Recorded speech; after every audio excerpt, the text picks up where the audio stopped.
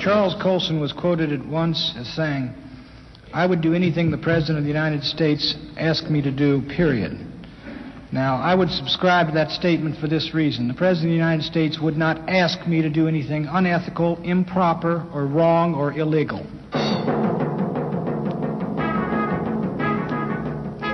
In the Senate of the United States, a resolution to establish a select committee of the Senate to conduct an investigation and study of the extent, if any, to which illegal, improper, or unethical activities were engaged in by any persons, acting individually or in combination with others, in the presidential election of 1972, or any campaign, canvass, or other activity related to it. From Washington, NPACT brings you gavel to gavel videotape coverage of today's hearings by the Senate Select Committee on President. Pat Buchanan has been painted as a conservative ideologue, out of touch with reality and the mood of the country. But in his appearance before the committee today, Buchanan comes off as a very skilled, practical politician. Three memos that he wrote in the pre election year of 1971 support that contention. On March 24th, Buchanan said, If Mr. Muskie is not cut and bleeding before he enters the New Hampshire primary, he very likely will do massively well there building up irresistible momentum for the nomination. This scenario is not in our interest. Well, Mr. Muskie was cut and bleeding in the New Hampshire primary, some say with White House help. His presidential momentum was stopped. Score one for Mr. Buchanan. On April 19th, Buchanan expressed grudging regard for old Hube. He said, unlike six months ago, the man is a serious contender. Buchanan suggested that Hubert Humphrey be established as a Democratic frontrunner. So the Democratic left would start chopping him up, advantageous for us in the long run. Now, precisely this is what happened 14 months later in the California primary. Score two for Buchanan. Finally, on June 9th, Buchanan said that Senator Edward Kennedy's strategy is to avoid early primaries in which the left-handers, McGovern, Bayh, Hughes, and so forth, would all be knocked out of the box, freeing up the Kennedyites for the switch to Teddy. Obviously, McGovern was not knocked out until he ran into Richard Nixon. Score one against Buchanan, but he's still batting two out of three. Not bad in any league. Jim?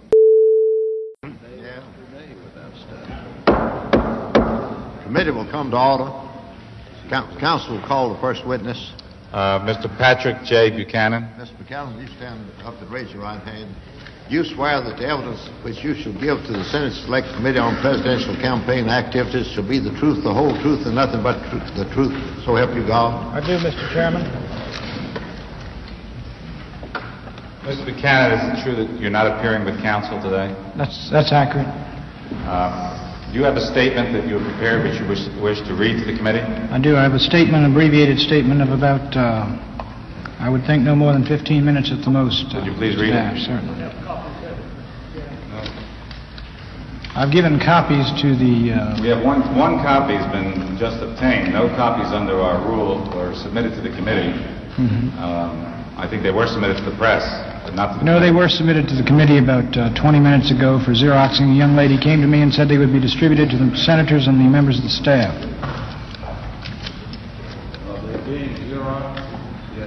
Mhm. Should I proceed with the statement, or do you want to wait for the copies?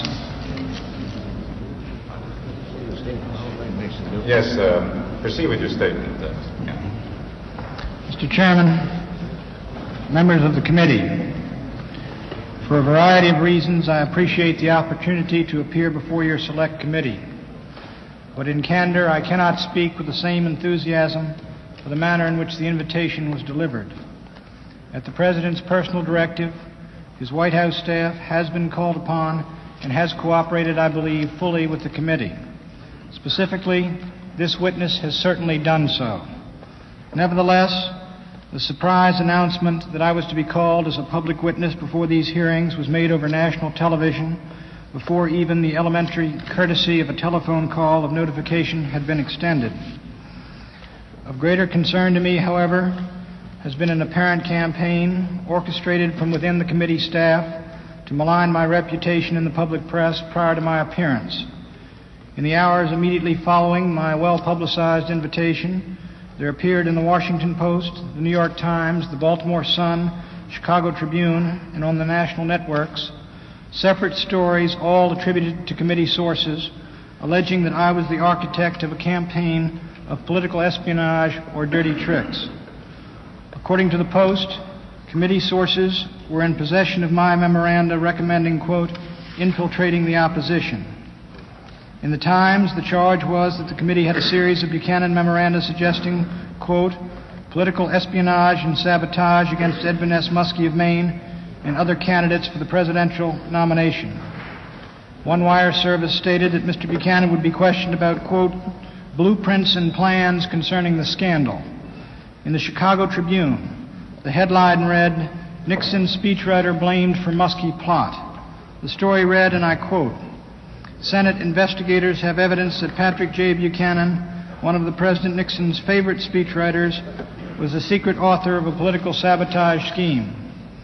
In the Baltimore Sun, under a major front page headline reading, Buchanan linked to 72 dirty tricks, the story ran thus Patrick J. Buchanan, a presidential consultant, may emerge as yet another architect of the 1972 White House dirty trick strategy, according to congressional sources.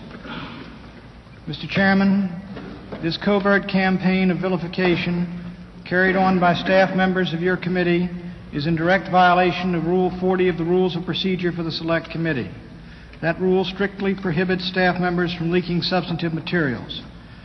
Repeatedly, I have asked of Mr. Dash and Mr. Lenzner information that they might have to justify such allegations. Repeatedly, they have denied to me that they have such documents. When I asked Mr. Lenzner who on the committee staff was responsible, he responded, Mr. Buchanan, you ought to know that you can't believe everything you read in the newspapers. It was his joke and my reputation. So it seems fair to me to ask how can this select committee set itself up as the ultimate arbiter of American political ethics if it cannot even control the character assassins within its own ranks? For the record, Mr. Chairman, let me state the following. I did not recommend or authorize, nor was I aware of, any ongoing campaign of political sabotage against Senator Muskie or any other Democratic candidate. I did rec- not recommend, either verbally or in memoranda, that the reelection committee infiltrate the campaigns of our opposition. I have never met nor spoken with, nor can I co- recall ever having heard the names of Messrs. Hunt, Liddy, McCord, Ulasewicz, Reagan, Barker, or Segretti until those names appeared in the public press. Nor have I ever heard, until the terms were made public, the code names of Ruby 1, Ruby 2, Crystal, Sedan Chair 1, and Sedan Chair 2, or Fat Jack. Even today, I could not testify with certitude to whom these terms refer. Now, let me move quickly to the heart of the public allegations against me, but more generally against our presidential campaign. It is being argued that illicit Republican strategy and tactics were responsible for the defeat of the strongest Democratic candidate for president and for the nomination of the weakest. It has been contended publicly that the Democrats were denied by our campaign and our strategy a legitimate choice at their own convention. It is being alleged that the campaign of 1972 was not only a rigged campaign, but an utter fraud, a quote, political coup by the President of the United States. These contentions, Mr. Chairman, are altogether untrue. Republicans were not responsible for the downfall of Senator Muskie. Republicans were not responsible for the nomination of Senator McGovern. To suggest that is, first of all, to do a grievous injustice both to Senator McGovern and to his campaign organization. Senator McGovern was nominated because his men wrote the rule book, his men were in the field earliest and worked hardest, his campaign was precisely targeted on the primaries they could win, and because he was possessed of the best political organization the Democratic Party has seen in at least a dozen years. It was not Donald Segretti who put together the organization that carried for Senator McGovern the crucial Wisconsin primary. It was not any agent of the committee to reelect the president who was outwinning McGovern delegates in states like Georgia, Louisiana, and Florida. I'm having great difficulty in hearing. There's Certainly. much noise here at the table. If you'd pull your mic... Thank you, Senator. closer. It was not our personnel, but theirs, who worked out Senator McGovern's victorious campaign and convention strategies. The McGovern people won their own nomination, and they lost their own election. As Theodore H. White has written in his latest and best campaign history, all of the dirty tricks of 1972 added together in the ultimate balance, had, quote, the weight of a feather. Now, what of the suggestion that I recommend that Republicans, in the spring and summer of 1971, concentrate their political resources upon Senator Muskie rather than to dissipate them on the dozen, dozen other potential aspirants for the nomination? That statement is essentially true. Senator Muskie was targeting his political attacks upon the President, as was every single of the other potential nominees. No requirement exists in ethics or logic or law that we provide equal time and political response to each of our potential opponents. The reasons for recommending the focus upon Senator Muskie were basic. He was the front runner. Alone among the Democrats, he led the president in the national polls. He appeared to me to be both the strongest candidate and the candidate with the greatest opportunity of uniting the warring wings of the Democratic Party. Candidly, it was my hope, if not my expectation, that our political counterattacks, concentrated primarily but not exclusively upon the Democratic frontrunner, might contribute to opening up the Democratic primaries and preventing a closed convention. There was nothing and is nothing, in my judgment, illicit or unethical or improper or unprecedented in recommending or adopting such a political strategy. The resources which we recommended for employment in that summer and fall, all of them legitimate, were basically these National Committee speakers and publications, including Monday, Republican chairmen and organizations in states Senator Muskie visited, the committee to re-elect its media resources and its developing state organizations, surrogate speakers from the national administration, including the vice president and the cabinet, congressmen and senators from the Republican Party who would use the forum of the White House or Capitol Hill either to defend the president against Senator Muskie's allegations or to put Senator Muskie himself on the defensive. Also, use of the media through briefings and conversations and the like by political operatives to carry the message. There is no Republican individual or organization, Mr. Chairman, to credit or blame for the decline in the candidacy of Senator Muskie. The narrowness of his victory in the New Hampshire primary was a reflection of his declining standing in the national polls. The enormous margin of his defeat in Florida was a consequence of the unanticipated appeal of the candidacy of George Wallace.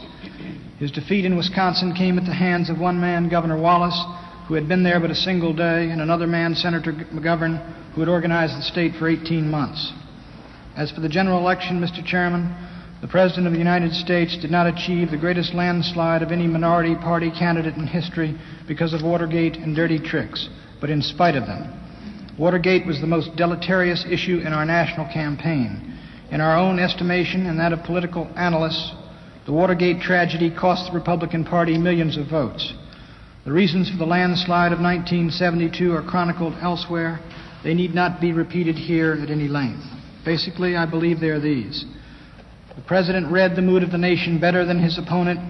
The president had conducted an administration for four years that had won the confidence or support of millions of Democrats. The president's stand upon the issues of defense and welfare, upon taxes and government, upon coercive integration and busing were closer to what the American people wanted than those of his opponents. But we won as well, Mr. Chairman, because of the quality and the character of our candidate. If one looks back over the political history of this country, there's only one other man, other than Richard Nixon, who has been his party's nominee for president or vice president five times. That is Franklin Roosevelt. And no other individual in our political history has served in both of the same high offices for so long a period of time as has the incumbent president. He is not the leader of a majority party. He has been since 1946 a member of the minority party in American politics. And thus, this political career, I believe, is all the more impressive. That political record, Mr. Chairman, is no accident, it is no fluke, and that election of 1972 was not stolen. And the mandate that the American people gave to this president and his administration cannot and will not be frustrated or repealed or overthrown as a consequence of the incumbent tragedy. Mr. Chairman, I thank you for the time. Uh, uh, Mr. Chairman, um, I too uh, would like to deplore, along with Mr. Buchanan, any newspaper stories derogatory of him that are indicated as having been leaked or come from sources from this committee. Um, I know of no staff member who's done it. I have searched to find such staff members if there were any. We have had a problem like this before, and I think we all know that the problem of leaks is one that isn't always can be solved. Also, this has been a problem, I think, that has plagued the inquiry in this area, not only with this committee, but with the Department of Justice, with the White House itself. It's not even known whether or not these sources did come from the Senate committee. But I would deplore, uh, along with Mr. Buchanan, news stories that reflect on his character and reflect on his activities, and I can assure the committee that they did not come uh, from any source that I know of the committee, and certainly not from any counsel that I know of. Mr. Chairman, could I say a word in that respect? I join with majority counsel in deploring the allegations that Mr. Buchanan alludes to, and I commend him for taking that position. I've talked to Mr. Dash on a number of occasions, not related to this matter, but to other alleged leaks from the committee, and I can verify from first-hand information that Mr. Dash on every occasion has made a conscientious effort to locate such leaks, and I entirely believe him when he says he deplores such leaks. Unfortunately, we live in a pretty leaky atmosphere, and uh, I'm not I'm not defending against the allegations that you make, Mr. Buchanan. I'm simply saying, in a sense of fairness to Mr. Dash, that I'm sure that he genuinely expresses that regret and that concern, as I do too. It does not help the mandate of this committee to have the matter thrashed out in uh, in the press before a witness appears. It does not help to have speculative stories about it. It does not help to have a witness summary published verbatim in the newspaper, which once happened. But uh, let me quickly say, as a senior Republican on this committee, that for my part, I'm convinced Sam Dash means exactly what he said. Uh, now, I'd like to say, uh, Mr. Buchanan, I share your uh, consternation about uh, leaks. One thing I have never understood, having been a, a lawyer and been accustomed to keep the secrets of my clients, I've never understood why such a large part of Earth's inhabitants or so have such little restraint that just as soon as they get anything in their mind, it comes tumbling out their mouths. And um, I've noticed leaks ever since I got to Washington uh, 19 years ago. Somehow or other, it seems to me they're increasing. That the number of people who can't, can't exercise self-restraint seems to be um, growing rather than diminishing.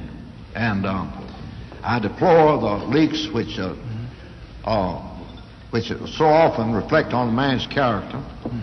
I can guarantee that one man in this committee has never leaked anything. That's myself. I learned long ago that, uh, as, as Kipling says, that men who kiss and tell wisely has a poet's song. A man can hold all of posts if he'll only hold his tongue.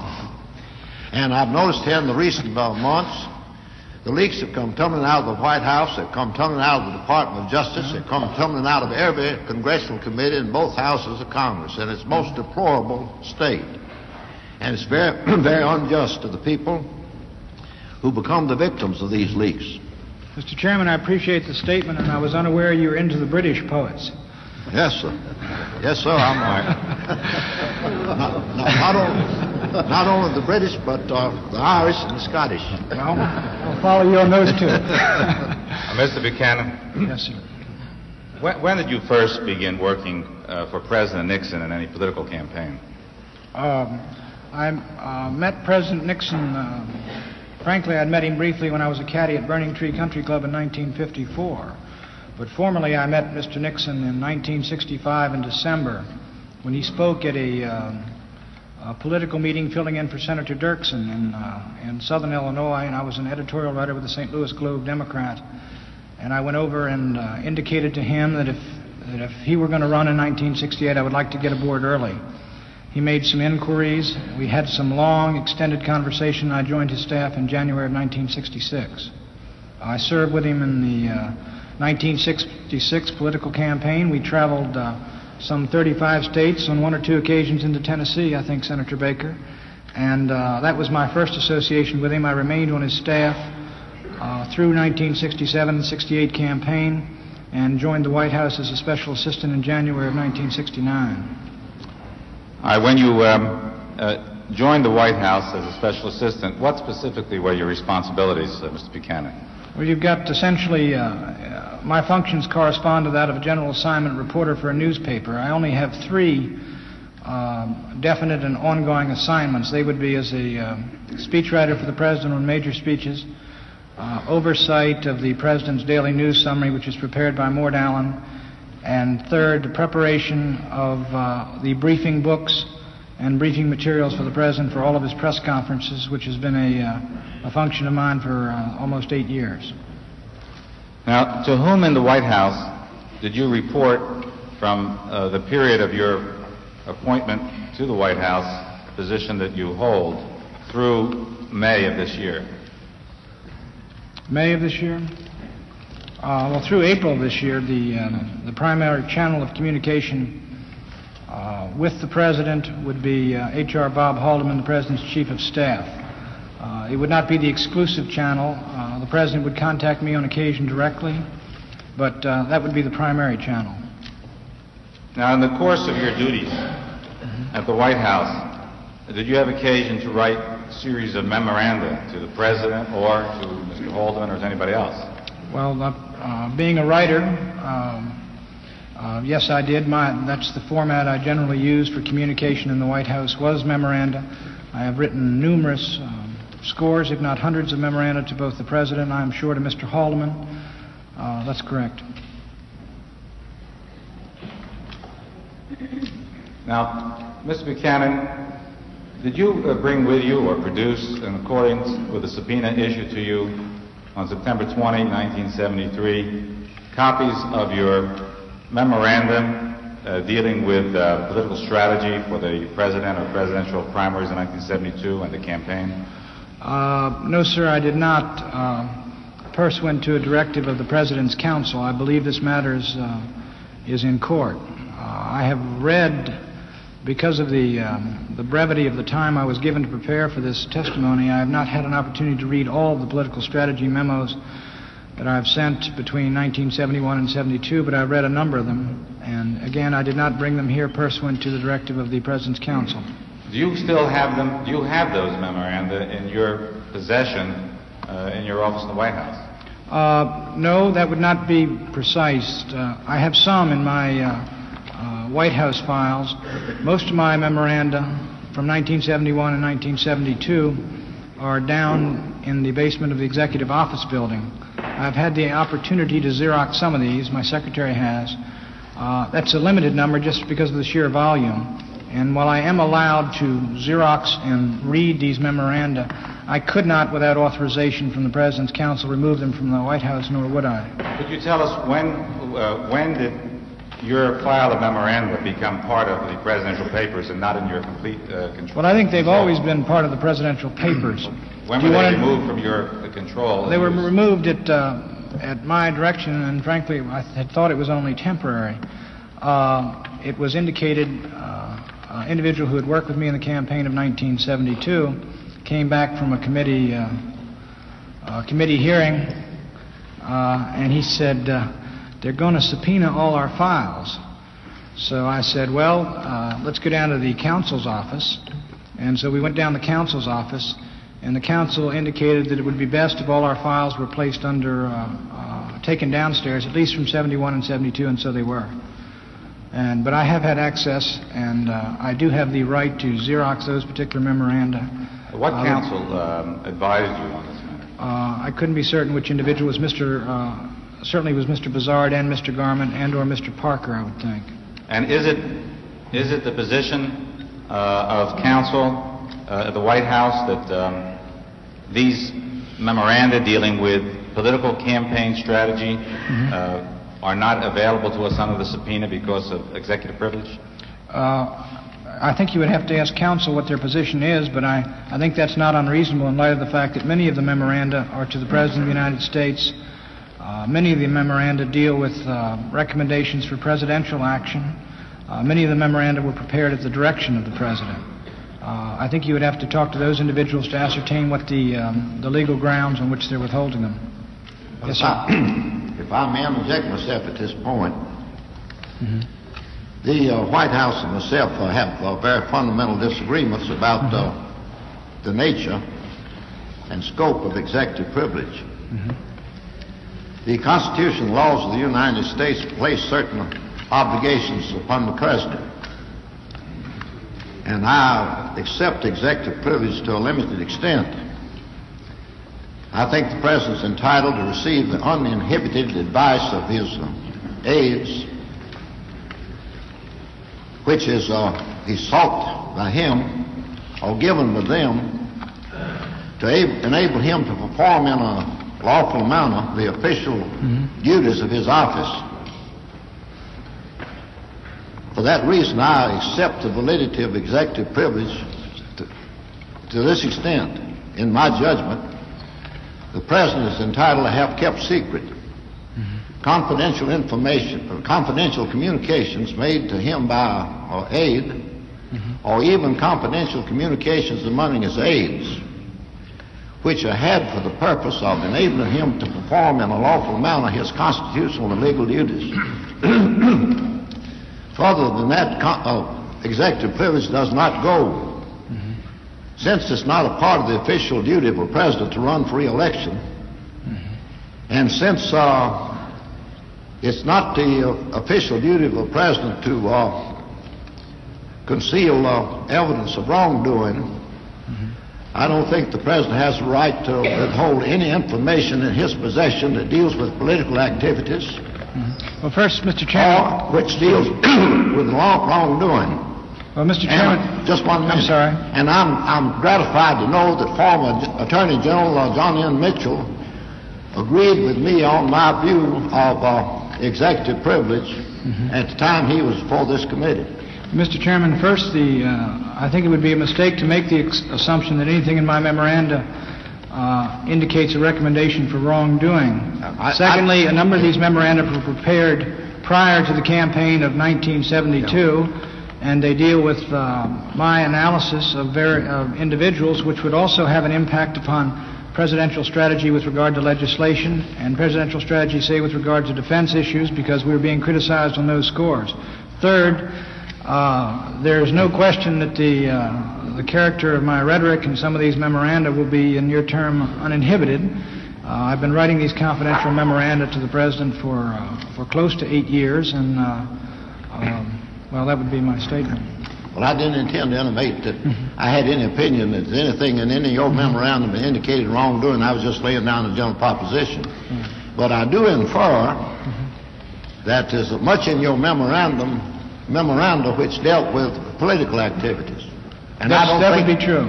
I don't think the Constitution, the laws make it the official duty of anybody to run for president of the United States, and therefore, executive privilege can't possibly cover that. That's my own opinion, and I'm glad to say that John Mitchell agreed with me.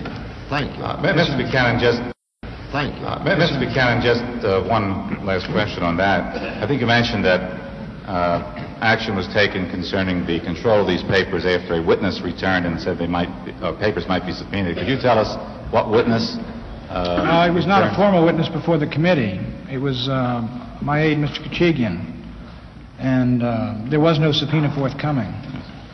Uh, Now, the committee has been able to acquire by subpoena uh, from the committee to reelect the president's uh, records uh, a number of um, memoranda, not certainly all of your memoranda, and you will find on your table uh, for later use during questioning a file of those memoranda with tabs and a summary.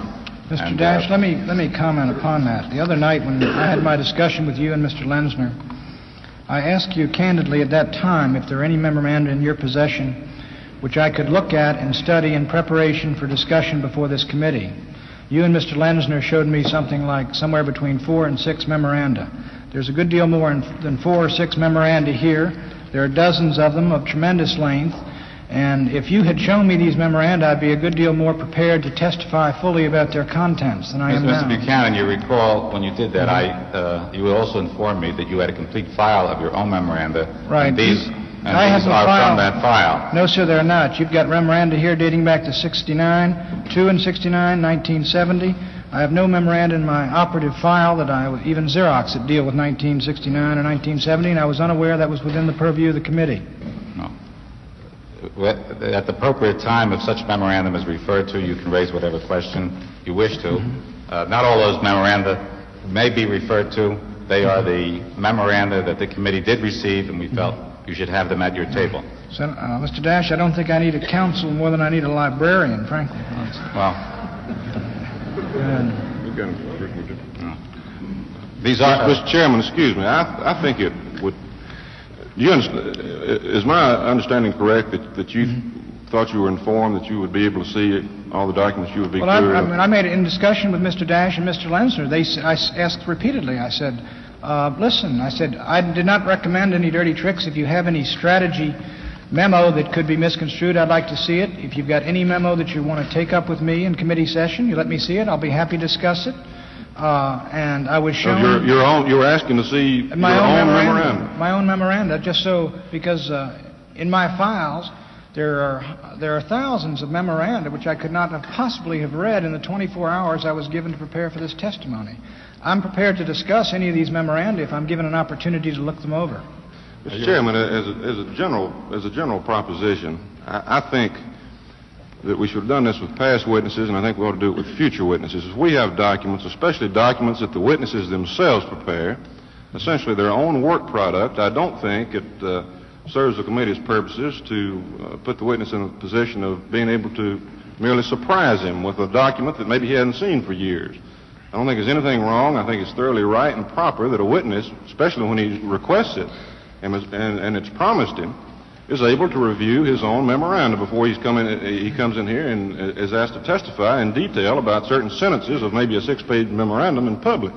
And I would think that if he's queried on any particular memorandum, he ought to have the chance to sit and read the whole memorandum before he's I I agree with you, and uh, I would suggest you give Mr. Buchanan all of the, all of the memoranda that they're going to ask him about, and if he wants to adjourn the meeting so he can read them before we uh, question him, well, I'll I'll be glad to uh, take that up with the committee. And on the other hand, if he wants to proceed, then uh, I'll assure him we'll give him plenty of time to re- refresh his recollection about the And, and Mr. Chairman, uh, this again is in the context of a subpoena that we served on Mr. Buchanan for his memoranda, which he prepared, which, and he was not forthcoming uh, uh, on the directions of the White House to give us those. There was no promise to uh, supply him all of the memoranda that we had. It is not for the purpose of surprise, but the correct questioning of this witness uh, by the uh, by the committee uh, is not accomplished by providing all of the memoranda in advance, uh, so that any testimony can be given, which may be rehearsed testimony. Mr. Chairman, Mr. Chairman, uh, Quim, I'd like to point out that in this very thick folder, there are something like 34 memoranda. Now, I was presented this memoranda last night about 6 o'clock, so I don't know about the witness being surprised, but I certainly am. And I've had no opportunity to go over this at all. I have leafed through uh, a few of these. I did it late last night. They have nothing to do with dirty tricks at all. But I think also, in the proper procedure of this committee, it'd be an excellent idea if senators had the opportunity of seeing voluminous memoranda that the committee apparently has had for many weeks. Mr. Chairman, could I ask a question uh, to put things in perspective for my own purposes? Could I ask where we got these memoranda? We got these memoranda by subpoena of the files um, of the Committee for Reelection of the President that um, are either in the archives or from Mr. Magruder's files, which are presently in the possession uh, of the Special Prosecutor. So all of these, all of these documents came either from the committee to reelect or from the archives or, Or from the Special Prosecutor who was holding Mr. Magruder's uh, files. so one way or the other, they came from the committee to reelect or the White House file. Yes. Well, uh, if I could make a statement, Was any, before you go on, Mr. Buchanan, was, was any protest made uh, delivering any of these documents Oh, no. by anyone? No, we've no protest. These were delivered We don't to us- have any litigation over. No, this is, they were given to us by subpoena, and uh, by- both by the special prosecutor and as well as uh, by subpoena through the archives of the committee. So the only question involved is whether or not the witness and the committee's had a chance to look through this inch and a half folder. Yeah, but we've had this, this, uh, this problem before. These folders and these exhibits come to us over a period of time. Uh, We've also had the problem that has already been indicated earlier, and I only feel it's fair to make this record, uh, since it's been referred to, as to when various members of the committee get uh, exhibits. We've had uh, the problem of when exhibits do appear uh, in the press, and, I, and I've indicated how I deplore the question that um, Mr. Buchanan raised concerning uh, uh, uh, revelations in the press, and it's the effort of the committee to hold as tightly as possible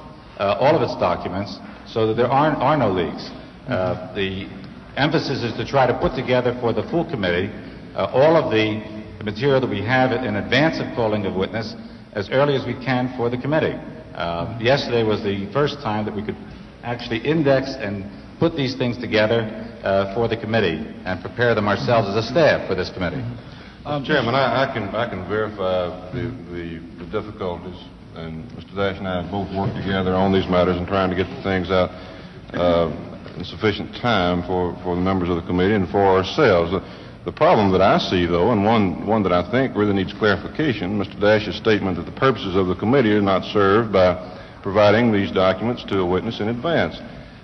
A criminal defendant under Rule 16 of the Federal Rules of Criminal Procedure has a right to copies of his own recorded statements well in advance of trial.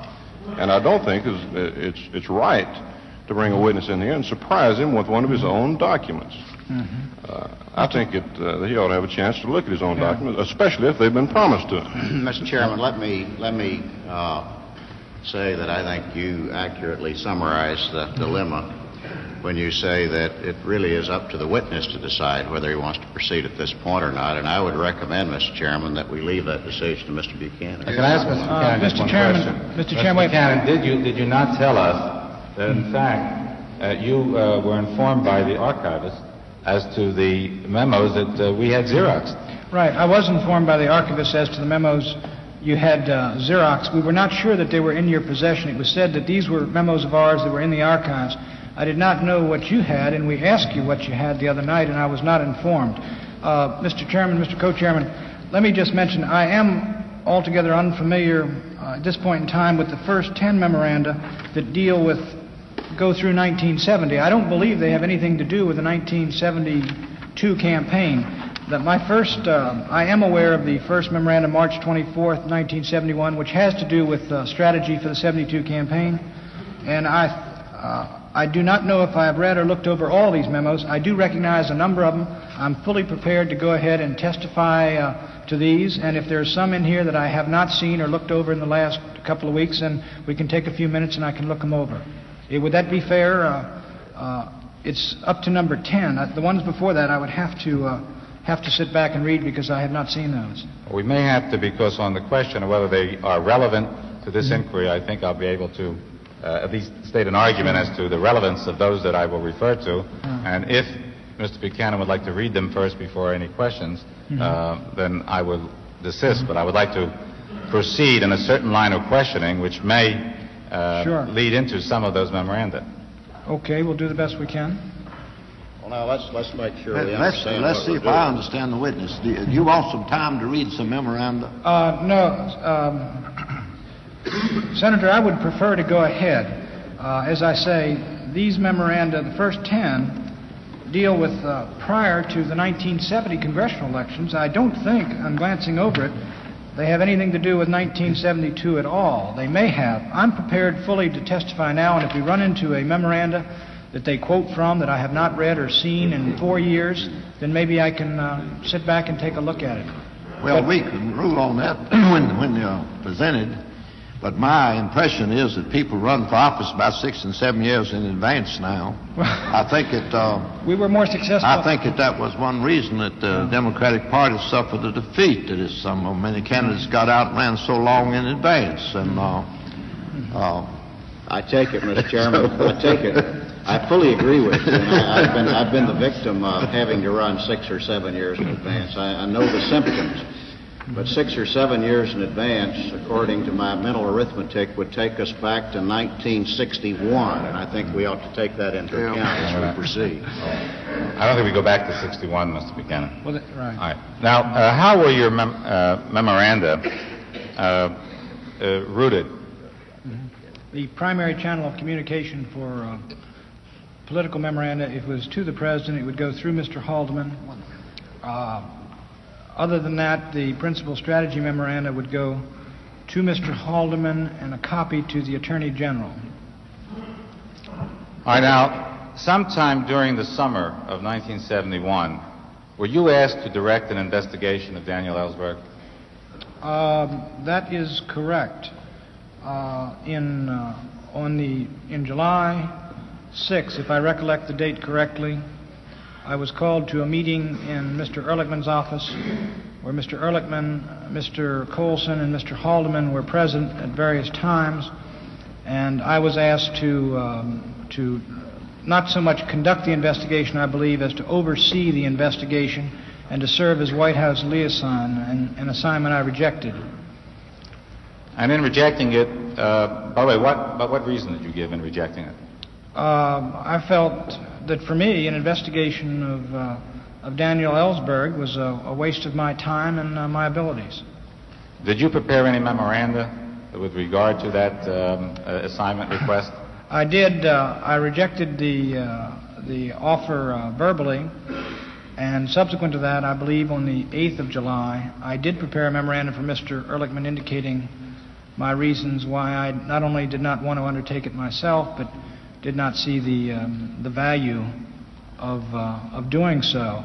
I do not have a copy of that memorandum, Mr. Dash. I uh, We don't I am either. going to talk to the uh, to the grand jury tomorrow about the uh, the particular uh, memoranda, but I would have to go back to the White House and sit down and study it before I could give you any details. Well, I'm not asking for that at this moment, and we don't have a copy either, mister Buchanan. But I would like to show you a uh, memorandum uh, dated August 26, 1971, from Mr. David Young to Mr. John Ehrlichman, which is already in the record of this committee uh, as exhibit number 91. You have it? You have it? there? It's not in the file. It should be. You've got 91 here? No, it should be loose on the top of your uh, top of it there. Oh. Are these in chronological order, the way they're going to come? Okay. Now, Right. If if you'll turn to uh, page four of that memorandum, and you'll notice that there's an item nine that raises the question, how quickly do we want to try to bring about a change in Ellsberg's image? And you see an asterisk, sorry, This thing is not, uh, is this Uh, from David Young? August- 26? oh, yes. Page 4? page four, What, how far down here? down the last line. Oh, how, okay. August 26, uh, Senator Baker. Right. Uh, I think every. It's.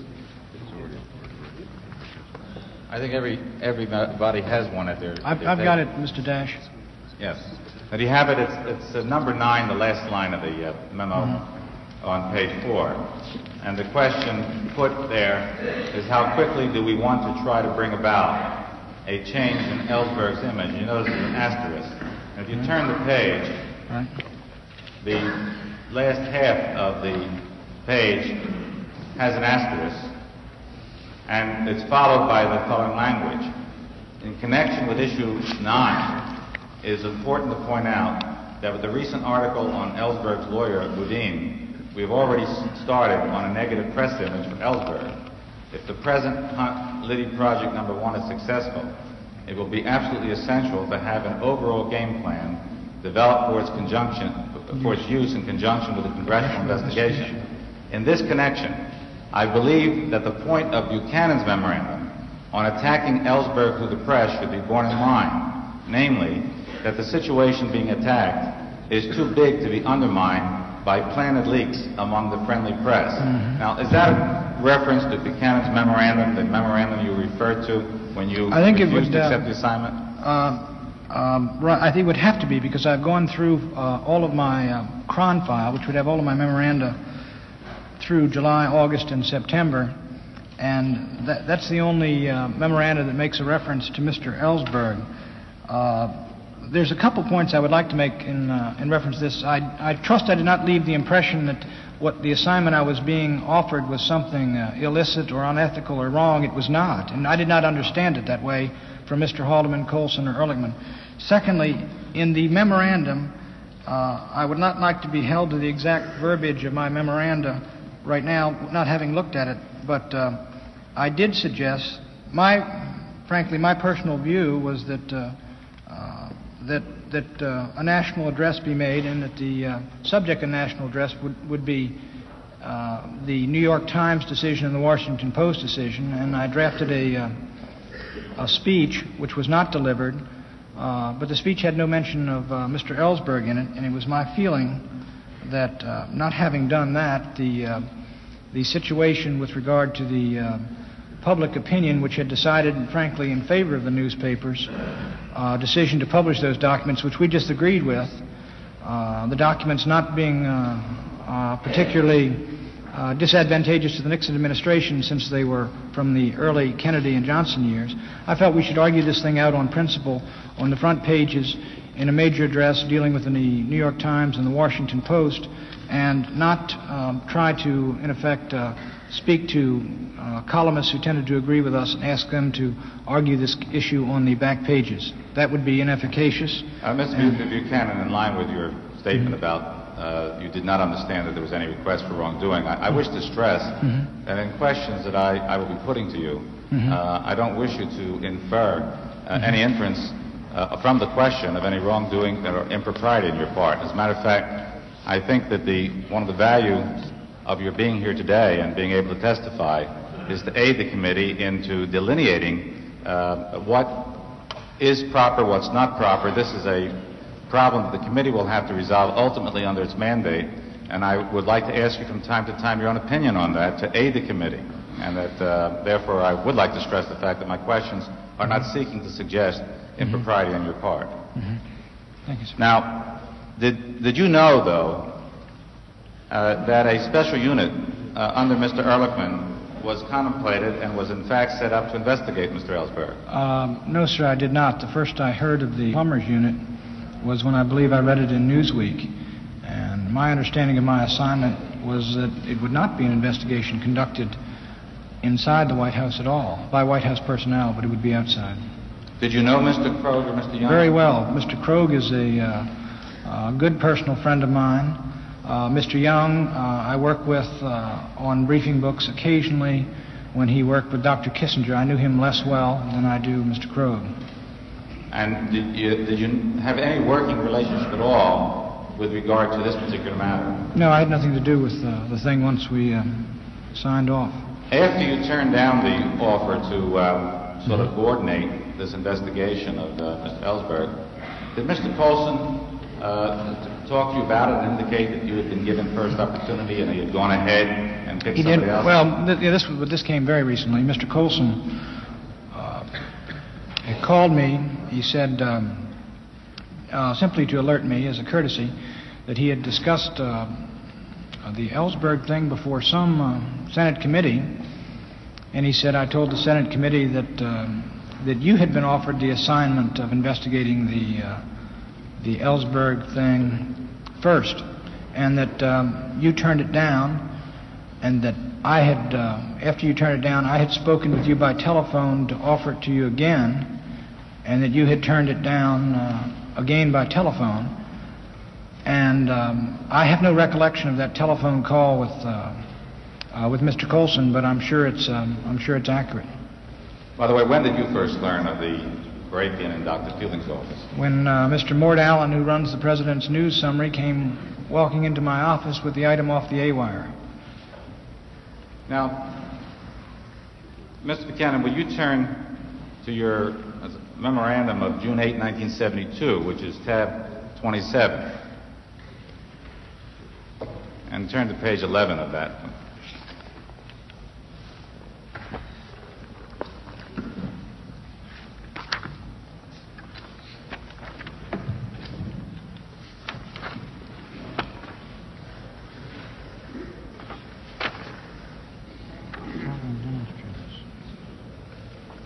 Yes. Now, does there appear on page 11 of that memorandum,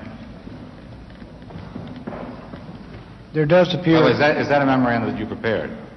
This is the um, known euphemistically as the assault strategy. Um,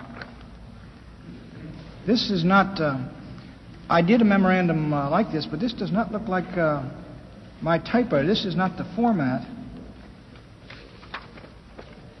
This is not the, uh, I did do a memor- memorandum of a considerable length on this subject. It looks like mine, but it does not look like the, uh, the top of it. Mine would be a memorandum, say, to the President from Buchanan, uh, Khachigian, and giving the date. So the front page does not look like the format, but I did prepare a memorandum of great length on the, um, on the various items, 40 items in the assault strategy. That's correct. Is it true that uh, a number of your memoranda, which you did prepare under a certain form, uh, were uh, actually transmitted to the uh, Mr. Magruder or the committee, and sometimes they uh, retyped them in another form? Uh, I think uh, from what you gentlemen showed me the other night, it appears that's what was done to a number of them. Uh, this uh, conceivably was done here. I think I'm sure this is my memorandum, but it apparently was done here. I had thought you gentlemen had retyped them, but uh, Uh, we, we haven't retyped it. Okay. uh, now, uh, this well, is yeah. Let me uh, let me point to uh, paragraph 25 on page 11, Mm-hmm. Which has a heading Ellsberg, and read McGovern's personal encouragement of Ellsberg to violate federal law is a matter which we should wait to exploit. Mm-hmm. Say two months after the Democratic convention, it should serve as a centerpiece of a national speech, perhaps by the Mm-hmm. vice president. Now, Right. was, the, was that in your memorandum? You recall making that I'm, recommendation? uh, I'm sure it is because what you do not have is, uh, in coupled with uh, this, uh, if you will, the attack strategy, was what was known as a uh, quotations or attack book.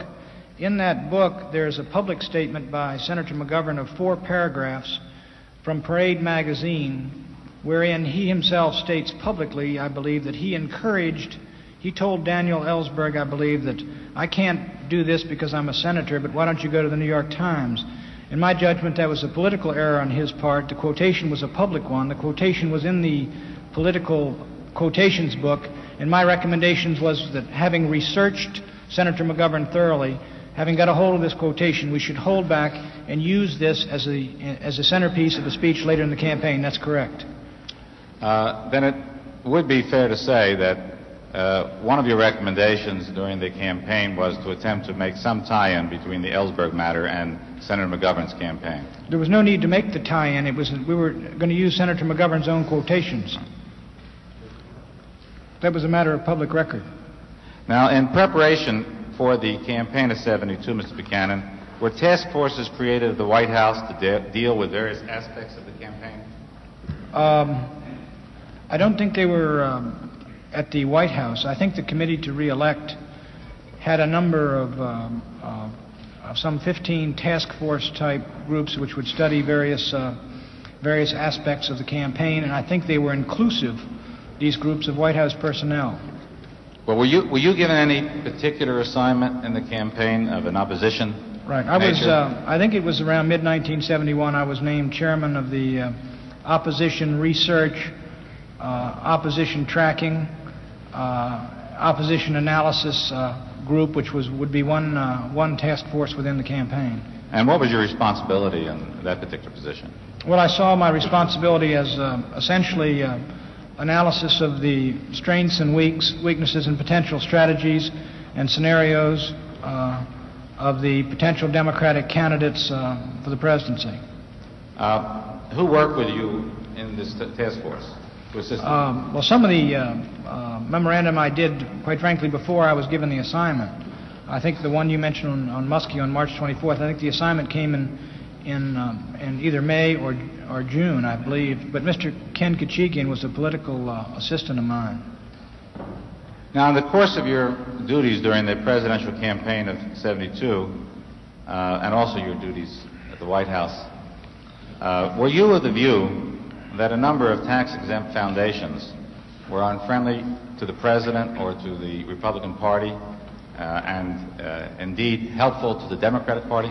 Well, it's, uh, that, that has, um, that might have been mentioned during the 71 or 72, but this is an idea that, uh, or a thought that I've had uh, back as far as 69 and 70, and it is my view that, uh, for example, the tax exempt uh, funds of the Ford Foundation, which is the largest of all foundations, which has something like 8 18% of all assets of foundations, that these by and large were being channeled uh, when they were into public policy institutes, into public policy institutes and others which were in basic disagreement with our own political philosophy, and that these uh, tax exempt multi millions uh, have the effect, in my personal judgment, of unbalancing uh, the political process. So I've recommended uh, and have drafted speeches actually to uh, to lay this out on the table, much as we laid out the what I felt was the bias of the networks on the tables. At the same time, to um, create some of our own institutions, which would be a counterpart of, uh, say, the Brookings Institution, which would be conservative institutions. That's true. But that, uh, I do not think that was an issue or a matter that was, um, I may be wrong, I haven't read all these memos, but there was, uh, was under active consideration in the campaign of uh, 71 or 72. I know I recommended it to the President uh, after the campaign of 72 that we ought to establish our own institutions, our own public policy uh, things, and uh, on a competitive basis. Well, did you not believe that the leading contender in the beginning of the uh, Democratic pri- uh, primaries for the presidential candidacy, Senator Muskie, had a special relationship with the Ford Foundation? Well, I think um, Senator Muskie went on um, two. Uh, Senator Muskie went on two trips, I believe. Again, it was a matter of public record, two or three that were uh, sponsored by the Ford Foundation. One of them was to Japan, I believe, and one of them was elsewhere. Again, my view is that we ought to make the whole question of tax exempt foundations and the use of their funds to, to uh, especially a giant one like the Ford Foundation, to unbalance the political process, in my judgment, we ought to make it a public and political issue. And uh, I've recommended speeches dealing with that subject. Now, on the Muskie recommendation, um, I think you would have to, before moving on that, you'd have to make the, na- the case nationally uh, against against the Ford Foundation and McGeorge uh, Bundy's Well, did, operation. did you make a recommendation that an investigation should be made uh, concerning um, uh, the Ford Foundation's activities in political uh, affairs? Uh, I did an investigation. Democrats? I did an investigation in myself in 1970, I, in, in the summer of 70. But again, this had nothing. This did not have to do with 71 or 72. Well, now- I read uh, every article that was written and the books that were written on the Ford Foundation in a 10-day vacation period, and uh, you did not need, uh, uh, other than the uh, material that I had at hand, uh, in the public sector as to where these funds were being channeled. It's a matter of public record where the Ford Foundation puts its funds. All right, now, Mr. Buchanan, would you uh, turn to your memorandum of 24 uh, to the President, which is tab 10, uh, call, uh, on a subject, the Muskie Watch. And if you turn to page 7 of that memorandum. 24. You've only, uh, your librarian has made an error. My 24 here is a memorandum to John Mitchell and H.R. Haldeman. Uh, I don't have that. Uh, You have tab, tab 10? You may Oh, have tab 10? Tab 10. I mean, I, it was your memorandum of March 24. I'm not, sorry. Not tab. the Muskie Watch. Yes, sir. What page of that? There's a vote on in the Senate, so we'll have to suspend temporarily anyway. Uh, this would give you an opportunity, Mr. Buchanan, to read it and perhaps Okay. some additional memoranda. Ford Foundation.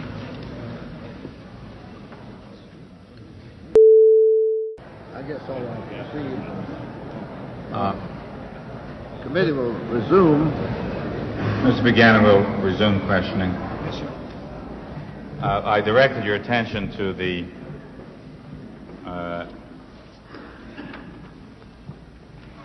March 24, 1971 memorandum, uh, which is a memorandum from you to the President under the subject, the Muskie Watch. And I've asked you to look at page 7 of that memorandum, and I'll read into the record uh, the short paragraph on the top of page 7, headed the Ford Foundation. When Whitney Young passed away, one saw a picture of Ed Muskie in the surf with Young, and one learned that they were gathered in Nigeria on a Ford Foundation financed trip. Now, in my research on Ford, this is the third such trip. Muskie was the only Democrat who made both junkets to Japan. Some of our own Republican friends went also on one, financed by Ford. certainly some troublesome questions could be raised about Muskie's connection with McGeorge Bundy's giant institution, and are they behind his candidacy? Investigation should be done on this score. This goes hand in glove, I guess glove, Glove, really, rather, the typo, uh, with the foundation speeches. And uh, therefore, you were recommending at that, at that time that investigation should be done, which would Well, be... yeah, but the investigation would be investigation of the public record. All the materials that I had on the Ford Foundation came from a huge volume of magazine articles. They came from reading the voluminous testimony before the Patman Committee, uh, which uncovered, I believe, or uh, elevated the fact that the Ford Foundation had provided uh, stipends for eight of uh, Senator Kennedy's uh, campaign assistants. And an investigation would be a simple matter to go down a list of uh, Muskie staffers and ascertain if any of these were on the um, on the payroll of the Ford Foundation.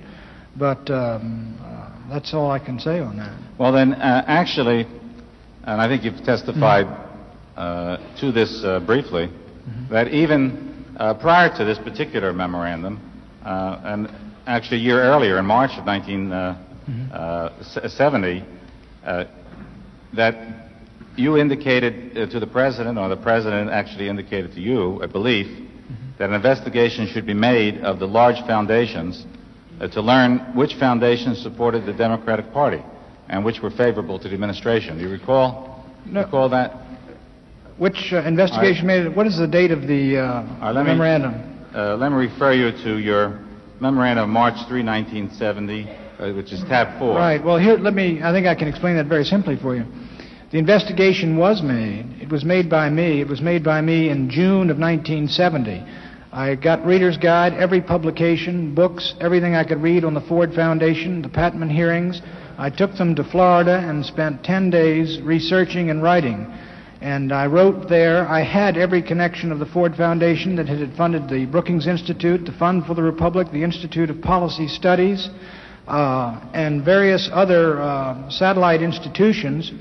And the, I, I made my recommendations in the form of two addresses. The, the speeches were written, they're mentioned here, they've never been delivered. Uh, but uh, this seemed to me to be a purely legitimate activity, and the, uh, uh, the fact that. Uh, I'm not the- questioning that, uh, Mr. uh, Well, the, the fact that the Ford Foundation is using its tax exempt funds to fund, uh, by and large, liberal or left institutions uh, presents a distortion, in my judgment, of the American political process. There's no conservative foundation which has anything approaching the resources of Ford or which is as active in funding either liberal institutions or social action agencies. And so my argument was that this is a matter that we ought to put in the public record. And, uh, and that's why I wrote the speeches, and the investigation was not anything done uh, uh, covertly in any manner. It was No, done and as, a matter, and as a matter of fact, Mr. Buchanan, and I'd like you to turn to tab 4, which is your memorandum of March 3, 1970, uh, to the President, in which you did put down most of this on record, and I think from this memorandum uh, must have come your investigation and uh, later understanding of the foundations. This is inaccurate. This is, uh, let me tell you, Mr. Dash, second to the political realignment, the dream of the American conservative is uh, to put together our own Brookings Institution. I believe, is this the idea for the MacArthur Institute? No, no Mar- do you have tab 4? Let's see. Uh, it's a memorandum on White House uh, letterhead, March 3, 1970. Yeah, I have not, I have not been shown this memorandum before. Oh, there it is, MacArthur Institute. I have not been shown No, I'm this not talking about the before. MacArthur Institute at this point. The, uh, the first page of the memorandum, Mm-hmm. Which is da- has the date March 3, 1970 on it. Do you Right. see it? Uh, could you tell me Their institute. Oh, yes, it, It is. refers to it, but, I'm not. uh, I have not been shown this memoranda prior to today. I haven't seen this for uh, uh, close No. to four years. I'm, uh, I'm going to ask you some questions, and you have time to take it and take as much time as you want. Fine. And there was 20 minutes during Mm-hmm. our break, which I, I had asked you if you wanted to take time to look at some of the memoranda. Mm-hmm. Uh, but in any event, is it not true that the very opening paragraph of that memoranda states that the president directed several of us to give thought to how to combat the institutionalized power of the left concentrated in the foundations that succor the Democratic Party? That's an accurate reading of the first uh, sentence, yes, sir. Yes. Now, Do you, uh, do you believe that it is appropriate and uh, for the administration, either through the White House or uh, any of its representatives, to influence federal government grant programs in a way to deny grants to unfriendly foundations in favor of pro-administration foundations? That would depend if, if the, I'm not that conversant with grants, but if the grants are based on lowest bidder, then it should be lowest bidder and it should be done honestly. If the grants are discretionary, uh, within the authority of the president to turn them over to one institution or another, I would recommend to the president that he turn any grants for studies or projects like that over to institutions which generally support the values and principles in which we believe, and not to other institutions such as the Brookings Institution, which is my judgment is a uh, uh, amounts to really a government in exile for the Democratic Party. And in fact, um, if you look on page four of your memorandum, which follows your recommendation that uh, for the MacArthur Institute, which would be a Republican conservative uh, foundation, there's a heading, What about the money that would fund such an institute? And if you look at item three under that, uh, the recommendation is that all federal contracts now going to institutions which are sens- essentially anti administration would be shifted to this new baby and to other pro administration foundations anti-administration foundations should be cut off without a dime. One good talk to the cabinet would be all that would be required to get cooperation here. And budget could be on notice to notify the West Wing of Brookings gets Right. any more money. There's nothing in there, of course, if it's a lowest bidder thing, um, and uh, I, there's no recommendation in there for violating the law again, but I do agree, and I would urge that the Nixon administration, if there are discretionary funds and if there are institutions which are supportive of the values in which we believe, then our discretionary contracts for studies and the like should go to institutions that concur with us. I, I would uh, reemphasize what I stated there. But what does this have to do with the campaign of 1972? Well, this led, uh, this is in context of the question I asked earlier about the Ford Foundation and the influence of foundations in the campaign. And I think that this is the background of that, which led up to that. And that's why it's re- relevant. Uh, now, do you also believe, Mr. Buchanan, uh, uh, or did you advocate that it's an appropriate function of the White House or its representatives to use the Internal Revenue Division as a weapon against foundations you believe as uh, friendly to the Democratic Party and unfriendly to the administration? Um, I have recommended on several occasions. Uh, once, when I received in the mail a political attack on the President and the Vice President and the Attorney General, it was uh, uh, a strictly political attack in violation of the law, in my judgment, because at the end of the political attack it said, please send in your tax exempt dollars now. On each of these occasions, there were two or three when these things occurred, I have recommended to Mr. Haldeman that this matter be looked into. It appeared to me to be a violation of the law. It was the use of tax exempt funds and for political operations. It was disadvantageous to the administration. And if these institutions were using their tax exempt status to engage in politics, then, uh, then we should have, uh, then we should move to remove their tax exemption. If you recall, in 1969, or I'm sorry, 67, I believe President Johnson directed that the tax exemption of the Sierra Club be removed for its violation of its tax exemption by virtue of its lobbying. It had only sent out a single ad, I believe, on a, on a uh, conversation, uh, conservation issue. Uh, now, as a matter of fact, in the same memorandum on the next page, Mr. began on page five, which is your general memorandum on the uh, so-called liberal foundations and the requirement for a, a Republican conservative foundation, at the very top of the page, uh, do you not state that one of my primary concerns about this is that it requires a strong fellow running the Internal Revenue Division Right. and an especially friendly fellow with a friendly staff in the tax exempt office. Exactly. I'm not sure we have the right now. Now, second, uh, we could use a greater willingness on the part of our internal revenue to engage in combat with some of these lesser anti-administration institutions like the Stern Foundation. Right. Now, let me give you the reasoning on this thing. After the election of 1964, when uh, Barry Goldwater was defeated, there was a conservative foundation who had some personnel who had worked in Senator Goldwater's campaign. They came within an ace of losing their tax exemption, uh, even though they had not engaged in political activities.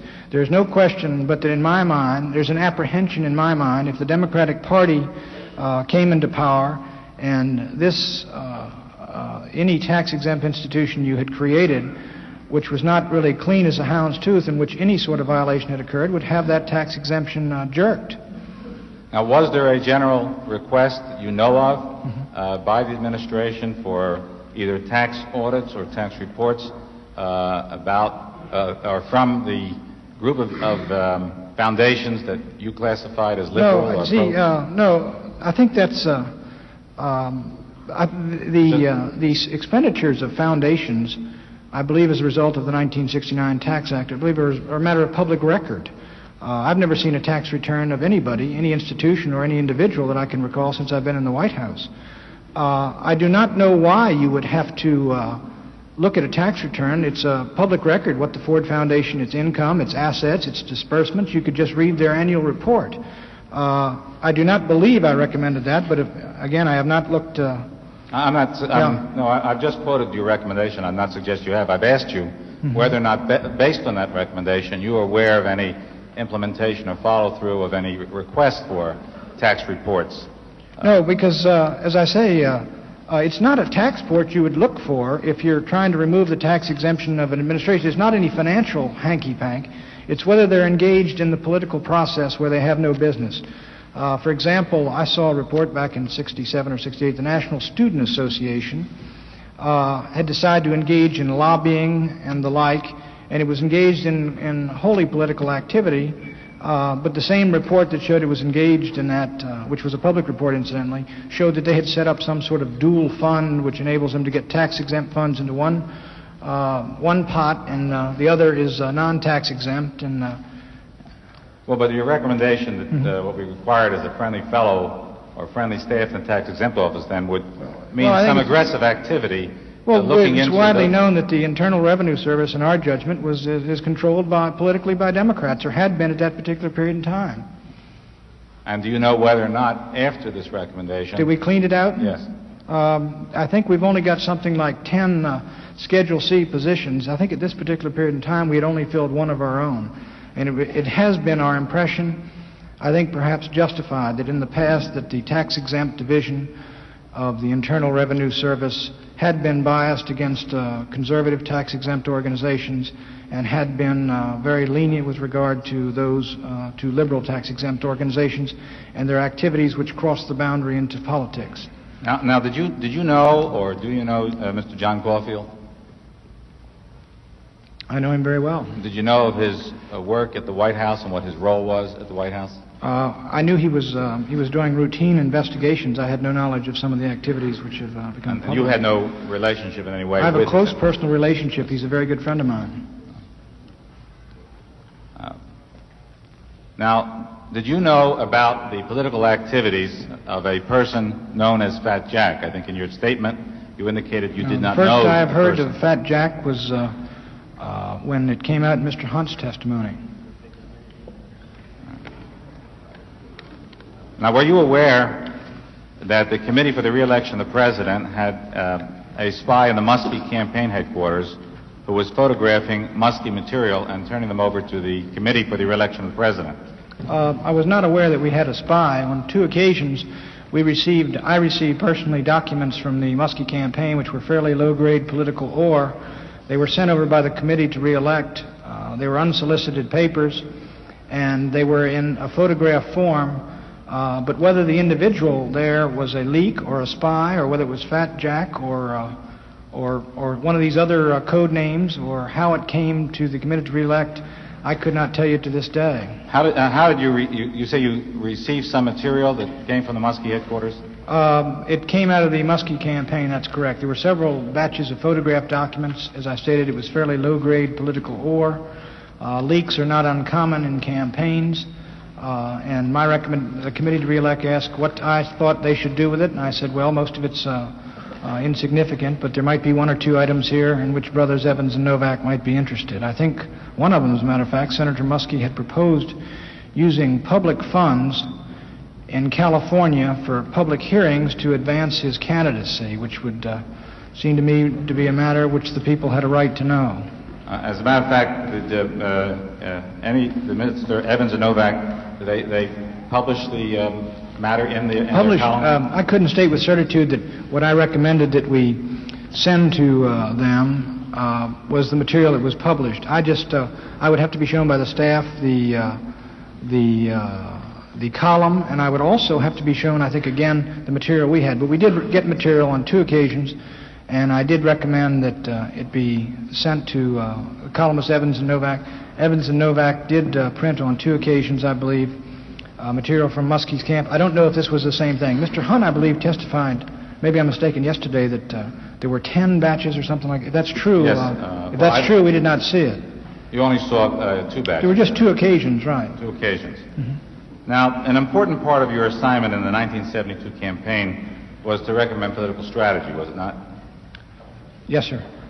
And uh, what, in fact, was your major recommendation at the beginning of the campaign? Uh, I would say that the, um, in 1971, uh, as I stated my, at the outset, my principal recommendation was that the, that given the fact that we had 12 Democrats opposing us, all of them attacking the president, that we ought to concentrate and focus our political resources primarily, if not exclusively, on Senator Muskie, who was then the front runner leading the president in the polls. and uh, did you put these recommendations in the form of memorandum? I certainly did. Uh, Now, it was your recommendation, was it not, and I think you just indicated, that the Republican Party, or through the campaign, uh, actually uh, attempt to affect the primaries so as to affect Mr. Muskie's chances in the primaries? Well, there's no doubt about it that um, uh, in the summer of 71, uh, we were counterattacking on against Senator Muskie. He had to run the gauntlet of the political primaries, and uh, right, you would, if you're devising a political strategy, you would have to take these things into consideration in providing scenarios for the primaries. Democrats in the primaries was one of our functions. And this uh, uh, actually led one of your, lead, uh, or at least basic memoranda was the one I think we referred to already, the memoranda of March 24, 71, which is tab 10, which you called the Muskie Watch. There were four, four basic ones. One was an analysis of Senator Muskie, one was an analysis of uh, Senator Humphrey, another analysis of Senator Kennedy, and another analysis of Senator Jackson. Is it not true, Mr. Buchanan, that you personally believe that the 1972 election was more than a ordinary presidential election, but had a direct relationship to the safety of the country? That's a, um, that is a, a line, I believe, out of a, a memo- memorandum of mine, the Muskie Watch. Uh, let me say, I would not, I would have been less apprehensive had Senator Jackson been the nominee than had Senator Muskie or Senator McGovern. If Senator McGovern or Senator Muskie had won that election, given their views with regard to American policy in Southeast Asia, I think it would have been little short of a catastrophe. That's correct If Senator Muskie had won the election? given his views on Southeast Asia and, and even late in the campaign, those of Senator Humphrey. The only uh, Democrat I would have been uh, mildly comfortable with and uh, would have been Senator Henry Jackson. And actually, you expressed that view, did you not, on page 7 of that memo? Would you- Right? There was a. Yes, Uh, sir. on page, uh, on, on This 10. is the Let just- Muskie Watch. Let me just read you the language that you had. Mm-hmm. We ought to go down to the kennels and turn all the dogs loose on Ecology Ed.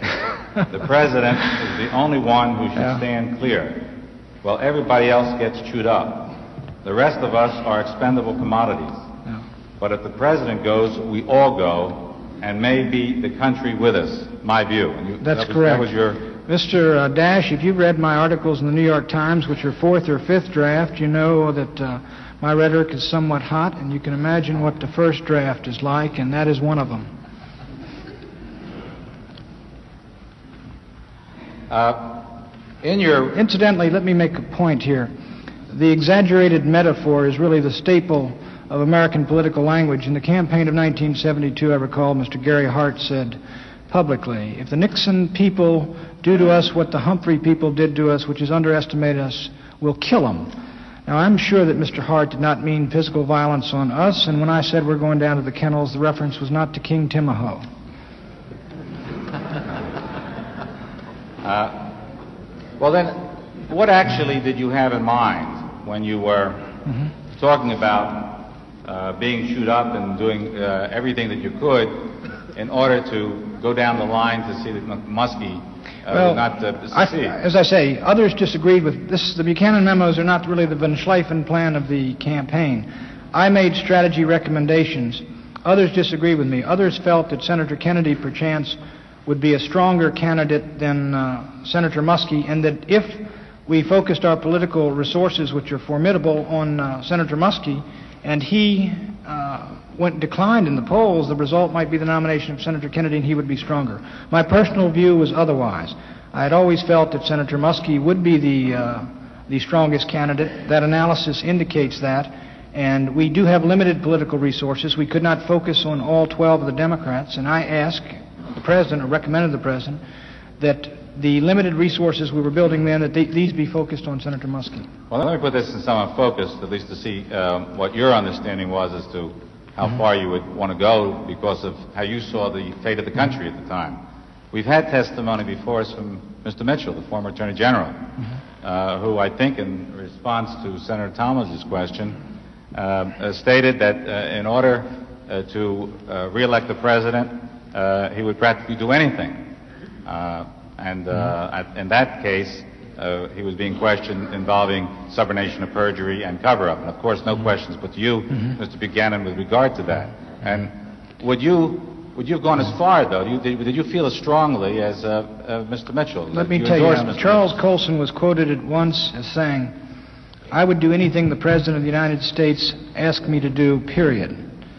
Now, I would subscribe to that statement for this reason. The President of the United States would not ask me to do anything unethical, improper, or wrong, or illegal. Now, did you? In other words, I don't think you, I think your statement really is that you wouldn't go as far as Mr. Mitchell's statement. Well, I don't know that Mr. Mitchell is, has been demonstrated to be guilty of anything. I don't know. Uh, I'm- I I'm don't know the facts of these cases uh, involving the Watergate, and I think we ought to leave that up to the courts. Um, I'm loyal to the President of the United States. That's correct. I've been loyal to him for eight years. I'm not questioning that, Mr. Buchanan. Well, uh, what is it that you are questioning, Mr. Dash? I'm just asking you, with a memorandum where you've indicated the nature of the danger that you saw to the country and the importance that the uh, forces of the Republican Party, including the White House, be aimed at knocking out the front runner, Mr. Muskie. That's- how far. How far would you go to do that? What was, what tactics would you be willing to use? What tactics would I be willing to use? Anything that had been uh, that was not immoral, unethical, illegal, or unprecedented in previous Democratic campaigns. Uh, the uh, All right. Well, we'll leave we'll leave that general that general um, definition and see whether or not some of this we might be able to define it a little clearly. Uh, did you have any discussions with anyone at the White House about the possibility of hiring someone like a Donald Segretti? We certainly did. Uh, as you know, Mr. Richard Dick Tuck is the, um, the well-known Democratic prankster. We enjoyed some of his tricks against us, as, uh, as well as I'm sure he, he did. I recall in uh, just three, briefly, three of his favorites. One of them was in 1962 when Mr. Nixon began to deliver a major address from the back of a railroad train. He put on an engineer's cap and signaled the engineer to drive off leaving Mr. Nixon standing there. Another was in uh, favorite was during a major political speech. Just as the speaker reaches the denouement, he drops the fire escape on him. A third was we were down at the Hotel Hilton down there in Miami Beach, and uh, there was out front demonstrating there. We th- I thought it was welfare mothers, or we'd heard it was welfare mothers at the time. They were all black. They were all pregnant, and they were all carrying placards that said "Nixon's the one."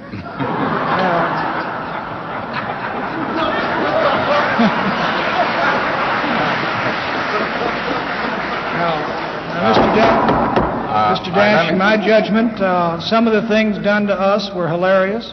Mr. Haldeman, as he's testified, indicated that maybe it's about time we had ourselves a political Dick Tuck. Uh, I was called into a meeting with Mr. Chapin and several others and asked how the Dick Tuck should be structured.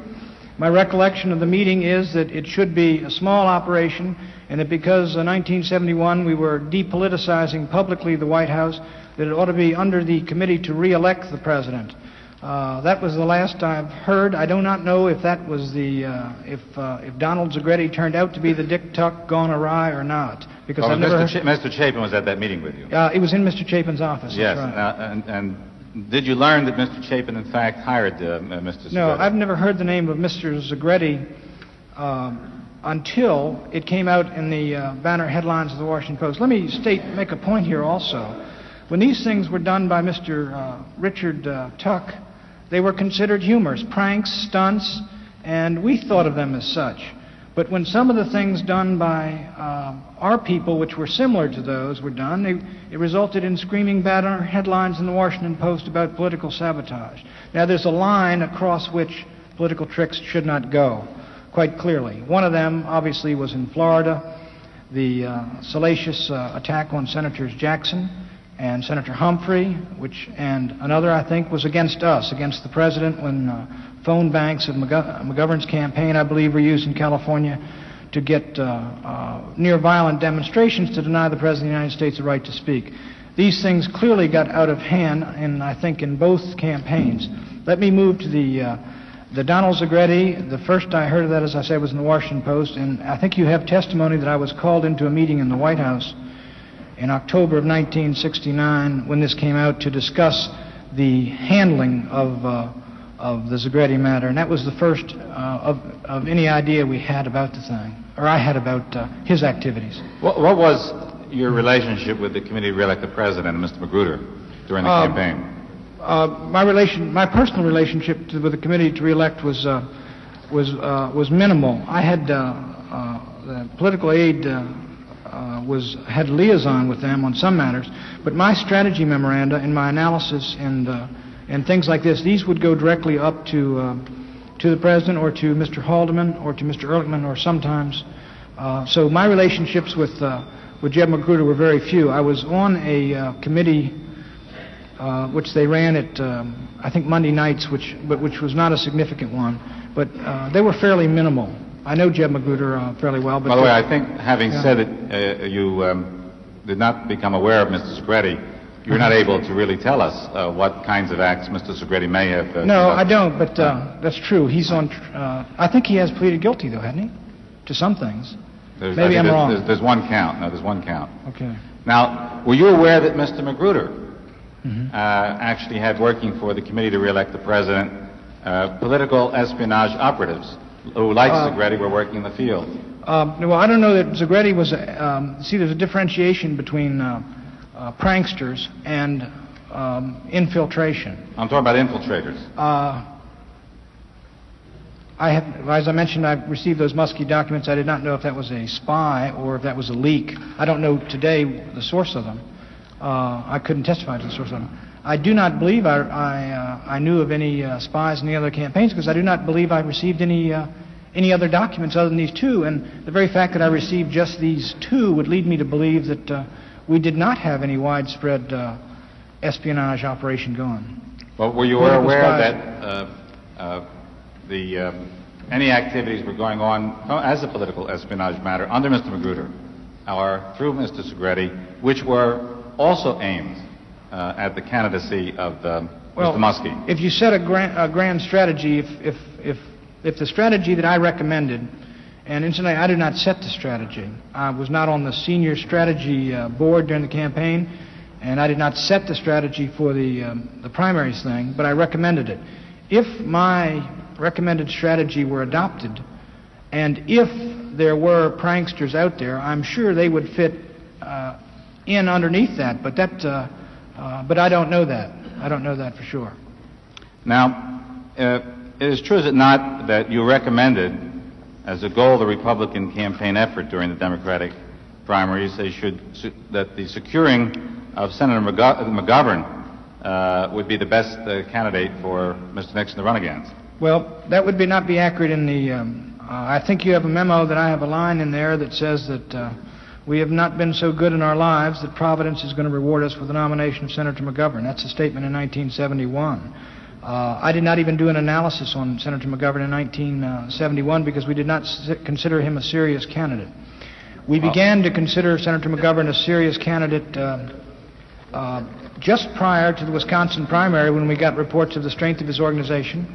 And after the Wisconsin primary, we did do a, an analysis, a strategy analysis of the, of the coming Democratic primaries, which led us to believe that McGovern could win the nomination. In my judgment, McGovern was the candidate we wanted most at that point in time, and I believe I did break, make a recommendation that all political resources of the, um, of the Nixon uh, campaign and of the Nixon uh, Republican campaigns, that they leave Senator McGovern alone and let him uh, proceed unimpeded to the nomination because there was a strong chance he would win it. Uh, let, let me refer you, um, Mr. Buchanan, to a memorandum, April 12, 72, uh, to Mr. Mitchell and Mr. Haldeman from you and Mr. Khachigian, which is uh, tab 23.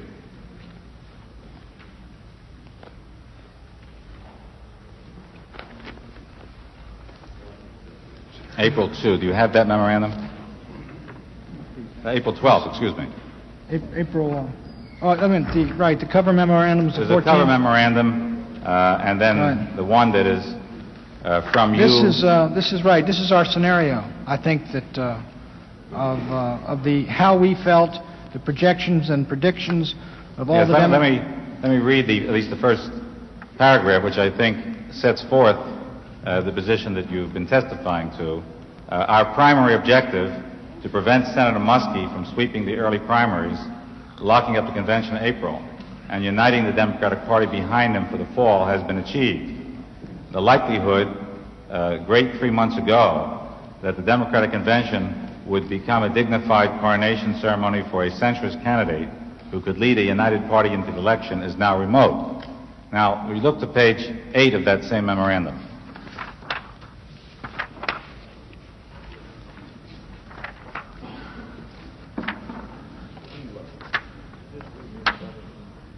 Oh, tab 23, uh, April, an April 12, 72 memorandum. Tab 23. 23. Yeah. And I'm now uh, referring to page 8 of that memorandum, Senator Baker. And on the very top of that page, our next goal. Uh, quote, what we need now is a decision on whom we want to run against. We believe that McGovern is our candidate for dozens of reasons. He could be painted as a left radical candidate, the Goldwater of the Democratic Party. And at this point in time, we would inundate him. The Wallace Democrats, South and North, as well as the Daley and Meany Democrats, would have to take hemlock to support a fella whose major planks to chop 32 billion out of defense. Also, he is weak with the blacks and would have to cater to that vote. To his great disadvantage, Humphrey can take the blacks for granted in a contest with the president. And so, in that memorandum, the goal was, as stated, to have Mr. McGovern as the candidate for the Democratic Party. It asks for a decision, I believe, from the campaign hierarchy in the first sentence. But that was your recommendation. My recommendation was repeatedly that we ought not to do anything to Senator McGovern in any way to impede his, um, his, uh, his run for the nomination. And frankly, uh, Mr. Dash, if anything was done against, uh, even in the way of pranks or something like that, against uh, uh, Senator McGovern in those, uh, in that period of time, then it would certainly have been contrary to any recommendation that I had made. Well, uh, actually, on page 24, you make the, uh, on tab 24, uh, your next memorandum, April 27, 1972, uh, from you to Mr. Mitchell and Mr. Haldeman, uh, that's exactly your recommendation. Right, with the... Uh, with the great success of McGovern and subsequent pullout of Muskie, the chances of McGovern nomination are immensely improved. Thus, we must do as little as possible this time to impede McGovern's rise. I think the reason for that was that there were some self-starters on our side who had, we had done, we had frankly had one candidate, Senator Muskie, on whom we've done enormous research, who had dropped out of the race. We had done enormous research on Senator McGovern, and there were some individuals within the campaign organization, the Republican Party, who were recommending that we move now to be critical and to lay on the record Senator uh, McGovern's positions in order to get him on the record before the convention, post-convention criticisms being uh, given little credence. And my recommendation was that we not do that, that we not be critical of Senator McGovern, that we stay out of uh, that uh, prime his effort, and Uh, I don't mean that in a pejorative sense, but that we not criticize him. Yes. Now, do you notice that, and there's a handwritten statement, I think, which is legible, uh, even in the Xerox, uh, at the bottom, which says, I agree with this, pass along to our staff, um, RNC, et cetera. That's Uh, the first- looks, looks like John Mitchell. That's the very first I've seen of that notation, but it indicates that uh, Mr. Mitchell concurred with the Mitchell strategy. Concurred with your recommendation. Right. Now, did you believe during the campaign or advocate that the administration should use its power to make judicial appointments, including the president's power to nominate persons for Supreme Court vacancies, either for political purposes or to divide the Democratic Party? Um, I've recommended since back in uh, 1968 or 1969 that the President of the United States appoint uh, first uh, a Southern judicial conservative to the Supreme Court, and uh, secondly, an American of, uh, of ethnic descent, uh, preferably Italian, to the U.S. Supreme Court, a distinguished jurist, because I feel that would be that would be good for the country, and I think it would have been good for uh, it would have been good for us, and it's consistent with our philosophy. That's right. Would you turn to, um, I think it's a memorandum uh, on tab 19 of October 6, 1971, and it's a that's a cover memorandum which attaches to your memorandum.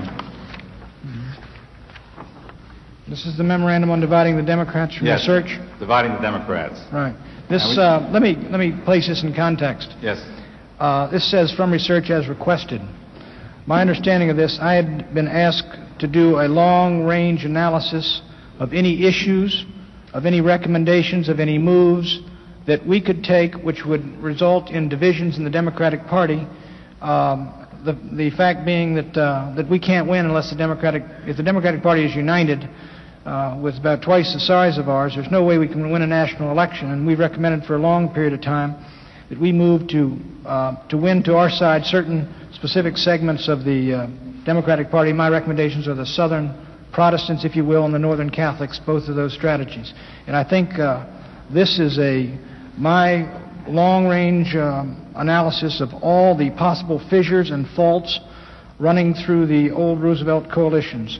Right. Now, on page three of that memorandum, uh, under regional fissures, num- Regional. the very number one, Right. The Supreme Court nomination of a Southern strict constructionist will force Democratic Northern liberals and major candidates to anger either the South with a veto vote or the blacks and the labor movement and the Northern liberals. A highly qualified Southern conservative nominee to the Supreme Court is de facto a divisive issue in the Democratic Party. That's one of those occasions where good policy is also good politics, I think, Mr. Dash. But in other words, what you were recommending here was that even the president's Mr. filling a Dash. Supreme Court vacancy. Uh, Mr. Dash, it's no secret to any individual of the National Press Corps or any individual that knows me that I would recommend strong conservative ju- judiciary officials be put on the U.S. Supreme Court. I've been recommending it since 1966 to the President. I've rec- I would recommend it today, and the side effect of that is to be ha- divisive within the National Democrats. That is an ancillary benefit with which I'm delighted. you said it was an auxiliary Ancillary. ancillary.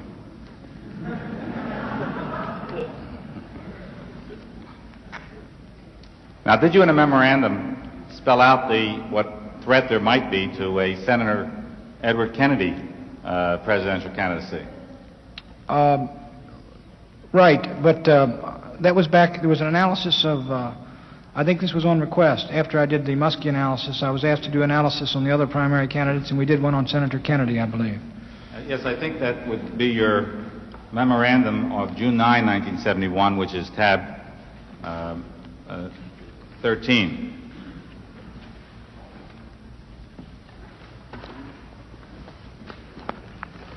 Were you aware, by, by the way, and I'm not making any special references to that, but that memorandum does deal with, as I take it, the strong possibility of a Kennedy candidacy, does it not? Right. There was. Um, we were we were very low in the polls, or relatively low in the polls in in '71, and there were inklings, and I think this memorandum would reflect it, it was our feeling that if we were low and the president looked extremely vulnerable, that uh, Senator Kennedy would move, but that if we were strong and, uh, and we looked um, fairly invincible, that Senator Kennedy would lay back. Uh, Mr. Buchanan, the, the, the reason, my next questions do not directly relate to anything perhaps of your own knowledge, but the date of this memorandum is relevant to testimony we've already received uh, in this committee. It's uh, June 9, 1971, which recognizes Kennedy as a, perhaps a strong candidate. Right. Uh, were, were you aware we received testimony from Mr. Hunt uh, yesterday uh, that he had received instructions from Mr. Colson uh, to fabricate uh, some State Department Mr. cables Dash, to link the, the Kennedy administration stated- to the assassination As I've stated, I never heard of E. Howard Hunt until uh, mid-June of 1972. This is a memorandum that's a year earlier. No, I'm not connecting that. I'm saying No. the date of that memorandum, which uh, certainly shows that the administration uh, Well, it does not show that. It's a memorandum to the President doing an analysis of Edward M. Kennedy, and my analysis indicated that I thought we should focus on Senator Muskie. And uh, I don't know how you could... Uh, I don't, I don't believe there's anything in here which suggests we ought to, uh, um, ought No, to do anything unethical. I think you misunderstood my question, um, uh, Mr. Buchanan. I'm not suggesting that you, in your memorandum, suggested anything other than brought out the facts in this memorandum that uh, that Mr. Kennedy was not to be forgotten as a Oh, I- possible prede- uh, there were- presidential candidate. There was a uh, division of opinion within the White House and even within the, uh, the opposition research group as to who would be the strongest candidate. I think the feeling of uh, some individuals was that uh, Senator Kennedy would be a good deal stronger candidate than uh, Senator Muskie, but I didn't share that view. Now, were you ever asked to, keep, uh, to help develop a newspaper ad campaign uh, following up on the um, Vice President Agnew's attacks on uh, so-called radical liberals? A news, that's 1969. Vice President Agnew's attack, I mean his Des Moines speech, and the uh, other speeches, these were, uh, uh, these were written in 1969. All I traveled with the Vice President in 19... During the 72 campaign, did you participate in getting attack ads placed in newspapers against Democratic candidates? There was only one candidate, McGovern, and Wright. Uh, the we recommended, uh, as a matter of fact, it was one a large portion of what we were doing was we recommended uh, a significant budget for the political offensive as opposed to the pro-Nixon commercials and stuff. And we recommended the placement of both printed materials, but even more importantly, the uh, emulate the uh, Johnson commercials against Goldwater and the Humphrey against Agnew, the use of television uh, spots uh, against Senator McGovern, and we did some which I thought were very uh, successful. And uh, we reviewed those uh, materials, and while I don't know if we prepared them, I certainly reviewed some uh, ads. I had a, they brought them over to me to look at. Well, uh, I'd like to just um, bring your attention to a memorandum from you to Mr. Clark MacGregor, Haldeman, and Colson, August 1st, 1972, which is tab 32.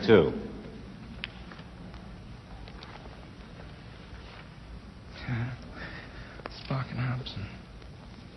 Do you have that memorandum Is this, before you? uh, right, right. Uh, now, you see political suggestions? One, in the assault book, we have the quote from McGovern about not manufacturing foolish projects Right. like the space shuttle. Would it not be wise to have this put into ads and pamphlets right now in the area of California, which just benefited hugely from the space shuttle? And number 2 along the same lines, the old anti-Tydings ad, which was so effective in my view in Maryland, quote, if Joe wins, you lose, unquote, would seem to me an ideal all-purpose ad for GOPers in areas affected by McGovern's space and defense cuts. If McGovern wins, you lose. Or if McGovern wins, we lose. lose. Again, the negative ads, I would think, will do more to make the president a big winner than positive re-elect the president. Right. Let me, can I explain what that, uh, why I believe that? Well, of course. Um, I, my feeling was that when the president was in the polls at 65 percent, that every vote, or almost every vote, from 55 percent to 65, was less a pro-Nixon vote or enthusiastic pro-Nixon vote than it was a, a vote against the candidate of the Democratic Party, and that our most effective political strategy, rather than, since these were Democrats, rather than have us say, you know, what a great job uh, uh, we've done, you should focus on the reason why they're voting for Richard Nixon. And they're voting for Richard Nixon, quite frankly, and we recognize this, not because they were really strong supporters of ours, they were undoubtedly the most lukewarm, but because of their strong opposition to Senator McGovern. So that's one reason why we recommended that we get a larger slice of the budget for the offensive side of the campaign as opposed to the, uh, the pro-Nixon commercials. Well, were these ads supposed to be signed by the uh, committee re-elected president or by Redu- Republican Party? Or were Well, they to be used- citizens groups? No, you'd use, uh, I, I would think Democrats for Nixon would have been a, an effective one if it was set up at that time. In other words, it doesn't make much difference. It doesn't make much in other words, you would use a group, some sort of group that would look like a group of citizens. No, there's uh, nothing in there about uh, doing that. It, all it is is rec- political advertisements in newspapers are a common staple. And we ran ads in newspapers, and I don't know that any of them were done uh, uh, unethically. I think they were. The, all the attack ads which were run, I think, were run after the Republican convention. And I think most of the attack ads, or the offensive ads, I should say, these had on them the uh, identification of Democrats for Nixon, which we felt would be a more effective appeal to Democrats than, um, than a Republican group. Well, did you ever recommend or approve the use of um, uh, Republican campaign funds to go into an ad of this kind, which would be pla- uh, placed in the papers, which would provide ha- have as its uh, support a citizens group? A citizens group? Well, in a campaign, uh, um, there's hundreds of citizens groups that go up. I mean, that are set up. Uh, you know, citizens for honest government, and citizens for this, and citizens for that, and uh, and. Uh, but here's the thing: this th- that would it would not But be you would my. prepare, but you would prepare the I ad. just, I just do the co- I do copy or I clear copy. I don't go uh, uh, find out what political committee is going to be. I would do the comp. I would basically probably not do the copy. I would the advertising folks would bring the copy in. I would clear it, say sharpen this, and it wa- and I would say it shouldn't be placed uh, in Illinois or this should be placed in California. And the details of these things, and whether it was a Republican group or whether it was Democrats for Nixon, these would uh, more than likely be decisions of, um, of other individuals, I Well, think. Whether anybody did it, whether Republicans or Democrats, would not such an ad be in effect a manufactured ad because it would give to the reader the impression that a group of citizens uh, felt so strongly about a particular issue that they would be putting their own money into purchasing that space and giving that message, which in You fact... know, I've Mr. Dash, I've ghosted speeches for presidents, vice presidents, senators, uh, Republican chairman, I've ghosted letters to the editor, and, and what is uh, illicit about ghosting an ad which individuals are I'm willing to put their advice, name Mr. on? Buchanan, not, and I'm not right. raising any question of uh, what's illicit. Okay. Uh, what I'm saying is that, in effect, Yeah. uh, although you say you ghosted speeches, to ghost or manufacture an ad or a letter to the editor Mm-hmm. that purports to be a letter from a citizen and is read by fellow citizens as an irate citizen's response, Right. which in fact is actually written by a political campaign worker and sent to the citizen to sign, is, is, is really that a, a true way to mold citizen opinion? Well, it seems, as long as there's uh, uh, an individual who is willing to uh, to sign a letter and asks you to draft it, or you draft something, and an individual it's, it does not conflict with his views, and he signs it, I don't think there's anything. Uh, as I say, that would seem to me to be in the same uh, category with uh, with a speechwriter uh, who's told by a candidate or a president or a vice president, "Can you draft me a speech and make these points on it?" It becomes the property, and the views become the views of the signer. It's, I mean, there's nothing uh, compulsory; it's strictly uh, voluntary. All right, now, Mr. Buchanan, did you ever recommend uh, any covert or clandestine activities uh, to be taken on during the campaign? Well, it, it would depend. I, my own view is that there are such things as covert and clandestine and intelligence activities that are um, um, that are that are not um, that are not wrong, that are not uh, unethical, and things like that. And uh, it's conceivable, yes. But what did you have in mind? All right, what, uh, would you turn. No,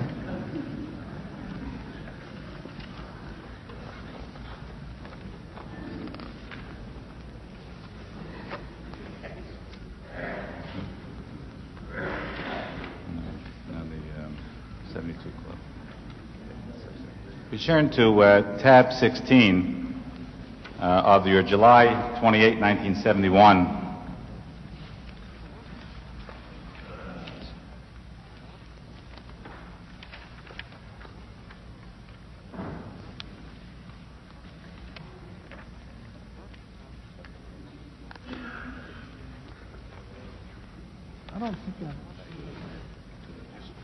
Is this tab, excuse me, is this tab 16? I'm not even sure. Did you say 15, sir? Uh, 16. Oh, here it is, here it is. Yeah, I thought would- shorted me. Yeah, do you have it?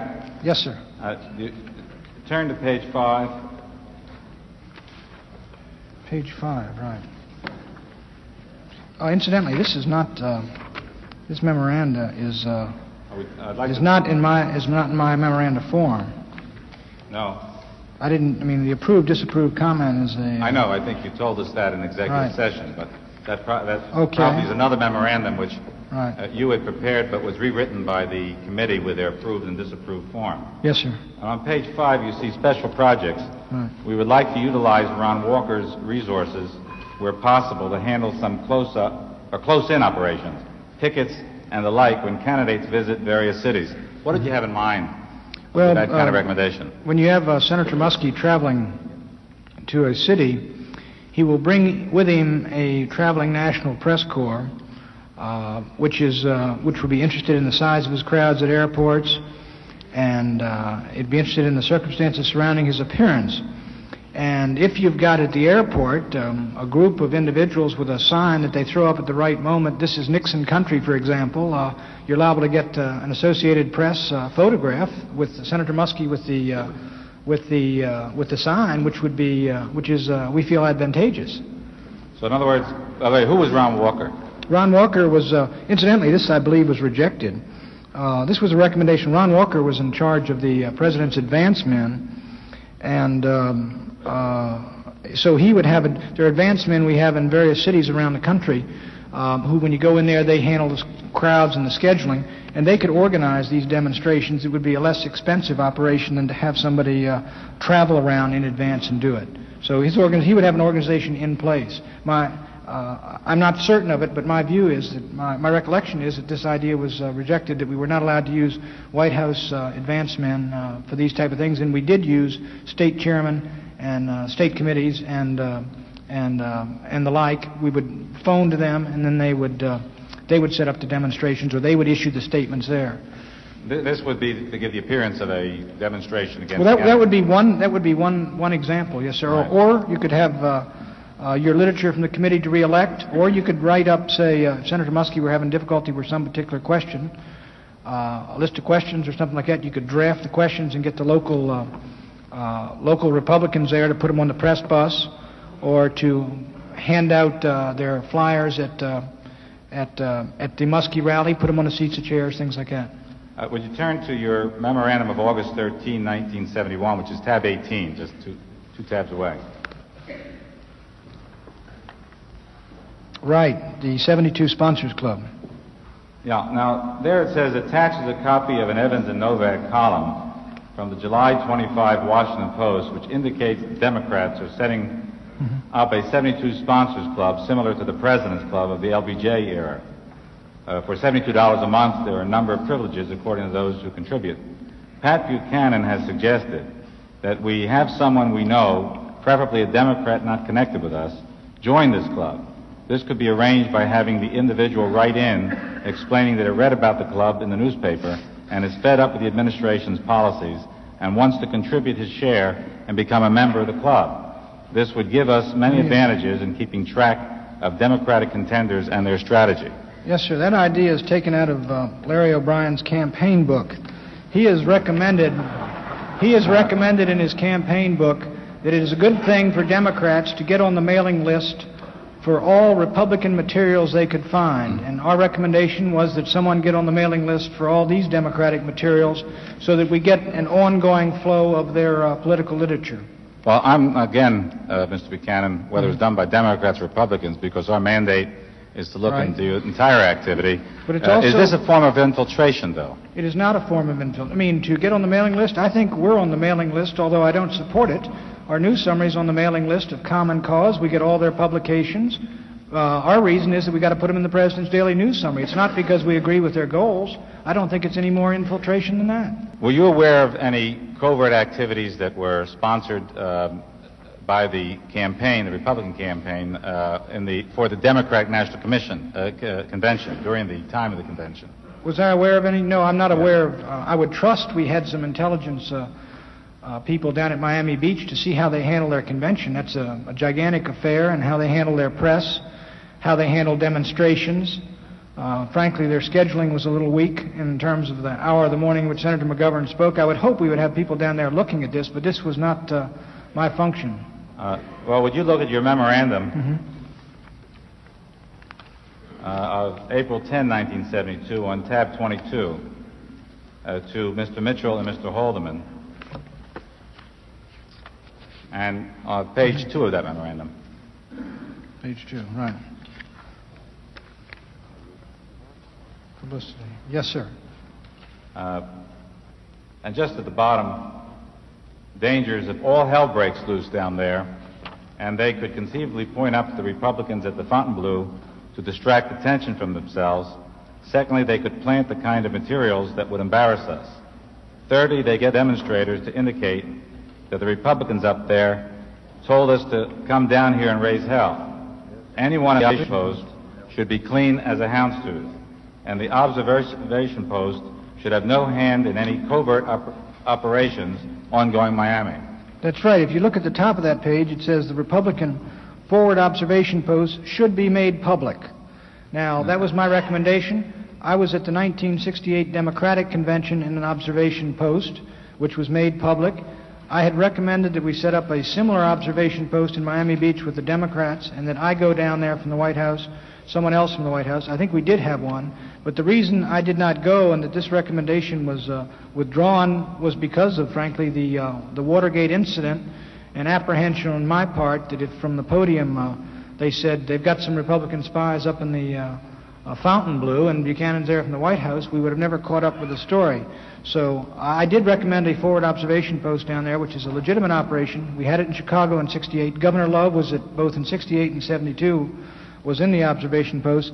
But the, the difference here is that I, I withdrew and White House But you were recommending that it be kept clear or clean away from any covert operations. Right, and if there's anybody, if we've got any demonstrators, there's 2,000 press in Miami Beach, and I certainly hope we had people down there demonstrating for Richard Nixon. But anything like that should be kept away from the observation posts, which should be clean as a hound's tooth for, uh, out of apprehension at the uh, allegations made against us, so we could say flatly, no, we had nothing to do with X, Y, or Z. Mr. Chairman, I just have one more question.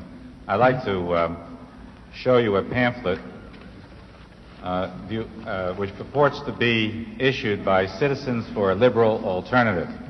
By the way, do you, do you know of the group Citizens for a Liberal Alternative? You know, Len Garment called me one night after um, someone had come back from the committee, and he asked me, Mr. Buchanan, are you familiar with, or Pat, are you familiar with Citizens for a Liberal Alternative? And I said, it sounds like a fine organization. Uh, Senator, uh, this pamphlet is, has only been shown to me, I've seen a Xerox of this. This pamphlet has been shown to me by um, the staff, I believe, Monday night. Prior to that, Mr. Lenzner showed me a Xerox of it, which was not identifiable. Um, my recollection of this is largely based on my political assistant, Ken Khachigian, who tells me that I was edit- edited the thing. To my recollection, this pamphlet is, uh, was not my idea. I did not draft it. I did not order it uh, produced. I did not order it distributed. I do not know who, to whom it went. But if he says that I edited it, I edited rather the text of it, he's an honest individual, and I probably did. Did he tell you that he prepared it? Uh, no, he said he told you that he prepared it. All right. Yeah. And um, did, um, uh, do you know as a, that, in fact, there is no such organization as Citizens for a Liberal Alternative? Right. The error in this is is uh, I, is that, I, from my understanding, is that it failed to have on it a proper identifying name of an individual who belongs to the organization, which is not an unroutine uh, shortcoming in a presidential campaign. As a matter of fact, I I have brought with me, uh, Mr. Dash, as I said I would the other night, a 47-page um, diatribe against Senator McGovern, which was released all over the Democratic convention and which is uh, similarly lacks identification. And from Time magazine, uh, I understand the author of that is Mr. George Meany, and the sponsorship is Mr. Barkan. And I trust that uh, that uh, if we can introduce that one into your evidence, that they will go through the same three hours of discussion of that as we're going through as we go Yes. went through the other night of this. Yes, and, and what in fact this was aimed to do was to um, uh, distri- uh, to show liberal Democrats, purportedly from an organization of liberal Democrats, that uh, Senator Muskie was, um, uh, as in the first page, Ed Muskie would be no different from the Nixons, Agnews, Mitchells, Connollys we, we have now, and make him a candidate, Wait- wait a candidate minute. for Democratic right. Right. The, the rhetoric is boilerplate uh, left-wing rhetoric, but the statements of McGovern's, I mean, Senator Muskie's positions on gun control is accurate. Yes. Uh, the statement of his, uh, um with regard to the black Americans, there's no, there is not an inaccuracy in terms of No, his but what I'm, what I'm suggesting is that the Right. purpose of the, of the pamphlet, as you see it, Right. is to represent to liberal Democrats that a liberal Democratic organization is urging them uh, to not vote for Right. Senator I- Muskie. Senator, the thing looks to me, it's a fairly unsophisticated document. It looks like it was uh, uh, a fairly unconvincing document. It looks to me to be more of a joke. It does not look to me like it's going to convince an intelligent uh, liberal Democrat to do anything. Well, uh, the record will show that this particular pamphlet Mm-hmm. Uh, was distributed quite widely throughout the country Mm-hmm. through different operatives. Mr. Chairman, uh, I've referred to a number of uh, memoranda uh, and specifically read from these memoranda during the course of my questioning of Mr. Buchanan and also this particular pamphlet. And I would like to have those particular memoranda, and especially those portions that I've read from, uh, identified uh, for the record and admitted in evidence. Can we introduce the uh, the Meany pamphlet, sir? The Meany. Uh, Well, if you, yeah, uh, if, I brought it with me. do you have the Meany pamphlet? Yes, I do. Yes.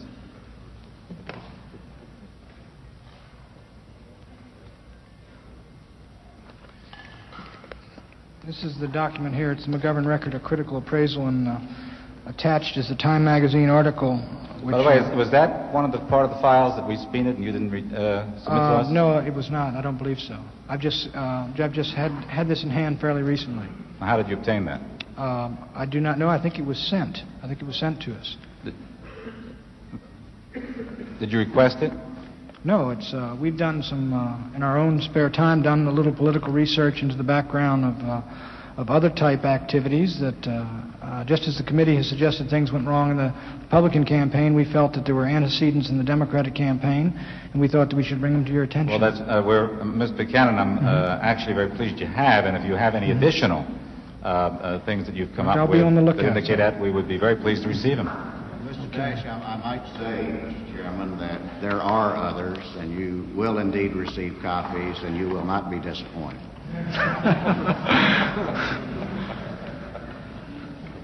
I take it they're not presently in the committee files. Uh, I don't know what the Are they committee present in the files has committee got. I files, didn't know they Senator had all Baker? my memos. I don't believe I'll tell you. Uh, Mr. Buchanan, I think you've given us some uh, instruction in uh, practicalities of, of, of American politics as uh, unfortunately practiced in orthodox manners by both political parties. The committee will stand in recess at 2 o'clock. The Committee will come to order. I guess you finished, Chris. I'm finished. Mr. Thompson.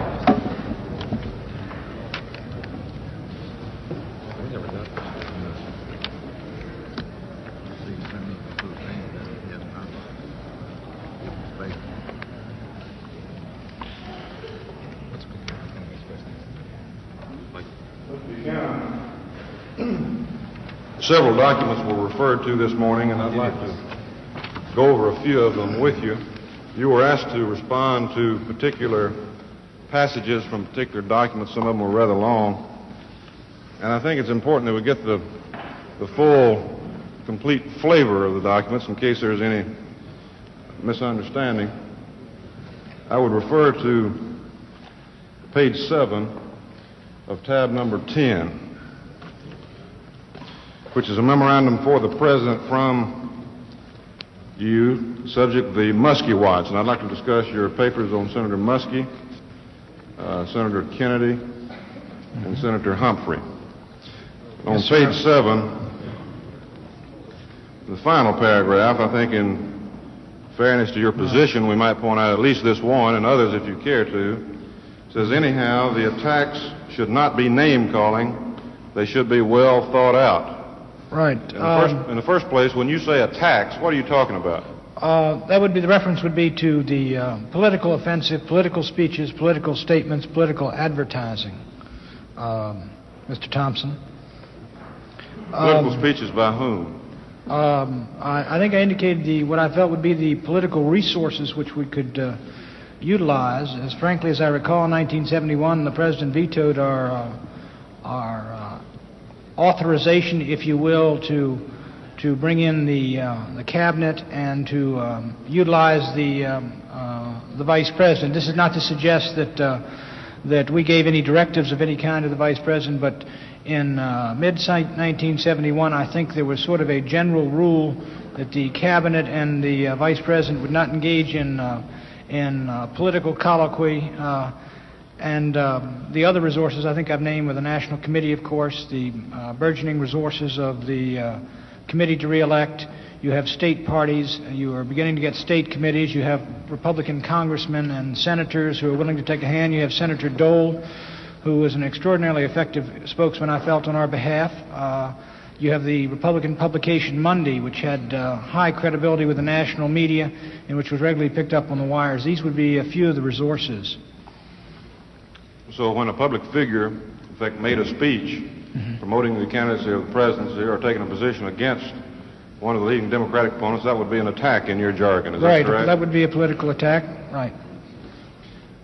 What was the political climate with regard to name calling? Was there name calling during the campaign of any Well, there's, uh, I think if you go through some of these, uh, uh, the March 14th, 1972 memoranda, uh, I think you'll find a recognition and an awareness on our part that when the campaign gets heated, things are going to get out of hand. They invariably do. You have statements made that are too much, that are excessive. So we recommended that one individual, and I named, I believe, in that memorandum the Attorney General, or that he designate a deputy who would be assigned to clear all political copy coming, all attack or offensive copy coming out of the uh, campaign in order that we wouldn't run into the same problem we ran into in 1970 when some of the ads uh, uh, were excessive and, uh, and counterproductive. Um, so, but there's an awareness, I think, through a number of these memoranda that things, when you get into the heat of a campaign, individuals do go too far. Some of the, I recall in Senator McGovern's campaign, I'm sure that Senator McGovern now would, would not like to refer back to the fact that he compared American policy in Indochina with the uh, Nazi extermination of the Jews, or that he compared the President of the United States with uh, Adolf Hitler. These things were excesses, I think, in the campaign that occur, and uh, we were cognizant that they would occur. Uh, some things would occur on our part as they occurred on the other side. Let me ask you to turn over to page 8 of that same memorandum. The final paragraph, you say, my, recommend, my recommendation then is for creation of the Muskie Watch, an operation working perhaps within the Republican National Committee, which may even be a publicized operation, doing Yeah. constant research on ed. Right. Well, frankly, I had my, uh, I had even considered myself. Uh, I, I was, in my own mind, fairly certain, frankly, that Senator Muskie would get the nomination. So I had thought myself of sort of resigning from the White House staff, making a fairly high-level operation at the Republican National Committee, which would have all the research and data on Muskie to which political reporters could come, and which would be a publicized operation in which uh, could issue statements uh, vis-a-vis uh, Senator Muskie.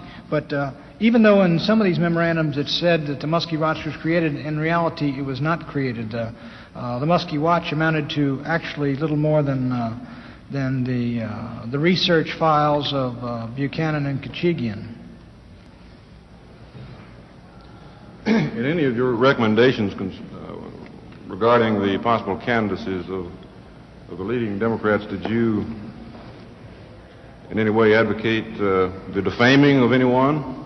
Uh, well, no, and uh, the, uh, in a public statement, that's uh, that sort of thing is uh, is uh, is not only mistaken, it's counterproductive, I think. And uh, Let me refer you to tab 13, if I may, and page 5.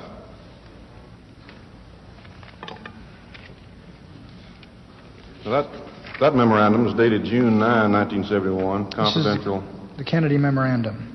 uh, for the president from you. Mhm.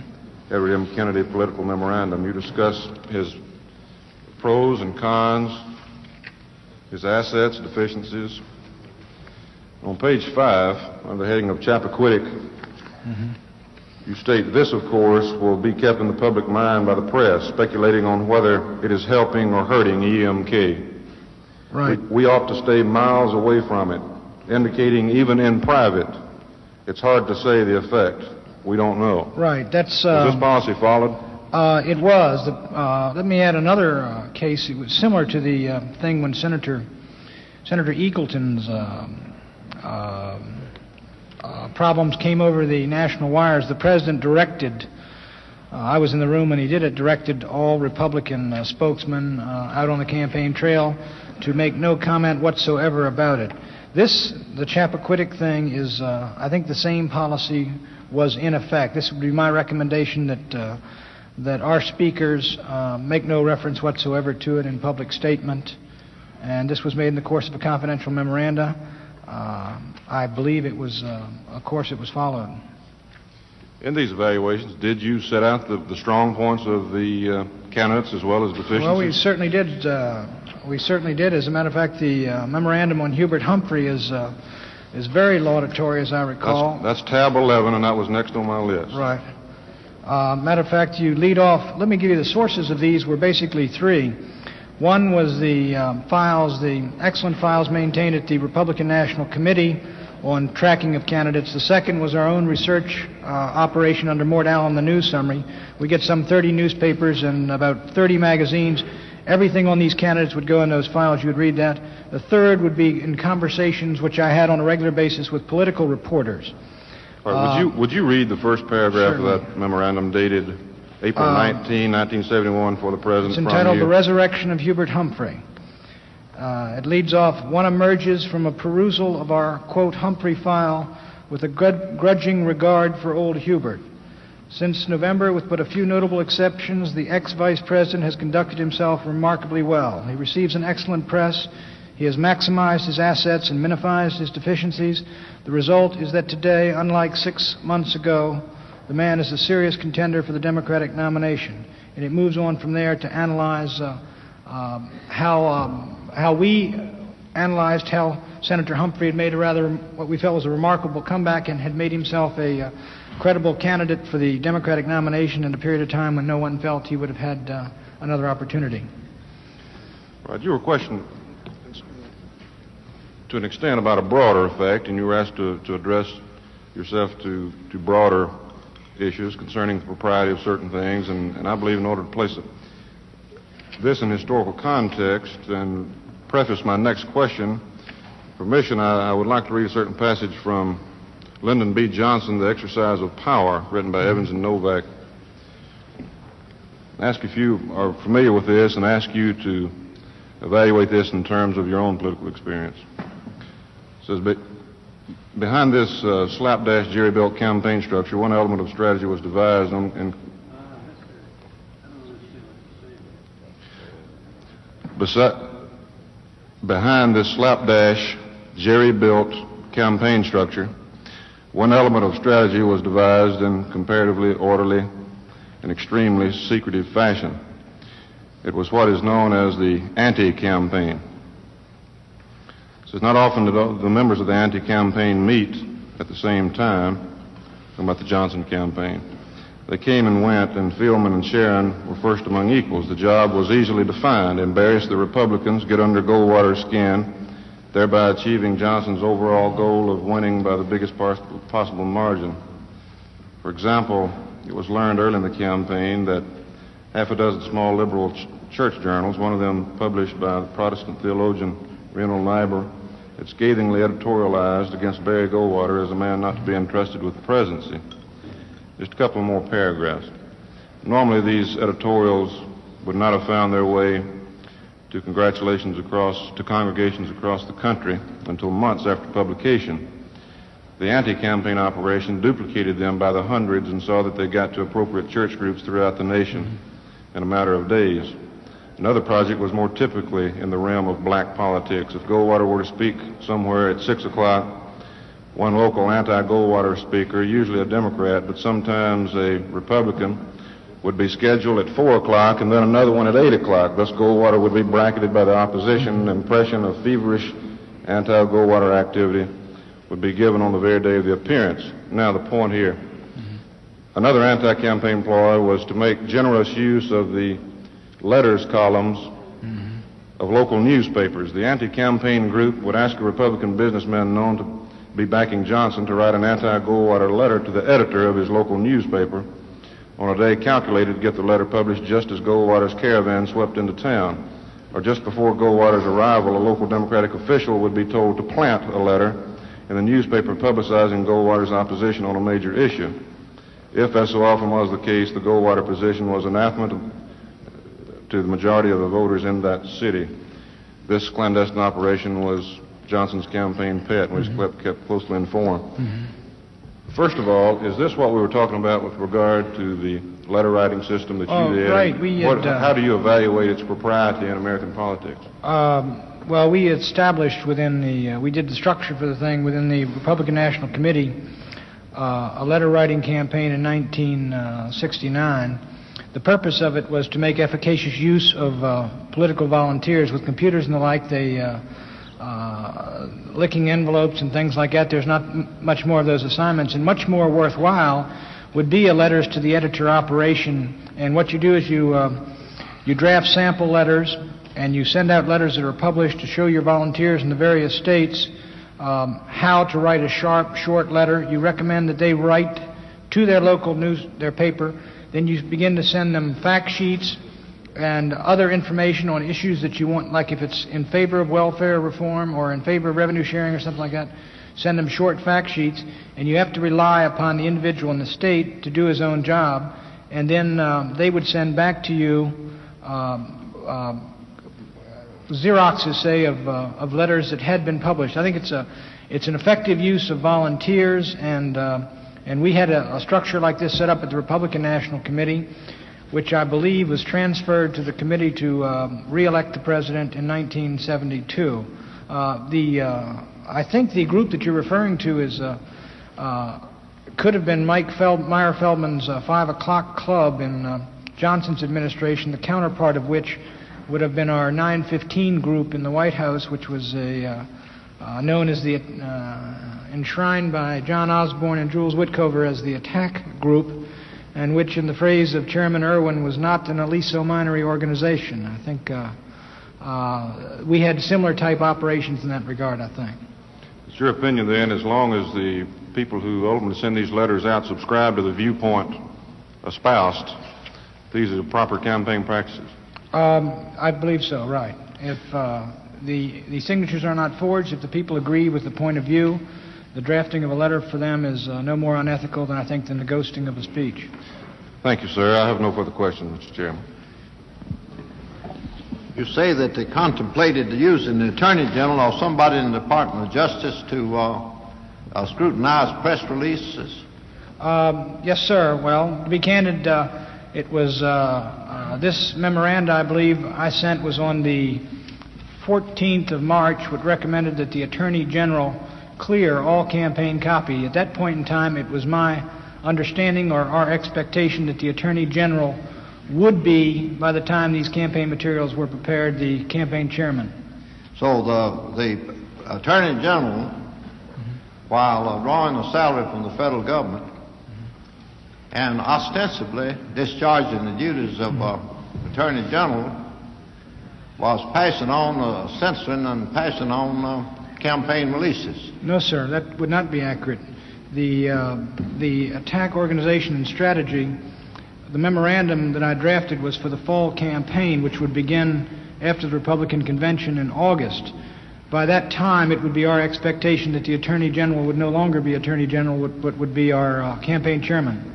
But you didn't hold back the press releases till you actually retired and became a campaign manager, did you? Um, I don't believe we ran any national uh, media ads, which I was referring to, um, Well, during the time of the, um, uh, the, the, that Mr. Mitchell was Attorney General. The national uh, media campaign, which was all of which was to be cleared, was post-August, I think.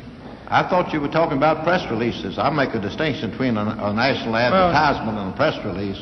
Well, I would, um, I'd make the same distinction, Mr. Chairman. Uh, um, uh, here, if, if you, if you have a review function uh, by the Attorney General, I would, uh, although I don't know that I stated it, I would generally restrict it to major stuff. If you've got a small, minor, uh, fairly insignificant release, I think that could be done the down the line. But anything like those ads in 1970, for example, which were controversial and counterproductive, this was designed to make sure the campaign chairman or somebody in authority cleared materials, one person cleared all the materials before they were public. It, it does strike me as a strict constructionist is rather peculiar to have attorney general passing on the wisdom of issuing press releases while he's still in that office. Senator, I'm not a, uh, a lawyer, but there is a precedent for that in Attorney General Yep. Robert Kennedy. Yes.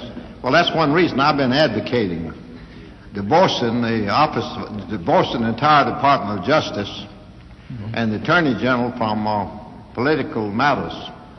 I don't think that. Well, uh, Mr. and Chairman- um, incidentally, I, I might state when uh, the committee passed on the uh, the uh, nomination of uh, Mr. Mitchell, that Mr. Mitchell said he agreed with me on that point.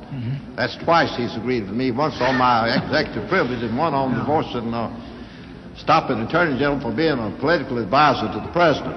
Well, um, far be it from me to disagree with both you and Mr. Uh, Mitchell, Senator, but uh, in his book uh, on the presidency, Clinton Rossiter indicates that the President of the United States himself is uh, uh, one of his duties and roles is that of political leader of his party, and it seemed to me that uh, that uh, political duties are really inseparable from the function of the office of the presidency I, on legislation and the like. That where I would make recommendation to the president, or he would ask me my view on that, invariably the um, the political impact of the decision would uh, would go in there. It's uh, there's sort of a uh, between uh, issues and politics. There's sort of a symbiosis, and I don't know that you can really uh, draw a hard and fast line as to what is or uh, what is not uh, political. It's a difficult thing to do. Yes, it is, but we've tried to draw it in the case of the FBI and the CIA. Right. Yes. And um, it's always seemed to me somewhat incongruous to uh, unite the function of being a campaign manager and uh, a sense of uh, campaign materials with that office of Attorney General. I think the Attorney General ought to. But that's uh, something you and I are not responsible for. But, but I would just make this observation, as I frequently have. The fact that uh, Bobby Kennedy may have done this uh, didn't justify John Mitchell doing it. no, sir. Tu quoque is the weakest of all Yeah. arguments. And uh, now, uh, you say that the president issued instructions uh, not to uh, talk about uh, the problems of uh, Senator Eagleton. Uh, yes, sir. I was in his uh, office uh, the day the report uh, came in, and I recall the president said, uh, uh, sent out orders. I want everybody who's out on the road, surrogates, everyone informed that they are not to discuss this matter in public. Now, you uh, made uh, memorandums of the, to the president, and your uh, your function is director of strategy uh, about what should be done in the campaign, didn't you? Well, it was less the. I've been doing political memorandum of uh, of this kind uh, for the president for uh, for uh, almost eight years, Senator. And I and some of these memorandum were done before I had the function, and some of them were done subsequent to the function. Yes. Well, the president was not al- altogether above the battle during the campaign of 1972, was he? Well, my memorandum would go in. The disposition of, uh, or the decision as to what the final strategy would be, as I've indicated, would be made um, very often without my knowledge as to whether my strategy or my recommendations were accepted. And you, did you make recommendations, Mr. Haldeman? Uh, yes, sir. I think most of the strategy memoranda after mid 1971 were addressed to uh, to the Attorney General and to Mr. Haldeman, and I'm. I, I would be fairly confident that the President would have seen some of them, but that would be something Mr. Haldeman would have to testify to. Well, I, I've, I've been a little troubled by the proposition that the president stood above the battle in 1972 because I think, having been a candidate for office on a number of occasions yet, I've never seen a candidate that wasn't interested in what's going on in his campaign. Well, there's uh, there's no doubt about it. The president was interested in the campaign, but you can campaign uh, fairly effective by simply being president of the United States, as the returns from 1972 would indicate, Mr. Chairman. But he was interested in his campaign and, and did issue directives at time to time, didn't he? In my conversations with him, I would say he had indicated a mild interest in the outcome of the 72 campaign. Yes, sir. Yes. Now, I, I was very much intrigued by your testimony, and I, I want to commend your frankness, your testimony that uh, you advised that uh, the president that they should see that grants were channeled of, to organizations that um, supported the president's philosophy. Can I clarify that, Senator? I don't... Yes, I'd be glad for you Right. to. Um, I, my, my recommendation was not uh, um, that if you're talking about grants and contracts and things like that, which are up for bid, if there are discretionary funds at uh, the disposal of the White House, in other words, the White House, say, or the State Department is doing a study of a foreign policy problem, uh, and we, it is within our discretion as to, to whom that, uh, that contract should go, my recommendations would, would invariably be that, uh, that we provide, give the contract to those particular public policy institutes which were supportive of our point of view and philosophy. And you would do, you favor that even in cases that the other party, applicant, was better qualified, as long as the matter was discretionary with the president? Well, that, I would not, certainly would not uh, recommend a grant to uh, um, totally unqualified and incompetent individuals, but if it's six of one, half dozen of the other, I favor our side. Well, suppose it was seven of one and uh, five of the other. You're getting close. Senator. I think eight to four, we might go the other way. Um, I would judge from your testimony that if it was, it was had something had to be submitted to the lower bid, lowest bidder, that the lowest bidder should get it. But if Well, it's see- anything discretionary, that uh, the ones favored should be the, the ones that was uh, whose political philosophy and activities harmonize with those of the president. Otherwise, it'd be disqualified. Or Well- should be. No, uh, here's the thing. A lot of these, um, um, I'm sure, uh, uh, let me give you an example on the Brookings Institute. I'm sure if you asked them to do a study on, uh, this is purely hypothetical, on, uh, on some disarmament problem, and they have the capability to do it, and another um, public policy institute also has the capability to make the study effectively, I'm sure both of them would do uh, the best they could. The both of them would do uh, uh, um, objective research. But in my view, uh, if we have the discretionary funds and it's within our decisions, we ought to uh, support our own institutions which support our philosophy and our point of view and our values. That's right. Well, I guess that's a, a applica- practical application of uh, if you scratch my back, I'll scratch yours policy. Well, it's, uh, it's not uncommon in American politics. Uh, no, but it is. But to me, it I is not unethical Yes. or wrong, I don't believe either, Senator. Well, one reason I'm a Democrat is because Andy, Andrew Jackson said that uh, government, like, uh, should emulate the example of uh, uh, heaven's rains and fall, uh, shed its uh, uh, benefits equal on all uh, people. Senator, I believe that uh, President Jackson was the father of the spoils system. Yes, but it ran pretty well under him. It wasn't spoiled. for us.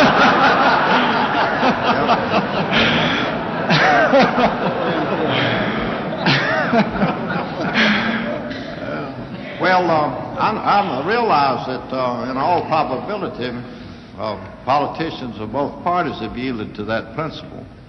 But it is rather disconcerting to have it asserted here as an official policy of, of, for the campaign to take and uh, take the taxpayers' money and uh, turn it over for, in the form of grants or compensation to people on the basis of the fact they shared the president's philosophy and rather than uh, letting it go on the basis of merit.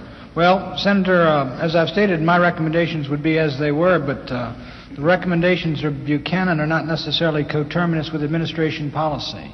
Uh, I, and my underst- I do not know that this has been uh, followed at all. Well, I, I have to say I admire Buchanan's re- uh, recommendations. They're very forthright. Thank you, Senator. And um, I don't fully approve all of them.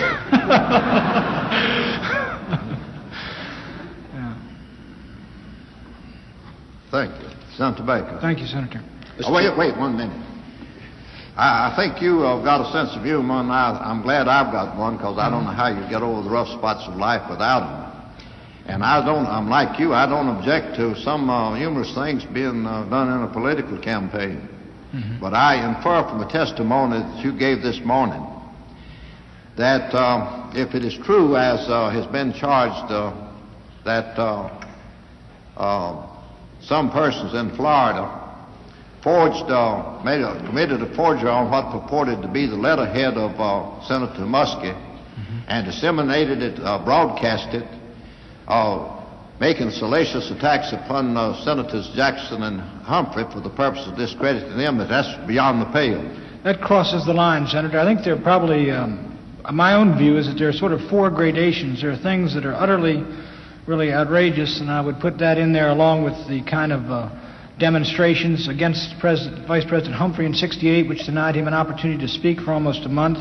Then there's uh, dirty tricks, then there's political hardball, and then there's pranks. And uh, I think you almost have to leave it to uh, the individual and his own sense of uh, ethics as to what is permissible, and there's no question but that the line was probably breached in both campaigns in 72 and perhaps uh, in previous ones. And uh, the trouble is, sometimes that's left to people's determination to have no ethics, and uh, we have very unethical things to happen. Yes, sir, that's very Yeah. true. Thank you, Mr. Chairman. This, this is really a fascinating line of inquiry, Mr. Buchanan, and you're a fascinating witness in that you not only have clear perception of your role in the political realm of the United States, but the uh, verbal agility to express them most clearly and forthrightly. It's an opportunity for us to examine some areas of this inquiry that we really haven't had a chance to touch before. I do greatly admire your uh, description of the gradations of uh, political activity. I think I want to pursue that just for a moment uh, a little later, but let me make one or two inquiries of you first. The question of whether or not the president was above the campaign in 1972 or was engaged to a significant degree in the campaign in 1972 and what the duality of the presidential role is in a campaign is one that concerns me greatly. For instance, I'm concerned as much for how active a president is as how disengaged he may be from the mm-hmm. campaign. I happen to think that the president is necessarily a politician, and I think the mm-hmm. tighter his control of the political process is, the better off we mm-hmm. all may be. So I have no quarrel, and I hope and trust you have no quarrel with the president conceptualized as a politician. I think it's inevitable and essential. Would you agree with that? I would agree with Yeah. that, Senator. The second point that I think you touched that has major significance for us is not clearly spelled out in the mandate of SRS 60, which created this committee, but I think it's clearly implied in the scope and jurisdiction of our inquiry, and that is what is the role of the favored tax-free foundation in public life? Mm-hmm. I'm, I'm not going to prolong and extend the conversation and colloquy that you and the mm-hmm. chairman had about the awarding of discretionary mm-hmm. grants and contracts. I think I understand what you mean, and I think it means all other things being equal, we're going to give it to ours instead of theirs. Precisely. And if all other things aren't equal, we may think about it a little more. That's right. But there's a more fundamental question than that. And you know, I'm, I'm deeply disturbed about the role of foundations in any mm-hmm. event because by reason of their tax free status, they are in a mm-hmm. position to amass huge sums of money mm-hmm. and to control extraordinary blocks of the total capital resources of this country. And I hope and think that this committee ought to look into what is the appropriate role, if any, of foundations in the formulation of public policy, in public attitudes, and political undertakings. That is just as fuzzy and indistinct as your gradations of political activity. But I suggest that that may be an inquiry that we need to approach, and I hope that we shall. Would you agree that that is a significant part of Well, the I political do, and uh, of this well, the- country? my concern is essentially that uh, that there's an seems to me to be an imbalance in the political process when uh, I don't believe there's any major foundations uh, that have more than a billion dollars in assets, or at one point they didn't, with the sole exception of the Ford Foundation, which had three to four billion uh, dollars in assets, generating an income probably of 180 to 200 million dollars. And these funds, of course, have been used for uh, quasi-political operations. Uh, uh, they've been used for public policy institutes like the Brookings Institute, Fund for the Democrat, uh, Fund for uh, various funds on the West Coast, Institute for Policy Studies, um, and by and large, the institutions they fund, and by and large the um, the quasi-social action movements they fund, are on one side of the political spectrum, which I think, and given the enormous power and wealth of the Ford Foundation, this can tend to tilt the balance in the other direction. Frankly, if we had our, if we, if the conservatives, if, if the conservatives had a, a foundation such as the Ford Foundation, uh, uh, which similarly funded public policy and study institutes and the like, uh, uh, I would not complain. It's, uh, the, the situation is analogous with that, my view, of the networks, where a particular philosophy and point of view of a small group of men has tended to dominate these media conglomerates and really to, to control the flow of news and information to the American people.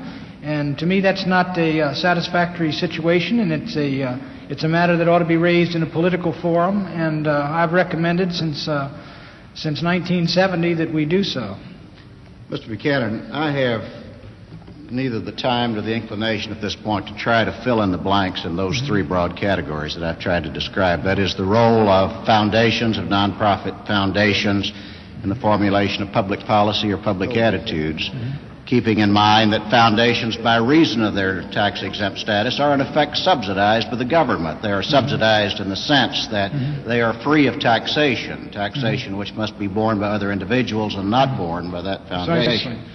And second, the question of where do you draw the line on, on political activity? And third, to what extent should the president be involved? Let me focus in on just one of those three, though, for the remaining few minutes I have in this series of inquiry, and that is what is appropriate and what is not appropriate as political activity. I suppose that's such a subjective inquiry that we'll never establish it satisfactorily, but we have to try. We have to establish some sort of guidelines if we fulfill the charge of our jurisdiction as a committee.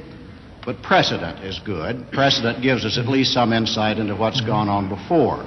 I have a copy of the Democratic Campaign Manual that was delivered to me this morning, and which I've uh, had a chance to peruse briefly. Are you familiar with that manual? I've read, uh, it's uh, Mr. O'Brien's manual. I've read uh, segments of it. I'm not totally familiar with it. Yes, sir. Well, neither am I. I've only had a chance to scan it briefly. It was given to us, I believe, by Mr. Khachigian, who Right, works in your a office. researcher. And uh, uh, I'd like to call your attention to two or three sections of it and see if you have any personal knowledge of any of these activities. Some mention was made of letter writing campaigns in your testimony and about uh, things of that sort. And I notice in the section entitled Research, no, I'm sorry, in the section entitled Women, uh, which I didn't think was permissible anymore, but in the in the section entitled Women, it reads on page four Stay at home volunteers can use their brains and typewriters to promote the candidate through public letter columns in the lo- mm-hmm. local papers. Mm-hmm. These are read from cover to cover in many homes. Letters should be brief and concentrate on one point. Such letters can serve to set the record straight when misstatements have been made to call attention to the candidate's programs mm-hmm. and so forth. Now, there's another section under the section newspapers on page 11 of that subsection which says letters to the editor pages have a high readership. Most newspapers which oppose you editorially will print your side of the story in the form of a letter. Make such letters short and to the point. Don't spend your time abusing the paper or the editor. Use the space you will get to state your argument and be positive whenever possible. It seems to me from reading these sections of the Democratic Campaign Manual, they are suggesting, in effect, a program for writing letters to the editor and mass letters to groups. Is this, in your experience, uh, a form of political activity that's been practiced It extensively? certainly in the is, uh, Senator. My familiarity with it is uh, partially due to the fact that I used to be an editorial writer, and we ourselves would edit letters to the editor. And our surveys indicated in a number of cases that the letters to the editor column had a higher readership than our own editorial. So uh, it's a fairly useful uh, device for an individual to present his views in a political campaign. It's a, a thoroughly legitimate and useful activity. There's another section also, on, I mean, another reference also under the women's section says talkers. It's, which uh, I'm sure Larry O'Brien did not pick Listen, if they're using the term women, it's before their 72 convention, I imagine. That would be co-persons in there now, Senator. Co-persons is better, I think. But anyway, it's not my function to advise on the editorial content of the Democratic Campaign Manual, but it says talkers call in and open mic radio and TV shows offer a good opportunity for putting across the candidate's views and records at no cost. Organize teams to call into these shows and speak up on the issues of the campaign. They must be well informed, persuasive, polite, and sound na- I mean, and, and natural. Uh, that, I take it, is uh, a standard or Standard more or less accepted campaign practice uh, in the United States. You get to a few others, however, that come to my particular attention under the section research on page nine. It says arrange for some of your staff members to have their names placed on the opponent's mailing list. Right. That was what Mr. Dash was referring to when he, uh, that's what we were doing when we said the Democrats had set up some group called 72, which cost $72 to join, that one of our people would send in the $72 in order that we get the literature that was sent out to those political uh, organizations. Candidate expenses under budgeting on page two. The candidate's first consideration must be paying for personal expenses, meals, hotel rooms, telephone calls, etc. He can pay for them out of his own pocket, have the treasurer arrange to pay out of a special fund or the general fund, or allow for a contributor to pick up certain bills. Most of the candidate's personal expenses will be incurred in traveling, but there are many shortcuts to limiting on the road spending. Contributors can be persuaded to lend the candidate their telephone, hotel, or gasoline credit cards. Do you. I don't, um, I don't have any end, any knowledge or much knowledge of a financial end, but that, uh, I guess that would come under the term of a, uh, a campaign contribution. I don't know how something like that would be handled, uh, Or how it would be reported. how it would be be reported, right? It might be reported under the in-kind section of the Federal Reporting Act. Mhm. There's a section that deals with that, but uh, if it is in fact a service or a facility it, Mhm. and it amounts to a certain amount under the federal statute, it has to be reported. Another section, budgeting on page four, it said some of the finest campaign stationery, for example, is designed and supplied by a printer or shop favoring the candidate. Buying at wholesale, sympathetic merchants are often happy to provide supplies as their contribution to the campaign, Mhm. which of course I take it as well would be something that Would have to be reported. be considered in terms of uh, the general campaign fund. Here's one that particularly caught my attention also under fundraising on page 8 says if the hotel is running the bar at a social hour, see if you can get a percentage of the gross. Nor- normally 10 to 20 cents per drink. I was just going to inquire. Mr. O'Brien deals in some detail. I was just going to inquire whether under the regulations the gross was a beverage although the receipts for the beverage. Well, I was going to inquire if it was in kind or in currency. I think that covers it, but the point I'm reaching for is, Mr. Buchanan, that this committee's function is to try to undertake, though, to identify those things that are illegal, mm-hmm. unethical, immoral, or undesirable. Mm-hmm. And to do that, we have to establish some understanding of the range of political activities in the United States. I'm not alleging, by reference to the Democratic Campaign Manual, that these things are illegal. I'm not alleging that they are necessarily improper, but I do ask you whether or not, in your knowledge, as a practicing politician and a federal official, they fall generally in the purview and scope of what is done in campaigns by both parties. That is, letter writing, such as uh, letters to the editor, such as uh, getting your name on the other fellow's mailing list, such Right. as trying to uh, uh, get stationery and supplies and equipment uh, donated to you, and things of that sort. Well, in terms of the, uh, first, my knowledge would only deal with the uh, getting on the mailing list and getting uh, um, information which in a legitimate fashion. I think everything you've stated up there seems to me to, uh, to be routine, although I've got no specific knowledge, for example, when we travel with the, uh, the candidate or with the president in areas, uh, uh, to me, I don't know how advanced men work to set up rooms and who pays for what and things like that. We just go in and out, and uh, and so you would. Uh, I tell you, it might be a, a education if you get a couple of uh, first-rate advanced men up here to tell you how they uh, put these things together. Uh, We may have to do that. Uh, I just, uh, I'm fairly very limited in that area. I have no knowledge of how they do it. Let me ask you one final concluding line of questions in the few minutes I have remaining.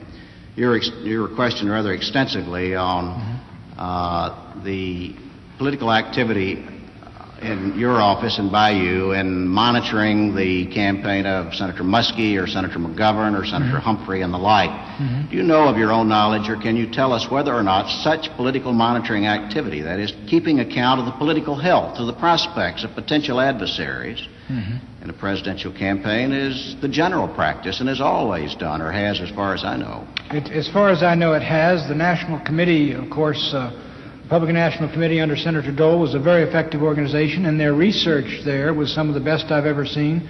But uh, uh, to my knowledge, there has always been uh, sort of a tracking of the opposition. I've read uh, books where it was said that Senator, uh, our President Kennedy, had his eye on Senator Goldwater and was watching the progress of his candidacy.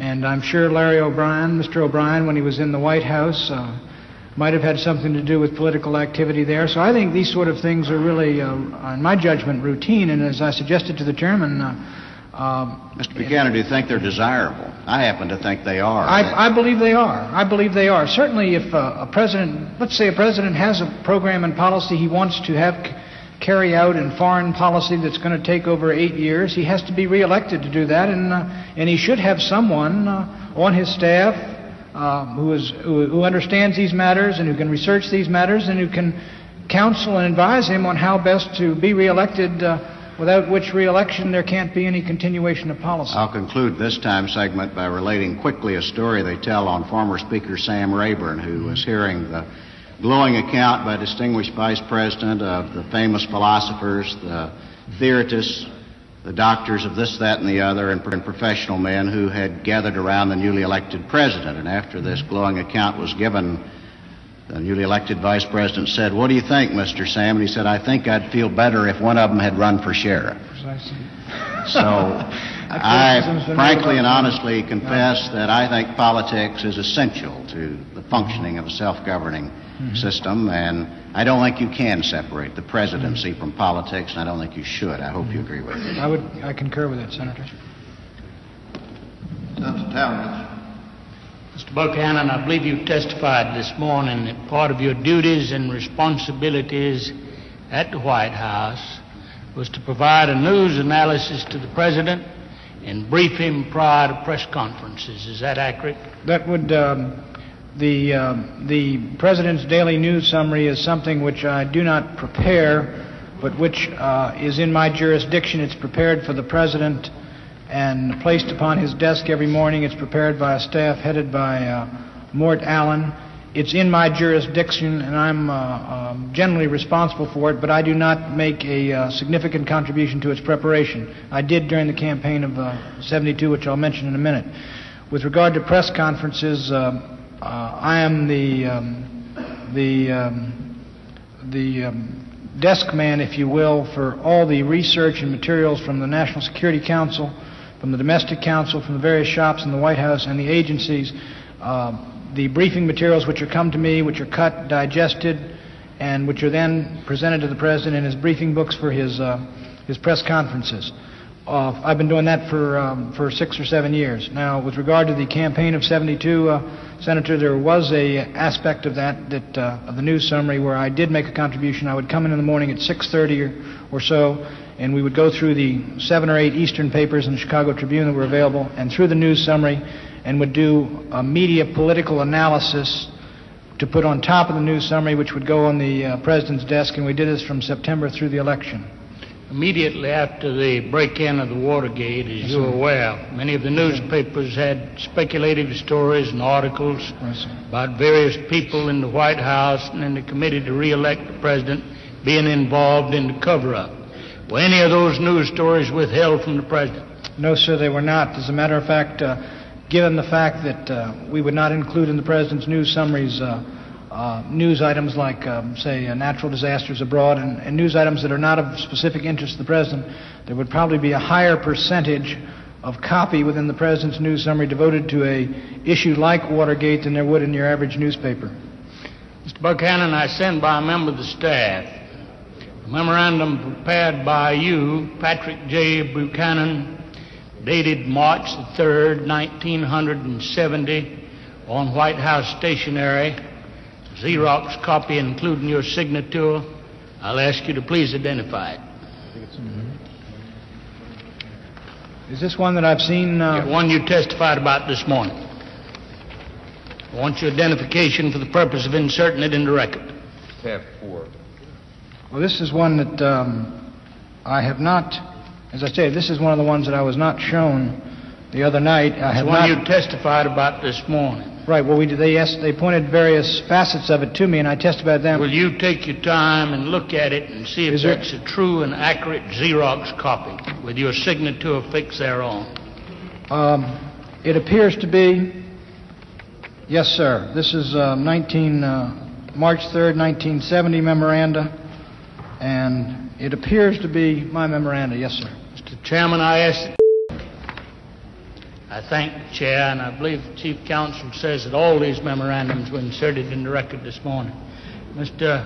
Buchanan, I ask you please to turn to page five of that document and follow with me the following language, beginning with paragraph one. One of my primary concerns about this, and we're referring to foundations and your recommendations to the President, about this is that it required a strong fellow running the Internal Revenue Division, and an especially friendly fellow with a friendly staff in the tax exempt office, period. I'm not sure we have this right now. You may or may not recall that Randolph Thrower, a constituent of mine, Yes, sir. fine lawyer, fine gentleman, an outstanding Republican, was then collector of internal revenue. Yes, sir. He held that office from April 1969 to June 1971. Did Mr. Thrower leave his office under pressure? Um, Not to my knowledge, um, uh, Senator Talmadge, I just uh, could not answer that. It is true that Mr. Thrower was in the Internal Revenue, but I believe, as I've stated, my understanding of the situation was that we had done an unsuccessful uh, and, and quite candidly, a very bad job of, of taking uh, effective control of the agency as was within our rights by appointing our own Schedule Cs to those available positions which we had open to us.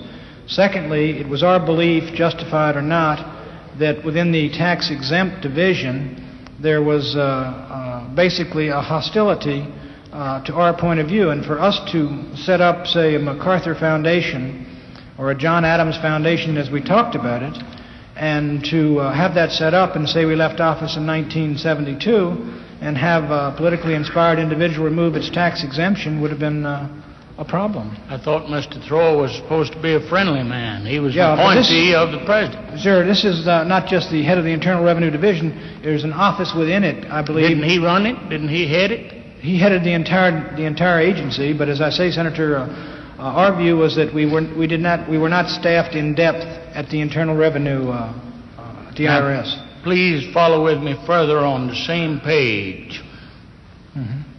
Paragraph fifth. Fifth, some of the essential objectives of the Institute, and this is the proposed foundation that you propose to establish, would have to be blurred, even buried, in all sorts of other activity. That would be the bulk of its work, that would employ many people, and that would provide the cover for the more important efforts. Aren't you recommending the same thing to be set up that you're complaining about in other sections of your memorandum? Well, Senator, there is a um, there is indeed a gray area in the uh, thing in terms of uh, political activity. One of my recommendations, quite candidly, was that um, within this foundation we would set up a group with a, uh, a lawyer of about 35 years old and with some young law clerks um, who would gauge the uh, qualifications of federal judges across the country in terms of both their qualifications and philosophy. And these type of things, quite candidly, uh, uh, if uh, uh, another administration came in, they would say, well, that's political activity. We'll take away its, uh, its tax exemption. And so my recommendation was basic, I mean, would be that this would not be a highly publicized thing within this institution. That's correct. Let's read further now. The next paragraph. Every menial task of government possible would be sent over to the foundation to carry out at cost plus 10. That's right. What do you mean by that? Well, that would be instead of sending these uh, uh, these assignments over to the Brookings Institute and have them do them at cost plus 10, we'd send them to our new institute. This is the discretionary contract, Senator. This would not be. Go ahead. Go ahead. Have you finished? Uh, No, my view, this would be the, uh, uh, we have not an available institution, conservatives do not today, uh, to do the kind of work that the Brookings Institute does. I'm sure the Brookings Institute, well, cost plus 10 simply means that I'm sure the Brookings Institute gets a, uh, or I'm not sure, a slight margin on what they, uh, what they do in terms of assignments, and we would simply, what this says is we would shift these assignments over to the new institute, if we set it up. I want to make myself perfectly clear. All right? As a member of the Finance Committee and as a member of the Joint Committee on Internal Revenue, mm-hmm. I have worked as hard as I knew how mm-hmm. to keep that service out of politics, mm-hmm. out of anyone's politics, Mm-hmm. Democratic politics and Republican politics alike. Mm-hmm. I'm thoroughly aware, as you are, mm-hmm. that some of these foundations have intruded into political arena when they should not have. We've tried to correct it in legislation. I've even tried to go further. I've inserted in tax bills uh, provisions to get them out of the arena of voter registration. But I lost that battle on the Senate floor. And it seems to me that what you're proposing here mm-hmm. is to try to get unfriendly foundations out of the political arena and get friendly foundations in. No. Is that what you're seeking to do? No, what I'm seeking to do is, would be to establish, first off, it's my belief as expressed in this memorandum, that there is a bias that had already existed within the Internal Revenue Service. In my judgment, there are, I do not recommend, incidentally, that you take away the tax exemption of the uh, Brookings Institute. I do not believe it engages To in get politics. involved in politics, I No. think that tax exemption should be I denied because they're violating the law. I agree 100%, but I do not think they, the Brookings Institute engages in politics. It engages in studies which are used. I think that law should be very tight. But uh, we should have an institution similar to that, in my judgment. And secondarily, what you see here is a reflection of my view that there was a political bias that existed against conservative institutions, whereby the IRS would look at them a good deal harder than they would look at others. Well, how are you going to determine what's political and what isn't if you get Well, into the area of thought control? You mean, um, well, you, if you're referring to. I don't the- see how Yeah. you can outlaw liberal You foundations can't, Senator, you, you, and say they must be conservative to get the tax exemption. Uh, the only yardstick you can have, as I see it, is whether or not they're engaged in politics. and if they are engaged in politics, Democratic, Republican, liberal, conservative, or reactionary, they ought to be put out of business. And not put out of business, have their tax exemption taken away. Exactly. That's Right. what I mean. I would concur with that. But even though I'm critical of the Brookings Institute as biased in the other direction, it, I, I agree with the use of tax exemption for institutions which study public issues, even if they're liberal or conservative, as long as they're studying public issues. But if they're in the en- engaged in voter registration, if they're demonstrating up on the hill for le- legislation, if they're lobbying, if they're taking out ads to influence the votes of congressmen one way or the other, I would concur. But You as long I- as it's educational, Senator, even if it's liberal, I've got no uh, objections to its tax exemption. You and I in thorough accord on that. The only difference I can see is the one distinction.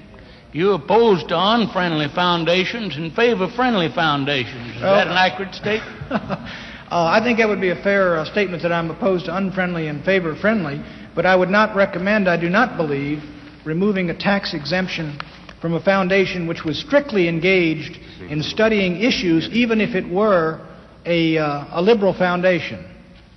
All right, let's go one step further. Your memorandum, page four, paragraph three. Wait, wait a minute. Page four of your memorandum, oh. paragraph three, the second sentence. Anti-administration foundations should be cut off without a dime. Senator, there's a differentiation between giving anti-administration foundations our money and leaving them with their tax exemption. I believe that we ought not to fund liberal tax-exempt foundations. There's no inconsistency in that position with the statement that they also ought to be allowed to keep their tax exemption. Simple, I don't think we ought to fund them. Aren't you talking about tax money belonging to over 200 million American people? Well, it, here's the thing, you're talking about it two ways when you're talking about if, if we're given in the White House tax exempt, I mean, I'm sorry, taxed funds to a foundation, they get it that way and they get subsidized through their tax exemption as well. Uh, my recommendation would be only to cut off the first. When you That- use the phrase "our money," you're really talking about Taxpayers' taxpayers' money. Taxpayers' money, that's right. Let me make this suggestion to Yes, you. sir. If you have some recommendations for improvement of foundations to get them out of the political arena, if you get the president to send up an appropriate message, you'll have my support. Thank you very much, Senator. I It have will no be further- appreciated, I can tell you. I have fo- no further questions, Mr. Chairman. Senator Gurney. Thank you, Mr. Chairman. I think this matter of foundations has intrigued the Congress for a long time, and I'd like to pursue that a little further, too. As I recall the testimony this morning, uh, Mr. Buchanan, you did say, I think, a general statement that the big foundations support liberal Democrat views. Is that a fair statement to make? Uh, it would, the biggest one, the Ford Foundation does. Number two, I believe, is the Rockefeller Foundation. But when you uh, get down below that to Lilly and Duke and some of the others in the top ten, they are, uh, uh, some of them, Mellon, for example, are supportive of conservative uh, things. But uh, conservative foundations, to be quite candid, are, are, are less aggressive than, uh, than the Ford Foundation. Well, could you give us examples of how the Ford Foundation and the Rockefeller Foundation give this support? Um, well, exclusive of the Rockefeller Foundation, which I haven't studied, um, the Ford Foundation, for example, provides funds for the Institute for Policy Studies. Uh, the Institute for Policy Studies hold has held, uh, it's my recollection that's uh, Raskin and Barnet's outfit. They have held, uh, they hold seminars for congressmen, for staffers, and the like, and they, they deal in trying to influence uh, influence uh, uh, congressmen and the like to vote in one direction. They get very close to the line. But they, in turn, if I'm not mistaken, the Institute for Policy Studies has in turn funded uh, the Quicksilver Times, which was a, uh, a radical. Uh, it's, a, it's one of the radical, what they call underground newspapers, which is which has a political point of view, which is sold for profit. Now, um, secondly, uh, Do you were- have any copies of that? well, this is, uh, as I say, the studies that I did, Senator, were in, done in 1970, and I could get all that background. All this material was in the speeches that I uh, we had uh, drafted and had uh, had set for delivery. As there's, uh, of course, the highly celebrated also the uh, the funds that the Ford Foundation provided to ex-Kennedy uh, staffers in 1968. Well, would you furnish a copy of the draft of the speech for the record? I'll, I'll take a look at the speech, and uh, I'd have to take a look at that speech first, Senator. Go on. Um, in 1968, the Ford Foundation under Mr. Bundy provided sort of uh, severance pay for the uh, Democratic uh, staffers of Senator Edward Kennedy. In the mayor's race in Cleveland in 1968, I believe they funded a voter, Ford Foundation funded a project for a voter registration drive in a black area, which was uh, partially responsible for the defeat of uh, Seth Taft, the Republican in that area, and the victory of uh, Mr. Stokes. I think the legislation now is that you can fund voter registration drives, uh, but you have to do it over an area of something like five states. The Southern Christian Leadership Conference under Mr. Abernathy is the one that caught my attention. What was done there was, they of course are funded by the Ford Foundation, or have been. They sent to me, which was a strictly political uh, uh, literature, a document to me, which was calling, in effect, we did X, Y, and Z to Mr. Nixon and Mr. Agnew. At the bottom of that, uh, it said, send in your tax exempt contributions. Now, uh, this is what we raised uh, Cain about with Mr. Haldeman, and it was checked out. And some of these groups, like that group in the NSA, I believe, set up dual funds. In other words, if you send in your check and you d- declare it uh, tax exempt, they say it goes into the educational fund. Uh, I don't know if audits have been made to see if there's a commingling of funds or what in those things. Uh, uh, these would be a few of the things that uh, I can recollect from, uh, from those, those particular speeches. And these are examples of direct political activity. Uh, these, these were examples of direct political activity. Uh, but one of the questions I was making earlier was uh, it's just my judgment that if you have a number of public policy institutes that are on, uh, of a liberal persuasion, I agree with the, uh, with the tax exemption for these kind of institutions, even if you disagree with them. But if you've got a, a giant like the Ford Foundation, which is pouring tens of millions of dollars into the creation of studies which, in effect, argue for a, um, a particular point of view persuasively, like you take a Brookings study. As soon as a Brookings study is done, you'll see it on the front page of the New York Times and the Washington Post, uh, precisely what they recommended, and these things are moved into the political bloodstream. And one of my basic contentions is that there's an imbalance in resources uh, uh, with regard to these uh, foundations.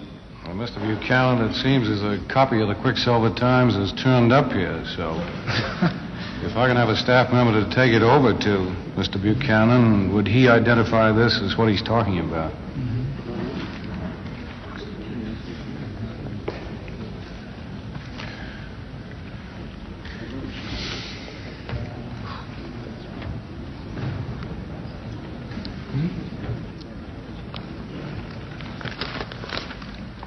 Is that the publication? It appears to be.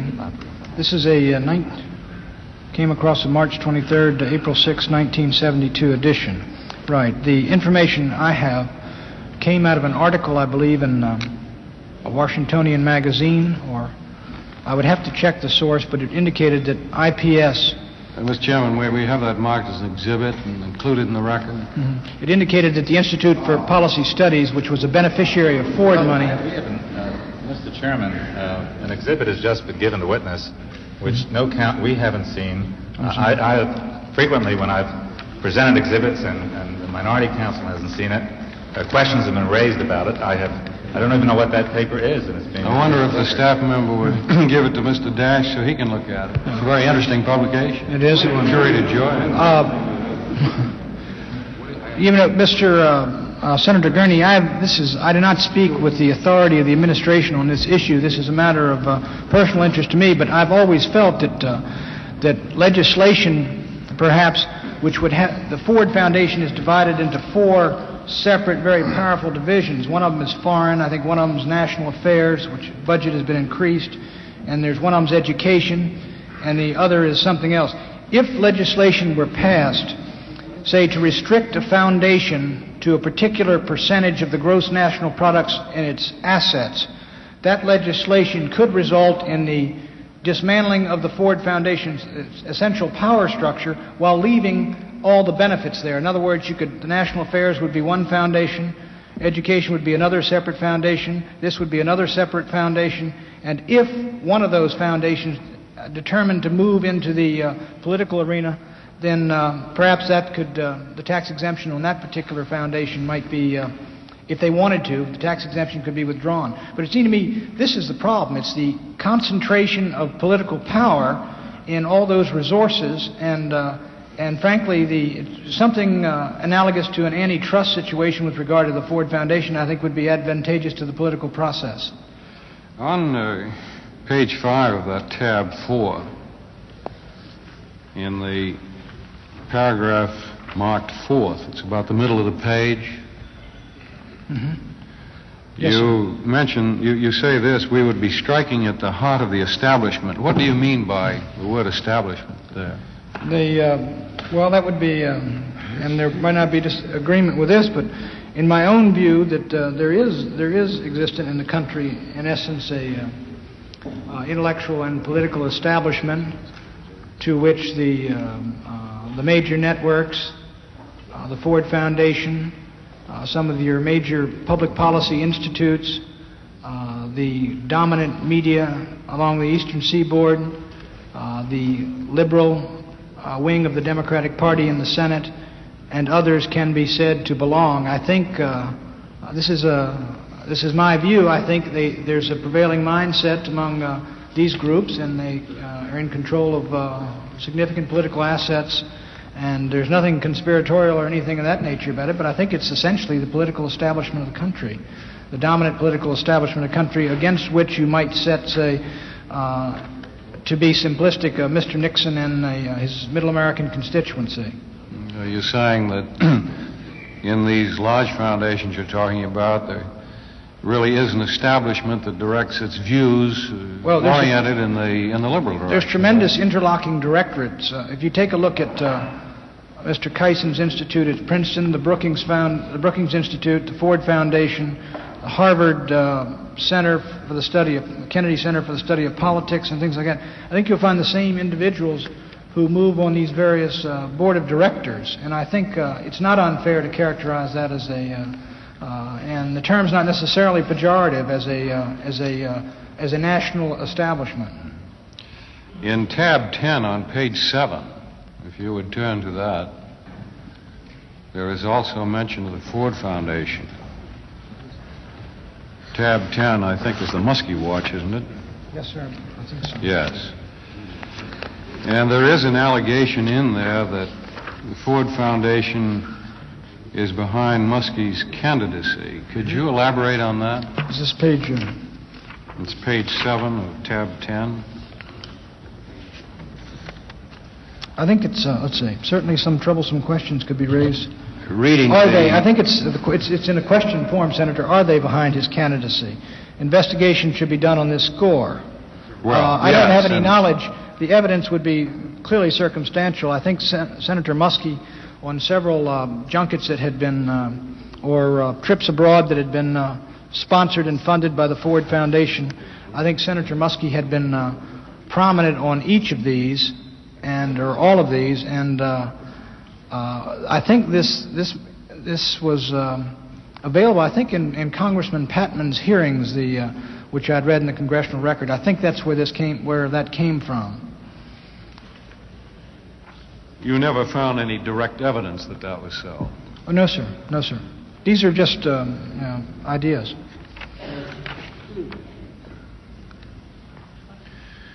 You gave us some examples of some of Mr. Tuck's pranks and tricks this morning. Do you have any other? Did he do anything in the 1972 campaign? Um, no, I think he was at he was at our convention. I believe they were putting out a newspaper down there.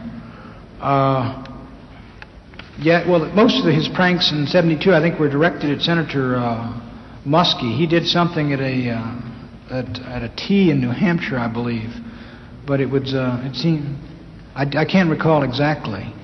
Uh, I think after the Watergate thing, frankly, uh, um, it, every anybody who was involved in these kind of pranks and things was uh, was probably drawn in. Do you recall any further the prank in, in New Hampshire? That you... Of his prank? Yes. Uh, I do not, Senator.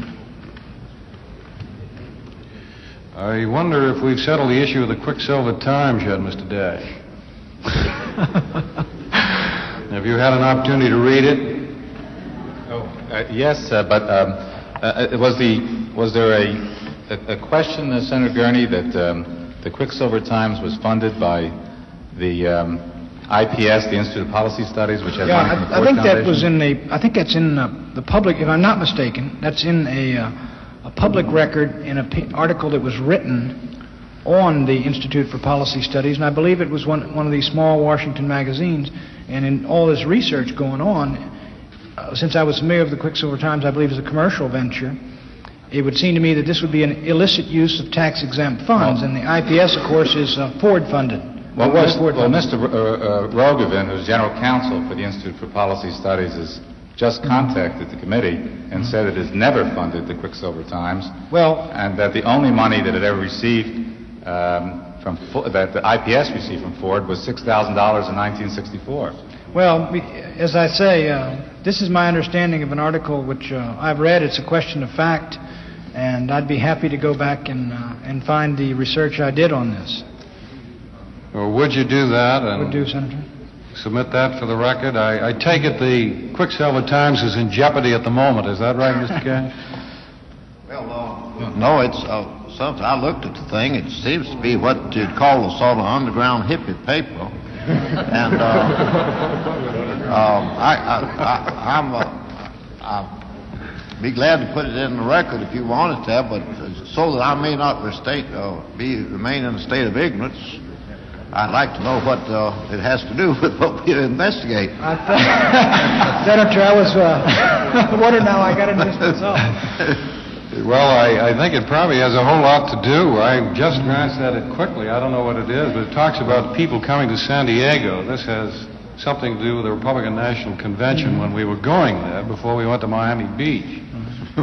and it also uh, uh, says some unflatter- unflattering things about the Republicans. So I would say this was a uh, one of the dirty tricks department. I, I don't know But- who's but- but responsible who's- for it. But who's dirty trick? That's what I just said. I don't know who's responsible for it. Chairman. Perhaps we'd, uh, perhaps we'd better make this part of our hearings uh, and find out who is responsible for it. I, I, I really suggest we not get into a quarrel over this. I've sat here day after day and had stuff put in the record, and much of it I not only did not know about or didn't see, but much of it I could find only the most tenuous connection with what we were investigating. Mm-hmm. I think we're pretty far down the road now to start requiring a showing of causal connection between the allegation and the source. I notice here, for instance, that the Quicksilver Times suggests that demonstrations are a crucial part of the range of activities, mm-hmm. that our political goals in confronting the GOP are, and that there should be one massive legal demonstration past the sports arena. And it gives a whole bunch of stuff. I don't know who that is, but it is, in fact, in the mainstream of political activity, and I suggest rather than argue about it, we put it in the record for whatever it's worth. Well, I'll put it in the record, uh, accompanied by my statement that I can't, can't see what it's going Well, going I, I really, you know, I don't want to upset the, the Democrat counsel, I agree. so I'll withdraw it, and perhaps we can identify it a little bit later on. I don't, We Mr. Chairman, if the Further the senator- dirty tricks department. If the senator yields, since it's here, let's put it in the record, and we can develop with it later. Well, I don't want to embarrass the Democrats, so let, let's, Wait a minute, it let's won't, keep it out. wait a minute. It won't embarrass, I, it don't embarrass me. I'm a Democrat, and I didn't have anything to do with that uh, Quicksilver Times or demonstration in San Diego. I didn't, I didn't need it, Mr. Chairman. He happened to mention it, and there happened to be a copy back here. Sir, I'm so sorry I thought brought it up. In fact, I, I tell my good friend. I think we'd better turn to gold instead of silver, you know. uh, Just, Uh, I wonder if you can, uh, wait a minute, let's, let's get it in the record if you want to. Put it in the record.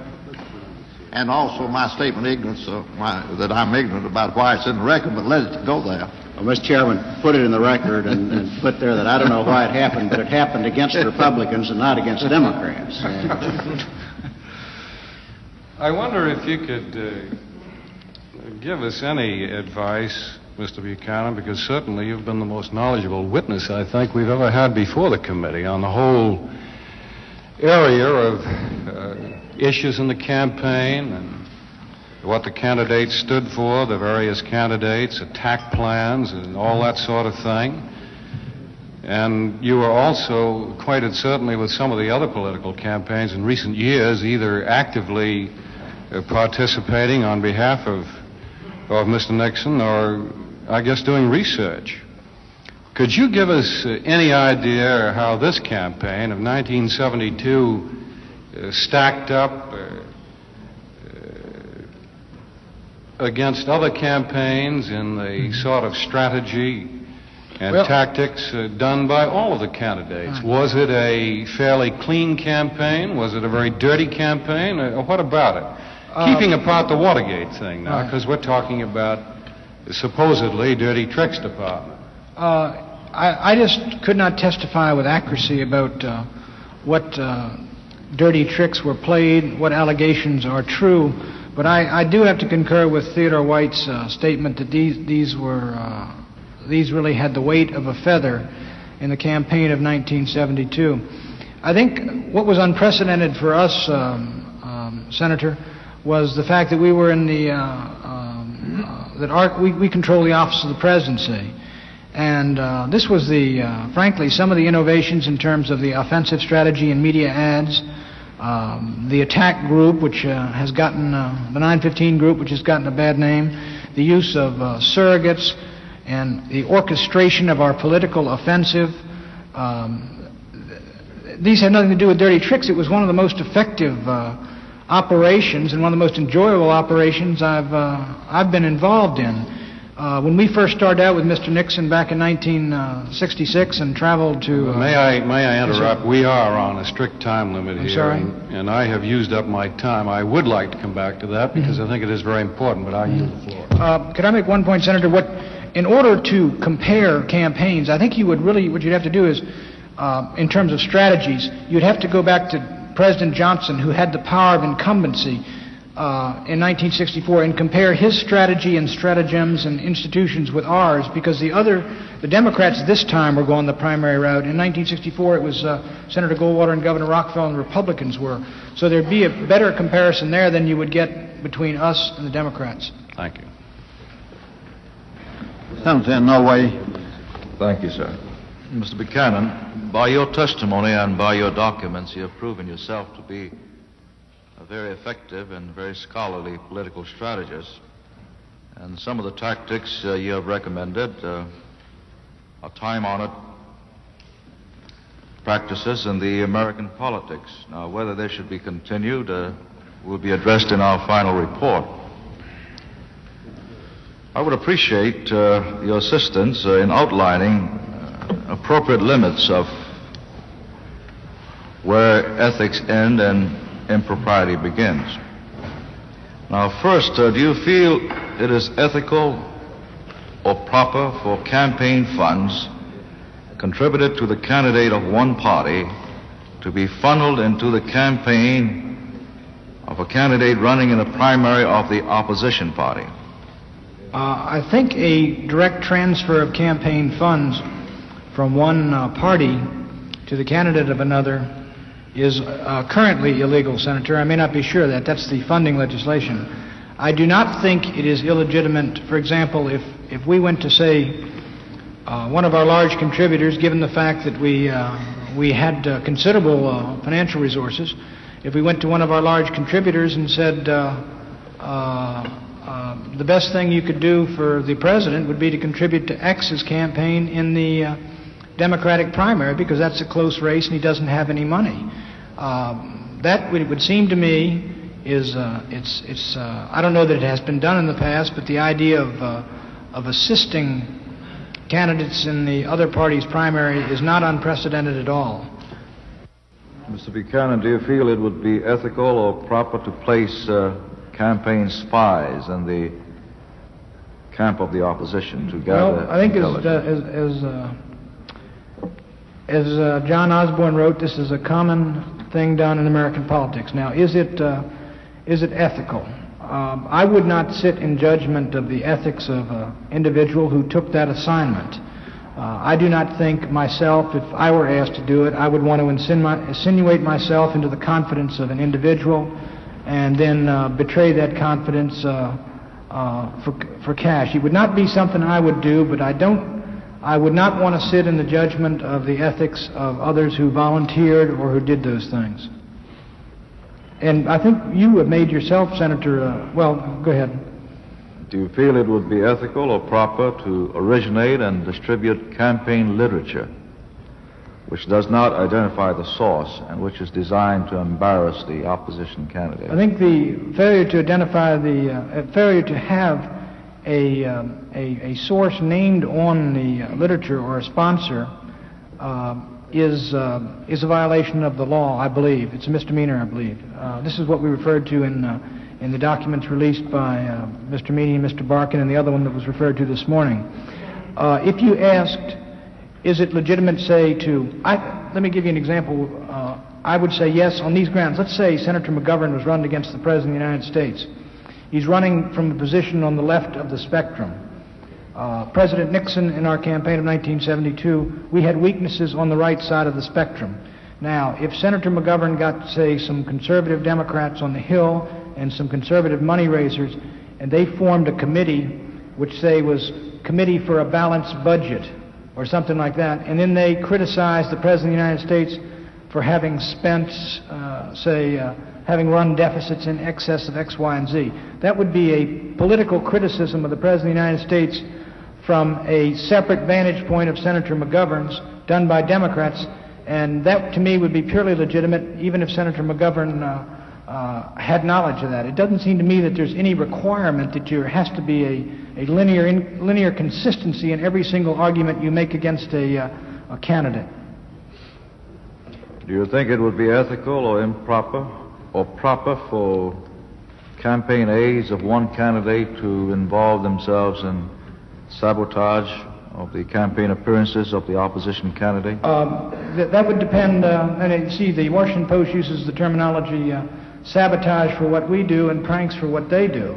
Uh, now, it would depend on precisely what's done. The examples I gave you of what Dick Tuck did, and uh, these to me are, there's room in American politics for pranksters and hecklers and the like. Um, there's room on both sides. These things are part of the, uh, the fun of uh, politics, but they can get to the point where they cross the line. I think you can cross the line in terms of numbers. In other words, you have one Dick Tuck, or two Dick Tucks, or three Dick Tucks. Okay, but suppose you field a, a uh, you know, uh, you field about a hundred of them out there. The cumulative impact of these kind of disruptions could have such an effect as to deny a candidate really the right to communicate with the American people and so foul up his operations as to uh, as uh, as really to deny him his legitimate right. So you can, I think you could probably uh, cross the line in terms of excess in numbers. I think you could probably cross the line in the other direction in terms of the character of your mis- of, uh, of the prank or the stunt. When Mr. Tuck put on an engineer's cap and got the train to move, wasn't that a crime? I- uh, impersonating an engineer? Uh, I, uh, I, Senator, I just do not know that. Uh, what, what would it be? Disorderly? Uh, there are there are This things. was interfering with the uh, orderly Sen- schedule Senator- of the train in interstate commerce. in interstate commerce. It was a California campaign train, Senator. It was not. Uh, it was. It supposed, and it was. It was just going up and down the California line. Uh, I don't think. Uh, I, I don't think he should be prosecuted. Uh, uh, he should be prosecuted. Let me say this: if if every time the president began a speech, that train pulled out of the station and his responsibility, I think there somebody ought to put a stop to it. You know. But I just. uh, but I don't think that that singular act was. We'd all be in, in trouble if, if something like that was, uh, uh, every time something like that happened, an individual was prosecuted. Do you think it's ethical? Doing that? Yes. Uh, I don't think it's unethical. I, I, I can't speak to the ethics of uh, Mr. Tuck uh, uh, doing that. That's his own judgment. I, I do not believe it's unethical. It doesn't strike me as unethical.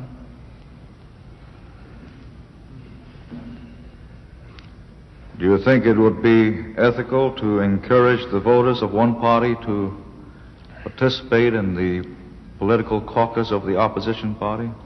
The political caucus? I think that's next to um, impossible. Uh, I think you have to be a registered. Uh, I, I know in the Democratic Party, which has caucuses, I believe you have to be a registered Democrat um, to get into a caucus. But you, you're raising Or in a broader, broader or in a question. primary. How about a primary? Right.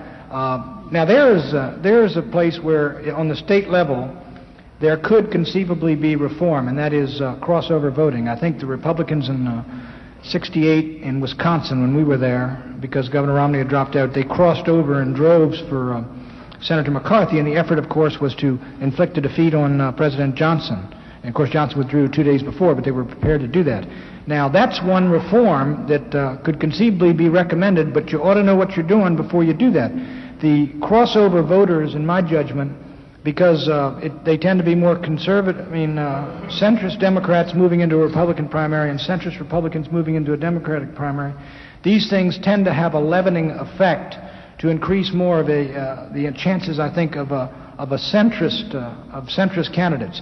You remove crossover votings, and you will have more, I think your candidates will tend to be more uh, ideological in the sense that they will be more, uh, uh, they will go to the true believers of their own party who are on the left in the Democratic Party and the conservatives in the Republican Party, and you are liable to have more uh, sharper differentiations in your, candidate, in your candidates. So I think you, uh, before states do that, uh, I, I frank, my own personal feeling is that that would be a good thing to rule out crossover voting because I think that each party should have the right, you know, to nominate its own candidates, and Republicans have no business, should have no business voting in Democratic primaries, and, and vice versa.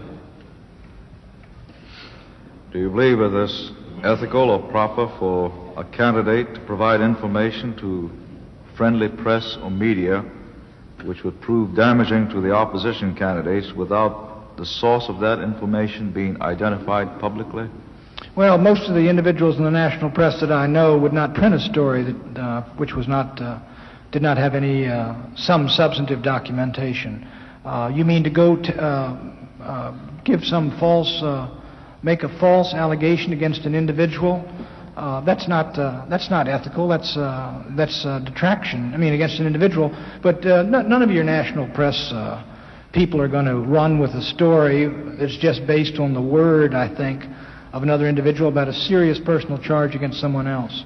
What about a reliable source story?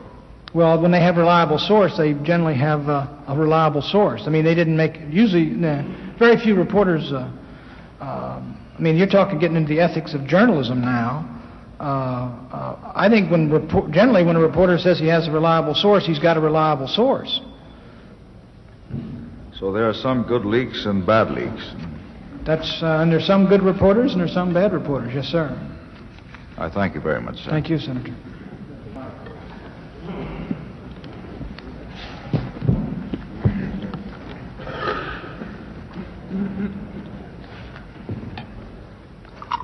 I've uh, read your opening statement rather carefully, Mr. Buchanan, and I'd say that uh, uh, in many areas uh, I agree with you. I think some of the matters which you've raised needed telling. Uh, specifically, uh, starting on page 9 of your statement, uh, where you say that uh, allegations that the campaign of 72 was not only a rig, but an fraud, a political coup by the President of the United States. These contentions, Mr. Chairman, are altogether untrue. Um, and I must confess uh, uh, to you that I think any political scientist looking at that election would at least give equal attention to the matter of uh, the Democrats in their primaries being so split, or at least splitting up the center, that that uh, the outcome was fairly much assured. Um, I can't I can't disagree either that where you quote Theodore White that dirty tricks of 72 uh, added together in the ultimate balance, at least as far as I know, the dirty tricks uh, had the weight of a feather. Uh, and uh, I wouldn't uh, disagree with those valid activities which you set forth before the committee in the way of letter writing campaigns or, or issue oriented speeches by Republicans, either the Senate uh, or the surrogates around the countryside. And I, again, I can't argue with you on, on a spoil system that certainly is, uh, still ha- has a certain hold on uh, the American political scene.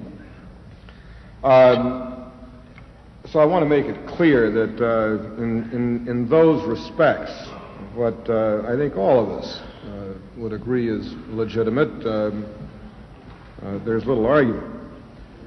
But um, the problem is, of course, that the matters that you were engaged on, or rather matters that you and other members of the administration were engaged on, go way beyond the uh, admittedly legitimate, uh, hard-nosed uh, aspects of politics. And unfortunately, and I came here really expecting to do most of the listening this afternoon, um, I can't let this stand um, insofar as your testimony is concerned.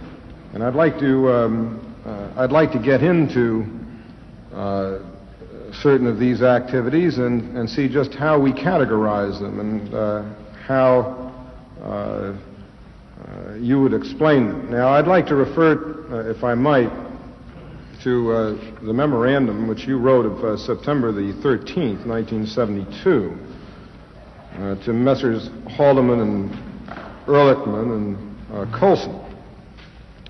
And more specifically, uh, uh, it's at the end of the memorandum, the bottom of page four, uh, top I of page can I have the exhibit number of that? five. Yes, indeed. That's exhibit number 34, I believe.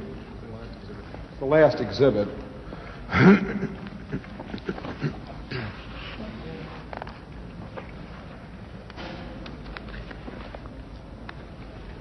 Yes, sir. The bottom of which page? Right. Uh, let, let me read, if I might, the memorandum. Final note. Again, the critical point is that Justice McGovern ought to make Nixon the issue, so the issue this fall is McGovern. Will he and the hardcore left-winger radicals who took over the party take over America? That's the bottom line. If the country goes to the polls in November scared to death of McGovern, thinking him vaguely anti-America and radical, and pro the left-wingers, and militants, then they'll vote against him, which means for us. What we have done thus far, and fairly well, is not put the president 34 points ahead, but McGovern 34 points behind. Yes, sir. Now, I find that rather interesting statement coming from a man who uh, uh, is one of the spokesmen, certainly, for this administration, for the president.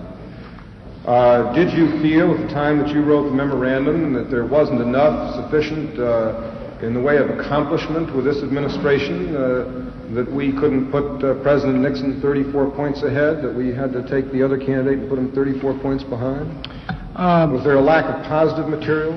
No, there was not a lack of positive material. As a matter of fact, the budget for the positive or pro side of the media campaign was uh, far in excess of the anti side. But I'm not presumptuous, and uh, Senator, and I'm not uh, foolish. Uh, we were not 34 points ahead of Senator McGovern simply on the basis of our record. I think we could have won on the basis of our record. As I stated earlier, once we move up above 60% in the polls, towards 70% in a national poll, people who are voting there are voting for us uh, are all almost entirely Democrats. And if you polled them, they would most of them would say they were dissatisfied with certain aspects of the president's economic program, certain aspects of his other program, his personality. In a normal election, they would go for a Hubert Humphrey, they would go for a Senator Muskie, they would go for a Senator Kennedy.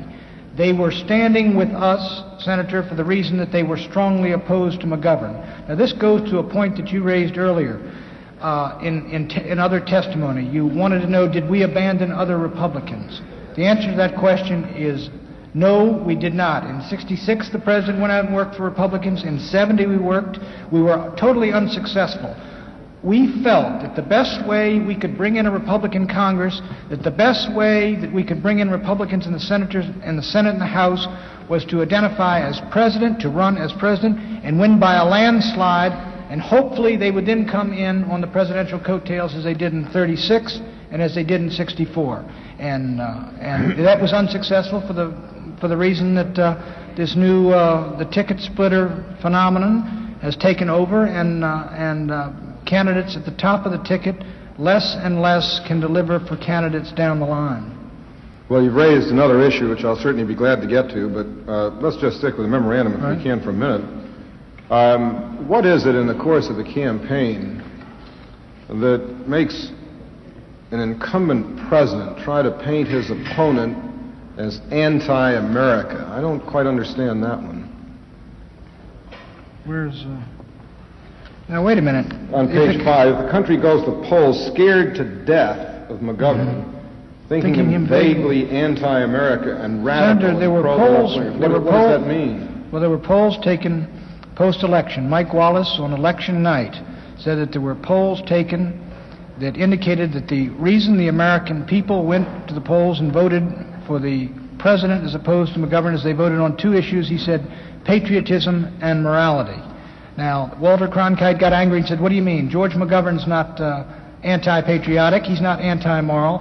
And Mike Wallace said, "Wait a minute. What we're talking about is public perceptions."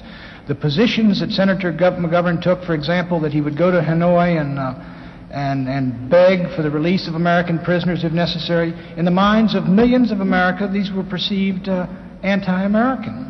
And uh, I do not suggest that Senator McGovern is anti-American, but this was the perception. The perception in his mind was that uh, that uh, Senator McGovern was not uh, uh, a figure who. Uh, whom they wanted to put in the presidency of the United States because he did not share their views with regard to patriotism and things of that character.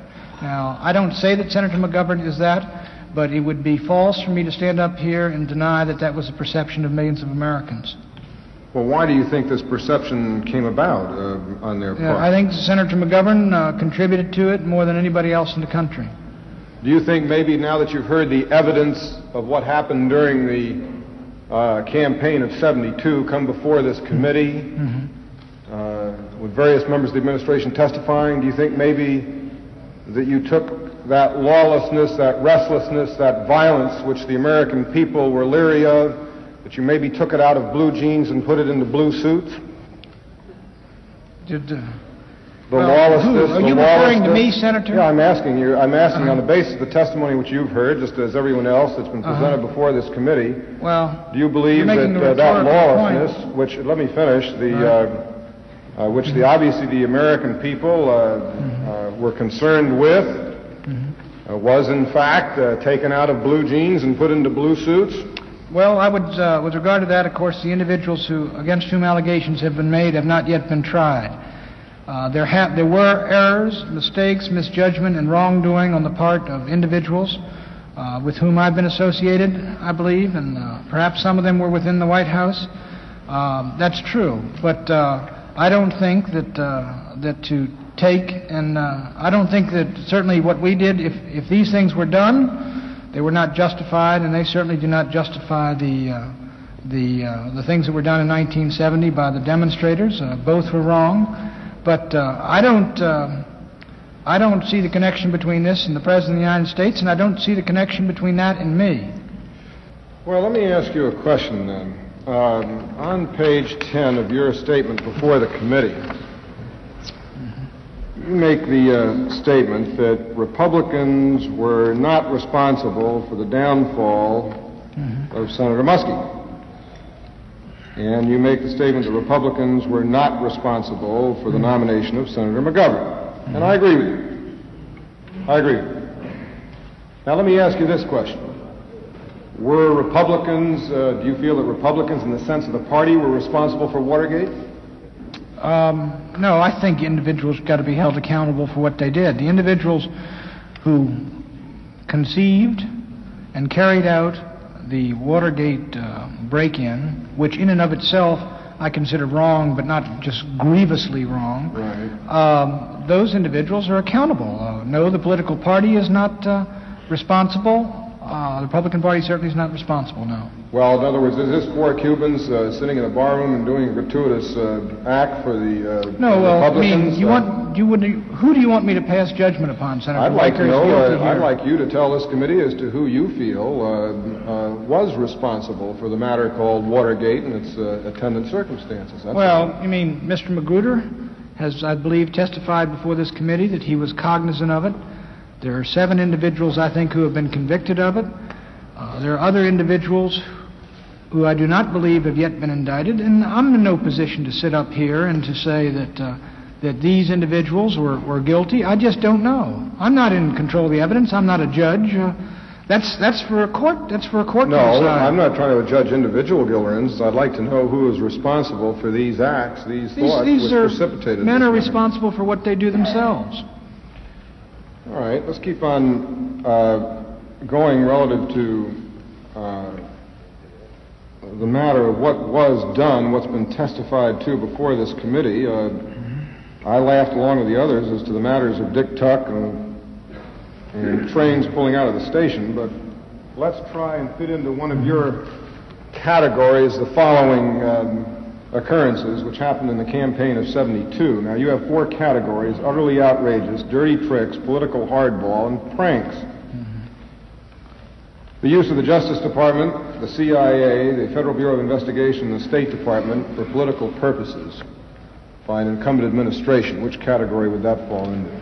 Well, you, you're, I'm, that references, those categories are in references to the so-called dirty tricks. They're not in reference to crimes, Senator. I'm not saying they are. I'm just asking you, is the use of the Justice Department, the CIA, the Federal Bureau of Investigation, the State Department, on behalf of an incumbent administration in a political way, what, what would that fall? Is that pranks? Senator, um, it's customary in, uh, in national politics that the Secretary of Defense, I believe, and the Secretary of State generally stay out of uh, national politics, although that was not the case in 64. And Secretary Laird, of course, made political speeches. I don't see anything uh, uh, wrong with that. Uh, the use of the, uh, the Federal Bureau of Investigation, in the political campaign, to me, would be uh, an unjustified use of that agency, which should not be done. The Department of Justice, uh, Senator Ervin and I would, uh, I mean, uh, it has been precedented that the, uh, uh, both in our administration and Senator Kennedy's, that the Attorney General was a political figure. Yeah, but let me, let me, let me say one thing right now, because I think that, I like to believe that maybe the people elected Richard Nixon president in 1968 because they didn't want any more of these things to go on. Now, maybe I'm wrong, but I'd like to go on that assumption, that this was one Well- of the reasons. So I- as far as I'm concerned, Mr. Buchanan, let's restrict ourselves Well, the people to have no reason to regret, election. People have no reason to regret the decision of 1968, in my judgment.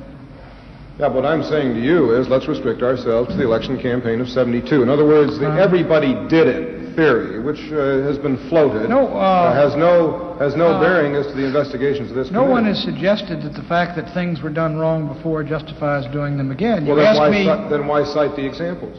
Well, you're the one that's citing the examples of uh, justice and defense and state. I'm responding to each of them. In the 1972 campaign, and you're responding with what was done in 1960 or whatever, whenever else it was. Well, I would beg to disagree with you. Uh, as I say, if, as- if a Secretary of Defense or a Secretary of State, um, uh, I would think the Secretary of State should stay out of uh, politics, but a Secretary of Defense, if uh, the defense budget is a national issue, uh, as it was in 64, where Secretary McNamara spoke out, as it was in 72 with Secretary Laird, they are perfectly within their rights to speak out and defend the policies of the administration. I that has a partisan connotation, I know, but they should be, uh, I see nothing wrong with that. I was uh, not referring to the Secretary of Defense. Uh, I never made any mention of him at all. I said the Justice Department, the use of Justice Department agencies on behalf of a political campaign. Is that, Right. what, what category does that fall into? They should not be used in a political All right, the. CIA. The Central Intelligence uh, uh, Agency, quite, uh, I think by law, is forbidden, and of course it should obey the law. Federal Bureau of Investigation. The Federal Bureau of Investigation should have no role in any national political campaign. All right. Number two, the Ellsberg break-in cover-up. What, uh, what does that fall into? Is that pranks, political hardball, dirty tricks, or utterly outrageous? The cover-up? Yeah, the Ellsberg break-in cover-up. Well, you're asking for, now you're asking me to talk about a matter for which individuals conceivably could be indicted in the next week.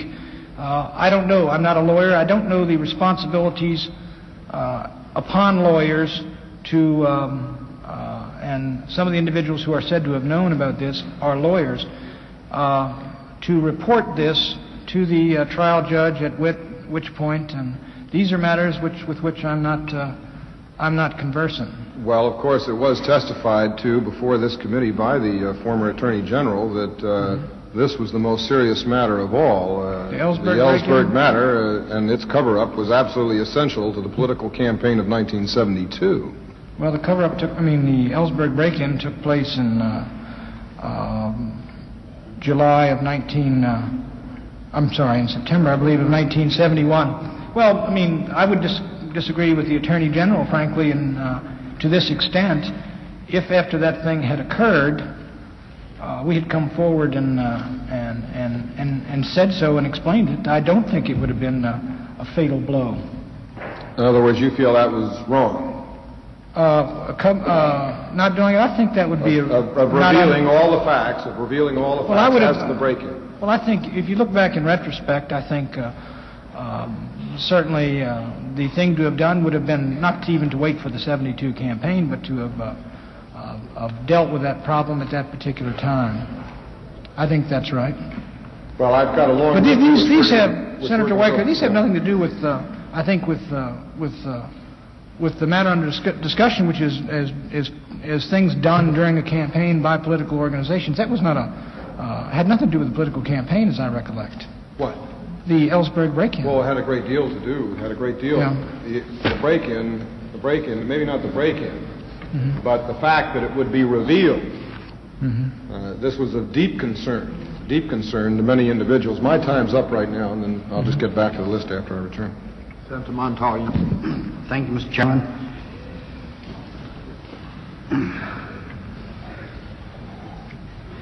At the end of your testimony this afternoon, uh, this morning with Mr. Dash, you stated that the brochure, although rhetorical, correctly stated Mr. Muskie's position about blacks. Well, um, That's the uh, I- brochure. No, I, I, if I did say that, that's an error. I think I said it stated correctly um, his position with regard to gun control, Senator. Well, I'll read you from the transcript, page 8062. This is, these are your words. The rhetoric is not left-wing rhetoric, but the statements on Senator Muskie's position on gun control is accurate. On the statement with regard to black Americans, there is not an inaccuracy in terms of the writing. Well, Isn't that the same thing? well, if, if I did say that this was a, what this is is a combination, I believe, where the record is stated. I've only had an opportunity to read this uh, once, but where the record is stated, This is your testimony. Right. Well, let me uh, let me just state where the record is stated with regard to his view on uh, on gun control. It's accurate. As I stated, the rhetoric is uh, is uh, um, is something else again. And uh, I would not, this is not state a fact. This is states basically an opinion with regard to to blacks. And this is not. Uh, well, go ahead, Senator. Well, do, do you say that the uh, statement contained in the brochure is not accurate? Well, it's, it's exaggerated political rhetoric. That's correct. Well, isn't that inaccuracy then? Well, it's, uh, yes, it, I mean, uh, right, but there's an awful lot in uh, political speeches. It's exaggerated political rhetoric and political brochures. Well, isn't exaggerated political rhetoric inaccuracy? That's, uh, it could be inaccuracy, yes, sir. All right. Now, let us examine it a little more carefully. Now, you stated in this brochure. Well, wait a minute. I, I, did not write the brochure, Senator. It's my recollection that I may have edited it because Well, that did- is the didn't you- testimony of someone else. Just a minute. Didn't you state this morning on the record that uh, Mr. Khachigian had told you Mm-hmm. that you had prepared it and that you were not about to doubt his word? No, Mr. Khachigian. um, when he came back from the committee hearing, he said that he had prepared it and that he had run it by me for editing. That was his recollection, and he's a truthful individual, so I stand on that recollection. Right. Now, here's what the pamphlet reads for the record. Muskie has told black Americans that there is no room for them in his politics. Blacks are the backbone of the Democratic Party, and Mr. Muskie told them to go to hell. Now, let us examine that against the uh, context of what uh, Mr. Muskie said in the press conference. And I read from uh, the excerpt from his press conference of September 8th, 1971. Reporter, what was the purpose of your meeting with black leaders in Watts yesterday? Mr. Muskie, the question was particularly of how we could move effectively to deal with the problems that concern black people, including the elections. Mm-hmm. And so I was asked in that context whether a black candidate for vice president could be considered for the 1972 election if I were a candidate for the presidency. Mm-hmm. I said that in my judgment such a ticket was not electable now. Mm-hmm. I said I regretted that. It shouldn't be so. What my judgment was, and that such a ticket would be defeated, and that if it were, it would be a setback to our efforts to implement our commitment to equality for blacks in this country. I think we must work to eliminate this wrong. I consider it a wrong, but I don't think we've done so yet. So, this is the choice that faces blacks and those of us who are committed to the ideals of equality in America. How best we move effectively in the direction of equality, including political equality, which will make it realistically possible for blacks, Mexican Americans, and representatives of any other minority to aspire to the vice presidency or the presidency of the United States. That ought to be our goal. Then the reporter asked a further question. Reporter, Senator, are you saying that it's the wrong time for a black man to run for vice president? Or are you saying that there isn't a black man qualified to run? Senator Muskie, oh no. There are blacks who are qualified to run, qualified to aspire to the vice presidency. I know some of them. and they ought to be eligible for consideration. Now, do Senator, you, do you think that the uh, pamphlet has put the whole thing out of context? I think the, uh, if you ask me, is, is this pamphlet a fair, from what I've read of it, a fair reflection of, accurate reflection of Senator Muskie's civil rights position? Uh, I would say no. This is exaggerated, uh, hyperbolic political rhetoric. I don't, if you ask me if I had, if, uh, if it should have been published, I would tell you no to that. It's, it's, it's wrong to do this. The voting record is right on gun control, as I said. Some of the rhetoric in here is, uh, is wrong. Uh, it's, un, it's unjustified with Senator Muskie. This thing probably should not have been published. If it is my oversight that this thing went through, and that in addition to that, that it failed to have on a proper identification, uh, then I am to blame and I should take responsibility. There were things done wrong, but this is not this is not as bad. This is not as bad as comparing the President of the United States to Adolf Hitler. It is not as bad as comparing American policy in Indochina to that of the Nazis in Germany. Now, But both are mistaken. One wrong does not justify another. it does Is that not correct? precisely, Senator. All right. And let us go to the letter which was sent from Miami to uh, Mr. Loeb of the Manchester Guardian on the date leader. of February the 17th. You know about that letter, do you not? It's the Union leader. That's the so-called Canuck letter. Right. Now, do you think that that was a fair thing to do? That was a political dirty trick. All right. Do you think it was unethical? It was uh, unethical. Now, there was another letter dated February the 28th sent to the same editor in the same vein with respect to uh, Senator Muskie. I was unaware of that. Wait a minute. Maybe you were referring to the. Uh, which one is the They were so-called both the, uh, referring to the Canuck, uh, supposed Canuck statement made by Senator Muskie. I did not know there were two letters sent. Right. And uh, do you think that that was unethical? The Canuck letter is the only one that I have seen referred to. Uh, yes, sir, I do. Do you think that was a dirty trick?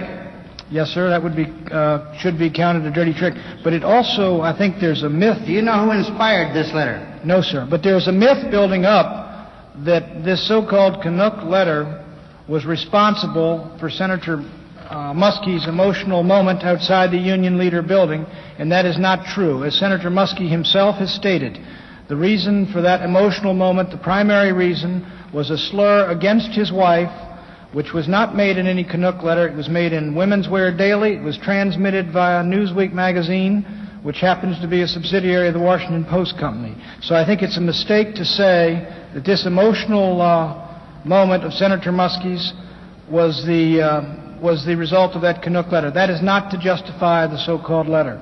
Well, they were interconnected in a way, weren't they? Were they not? Senator Muskie himself says it was the slur on the uh, on his wife, or what he conceived to be a slur on his wife. All right, now, there was another letter that appeared in the New Hampshire campaign, primary campaign. It was on stationery United Democrats for Kennedy and signed by Robin Ficker. Ficker. You're acquainted with that letter, are you not? No, I'm not, but I know Ficker was running a write-in for Kennedy in uh, Yes, in, uh, and uh, in uh, it, New uh, Hampshire. Uh, from our investigation, it has been ascertained that some people contacted Mr. Ficker for a signature to this letter, and uh, the letter was designed to create a write-in atmosphere for Pres- for Ted Kennedy in uh, New Hampshire. This was not sponsored actually by United Democrats for Kennedy, although it appears under the signature of Robin Ficker of Montgomery County in uh, Chevy Chase or Silver Spring, Maryland. Now, do you think that such a tactic, assuming that Mr. Robert Robin Ficker has disavowed the contents of the letter, do you think that that was a proper campaign tactic in New Hampshire? Um, is Ficker a, uh pro? Is Ficker pro Kennedy? Do you know? Yes. And somebody funded him to do this? Somebody got him to sign the letter under false pretenses that Kennedy people were urging him to sign the letter. And he later ascertained that it was not so. Mm. You mean to um, file another individual? Well, that, that is a, that's a uh, borderline case, let me just give you one example, um, Senator Montoya. 1940 in... Uh, Well, if that's a factual situation on Uh, the wait assumptions that I have made, would you say that that was uh, unethical or improper? Let me give you an example. Which, when Harry Truman ran in 1940 in the state of Missouri against Governor Stark, he was in some difficulty, as I remember the story, because Governor Stark said he was the one that had put Tom Pendergast away. And Harry Truman's friends got some individual named Maurice Milligan, who apparently was the prosecutor in the case, and they ran him as the third guy in the race, result of which was to put Harry Truman in the Senate. Now, that's the same type of uh, operation. Whoever did this probably did this to draw votes off from uh, Senator Muskie, I would guess, in New Hampshire, or to lower his margin. Uh, it's the same, it's uh, something in the same vein as that, I would think. Um, Well, do you think it was proper? uh, that- it's, I, I would, uh, this is, a, I I would have difficulty making a judgment on, uh, on filing your opponent so you can, uh, uh, your potential opponent so you can beat him in a state or getting him filed. Uh, that's a, um, that's a tough call as far as I would be concerned ethically. Now, on tab 27, page 13, under item uh, 40, is the following quote If Daley is booted out of the Democratic Convention on his arrival at his mayor's office in Chicago, some bearded types can be out front with signs Daley's through in 72, vote McGovern. Right? Now, were these to have been paid demonstrators? No, you would just call the uh, Republican committee out there and do it. That is a. Uh, They were supposed to be volunteers then. oh, sure, you wouldn't pay somebody to picket. though. Our funds were were uh, were not limitless. Uh, Now, d- now, do you think that that was proper and ethical? Um, well, this again is another uh, senator. If I knew I were going to be up here explaining all my memoranda, this little item would not have been included. Uh, whether it's uh, uh, proper, again, this is a, uh, a case of uh, of um, of um identifying uh, your opponent with an unpopular uh, with an unpopular individual or figure. Oh, I know what you're doing, but do you think it's ethical or proper? I don't, again, I'd have to say, I don't think this is unethical to tell a guy to get a sign and go out in front of Daley. Mayor Daley comes back from that convention, angry as he can be, and there's a picket out there with the you sign. think it's proper? Uh, it's not improper. Well, then it It's, is uh, not proper then.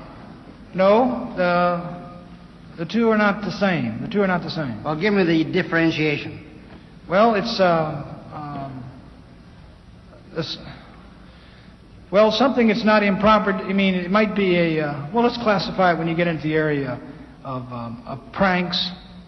It's, it's in the, I think that's in the area of pranks. It's like the carrying the sign, Oh, would you say it's neutral Nixon's then? the one sign. Would It's you say a- it's neutral? I would say it's in the same range with the Nixon the one sign. Okay. Now, on tab 21, page 9, item 4, you suggested, and I quote, on all the black radio stations in the swing states, we should run ads on Muskie's statement about no blacks for vice president.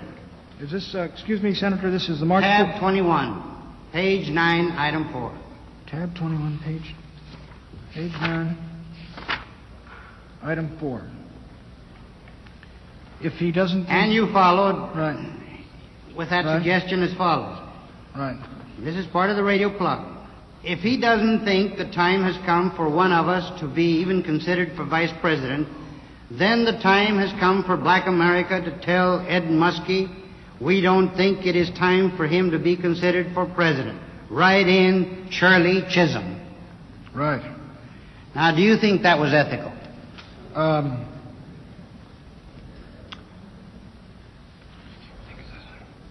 yes, I do. In this sense, Senator, um, uh, there was a point in time in the 1960, uh, 1971 when uh, Congressman John Conyers and Senator Eugene McCarthy, each of them, uh, was uh, uh, considering a fourth party candidacy. Uh, in my judgment, that would have been uh, that would have helped us along what I consider to what I consider a goal of a long time, which is a realignment of political parties. In my judgment, it would not have been unethical or illicit to have made an alliance of convenience with a uh, Democrat to the left of the National Democratic Party because it would have been advantageous to them. It would have been advantageous to us. Uh, our objectives would have been served. Their objectives would have been served. It's the same thing as, as I would think in the Senate. If you had uh, uh, a lib, uh, senator on the, say, on the left side of the spectrum, getting together with the right senator on the right side of the spectrum to support a bill that he wanted uh, in exchange for support there. I think, I think it would be in that category. Now, uh, you're, you're implying that uh, this was politics as usual and therefore it was proper. That's what, in effect, Um, you're saying. No, I don't say everything that's, that's, that's, that's being done, everything that's, that's done regularly is, uh, is proper and ethical. Well, Uh, you have to judge the individual thing. I just, uh, here's the thing, this is, uh, um, uh, this would come in the area of what Senator Baker, I think, was, when he was reading, uh, I believe it was Senator Baker well, yeah. let me go into another phase here. Now, you, of course, know that Senator Jackson's headquarters in Florida were broken into. And, No, sir, uh, I did not know that. Well, and Senator McGovern's headquarters in Ohio were broken into. I did Senator not know that. Muskie's in Washington, D.C. were broken into. Uh, Senator Muskie's were broken into? Yes. I did not. Or, or, or, or I should say, The there was an infiltrator in there, and files were stolen on two occasions from Senator Muskie's uh, headquarters. Now, This was Fat Jack? yes, it, it was, uh, and uh, and uh, one of his agents. I think it was uh, a young man by the name of uh, Gregory. Mm-hmm. Now, also, there were paid infiltrators in Senator Jackson's campaign in Florida. Well, that would be unwise. As All well right, as, and Senator Muskie's in Washington. Fat Jack or John Buckley. And Senator McGovern's, as Chapman's friends, to cite Uh, some examples of the infiltrations.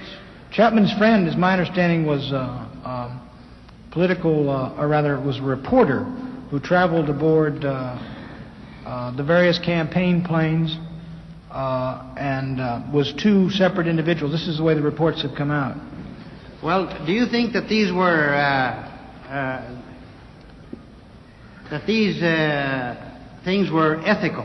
Well, Senator, I would ask, do you think it was ethical for Joe McGinniss to pose as a reporter and come into our campaign in 1968, fob himself off as an aide, and steal my memoranda and publish them in a best-selling book and have it hailed in the Washington Post?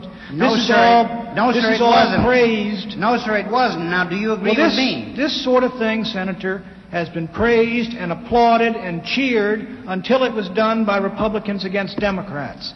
Well, just because there was something wrong in the Democratic camp, I am not going to condone it.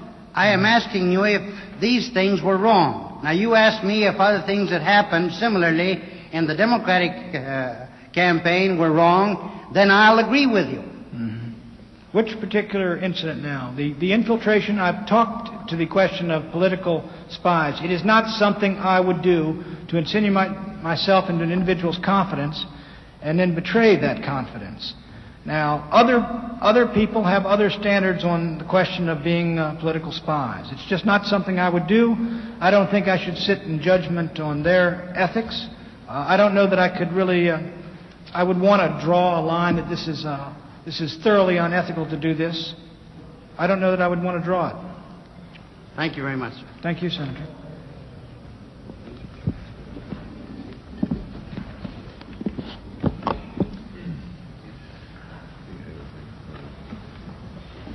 I have nothing further. Senator Baker says he has nothing further. Senator Calvinist is not here. Senator Inouye is not here. Senator Gurney is not here. And Senator Weicker.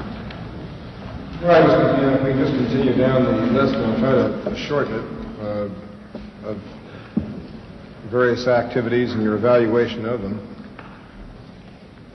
Um, perjury, subornation of perjury to obstruct justice. Is this something that uh, should This form is, part of a campaign? Senator, this is the famous um, uh, Weicker litany of wrongdoings in the uh, campaign. I know you've got the definition down of every illegal act and things like that, but what to me, what they amount to and what uh, I've seen is that uh, people in our campaign made a grievous error and then they went and compounded the error and made mistakes. And in the process of this thing, they even committed, uh, I don't know, I don't want to state that they did, but conceivably they committed uh, uh, wrongdoing amounting to crimes and illegalities. And, but I think uh, that by and large the sins were of the head and not of the heart. They thought that uh, they wanted uh, to, to make sure the President of the United States was reelected. And uh, a lot of of mistakes and bad thing and uh, erroneous things were done. There's no question about that. But these people, I think they've got a right to a fair trial, and I don't think I'm in a position to sit up and and uh, moralize or pontificate uh, uh, upon their uh, ethics or their morality. Mr. Buchanan, it isn't a question of a, a litany of wrongdoing. The problem is that when these matters are equated with just another Dick Tuck type of operation. They have never been so this by is me. exactly the type of. Uh, I did not consider Watergate a prank. It's a crime. I see. Well, this is all I'm trying to find out from you, since you have Mm-hmm. thrown Dick Tuck out as sort of the example to be followed by the Republicans in the campaign of '72. I'm trying to differentiate Mm-hmm. between those activities and these activities, which clearly you're as dead set against as I am. What I can't have, I believe, I, I, I would hope anyway, you think the same way. I can't have these floated as legitimate campaign practices. Nobody has floated Watergate as legitimate campaign activity for the last uh, 15 months. Well, then certainly you'd agree that really we aren't talking in any manner, shape, or form about the equivalent of a Dick Tuck operation insofar as Watergate. Well, I did not know um, that I was up here to discuss the Watergate break-in. You're here to discuss the matter called Watergate, which uh, encompasses a great Well- deal of activity. And again, I've tried to be very specific with you as to what those activities are. Um, Are they the Uh, same what- as Dick Tuck, Tuck type activities? Uh, you want me to continue down no, the I don't. I don't know that Dick Tuck um, did any break-in and burglaries. No, sir. Electronic surveillance? Well, electronic surveillance was done on uh, Adlai Stevenson at the Democratic Convention in '60. They had uh, electronic surveillance was done, I believe, on um, the Vice President of the United States post '68 before he was um, inaugurated. I believe that. I'm not sure of that. Electronic surveillance for political purposes is wrong and should be outlawed. I think the last part of your answer is very significant. I'd agree with you. I think that. Uh, I think there's a law exactly against that's that's exactly what the uh, work product of uh, this committee is is all about. How about uh, putting out the story uh, tying the Democratic Party to communists and foreign money? Is this a legitimate type of activity of the White House? I don't know any political reporter I know who's going to pick up a phony story like that and run it if you don't have any substantiation. And if you tell an individual to go do that, uh, uh, any individual who has contacts in the national press corps, the political press corps, will tell you to go fly a kite.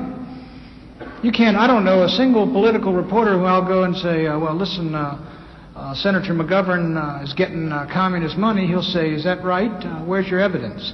Every single one. I don't know a one who would uh, go with a story like that on the basis of hearsay. But of course, this was the subject of a memorandum within the White House, wasn't it? I, I've, uh, I've not been watching all the testimony on television, but I believe it was.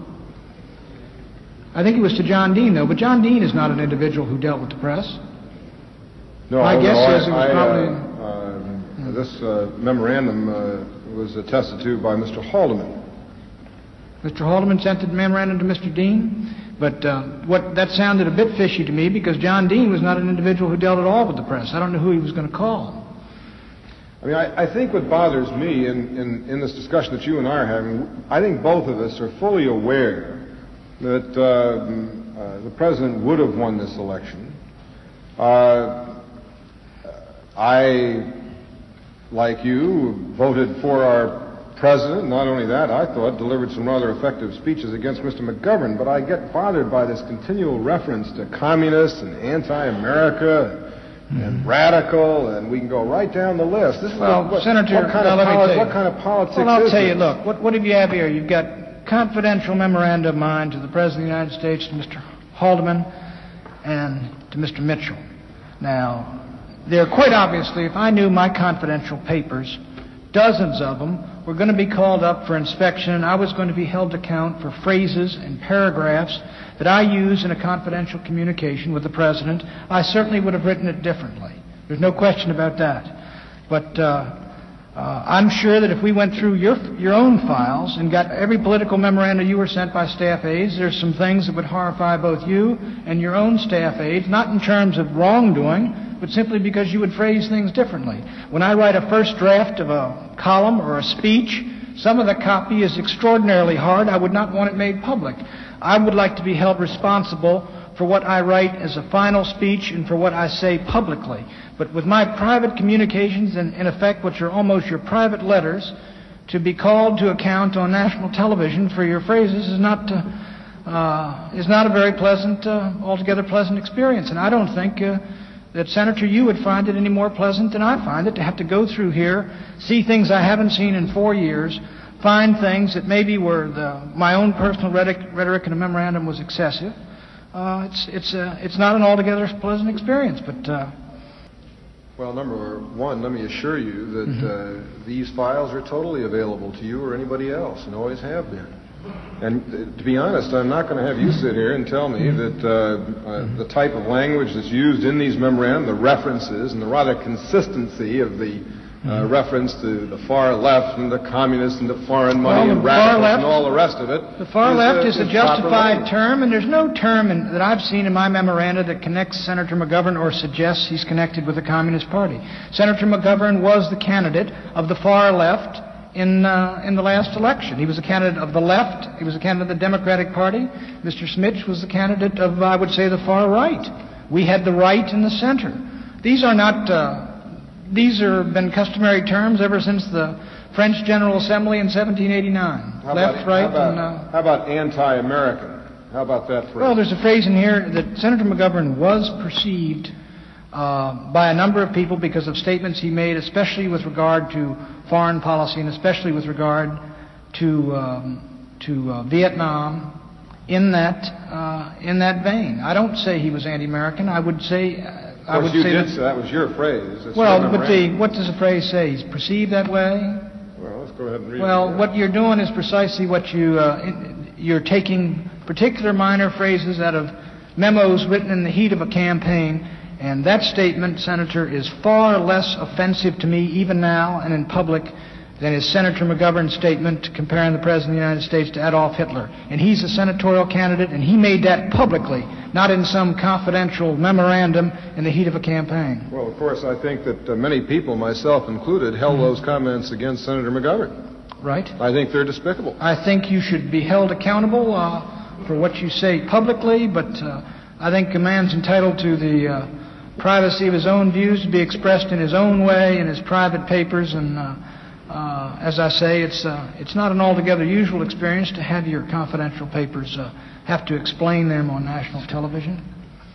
The matter of uh, Mr. Ulasewicz's investigation, is that, and the subject matter of those investigations, is that proper politics? I never heard Mr. Lasowitz's name until he appeared on national television. I see, but now that you've heard of Mr. Ulasewicz and you know... What did he investigate?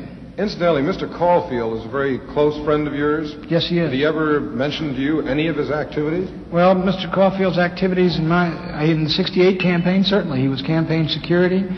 He had uh, conducted investigation, but the things that have uh, that have come out subsequently, I had no knowledge of.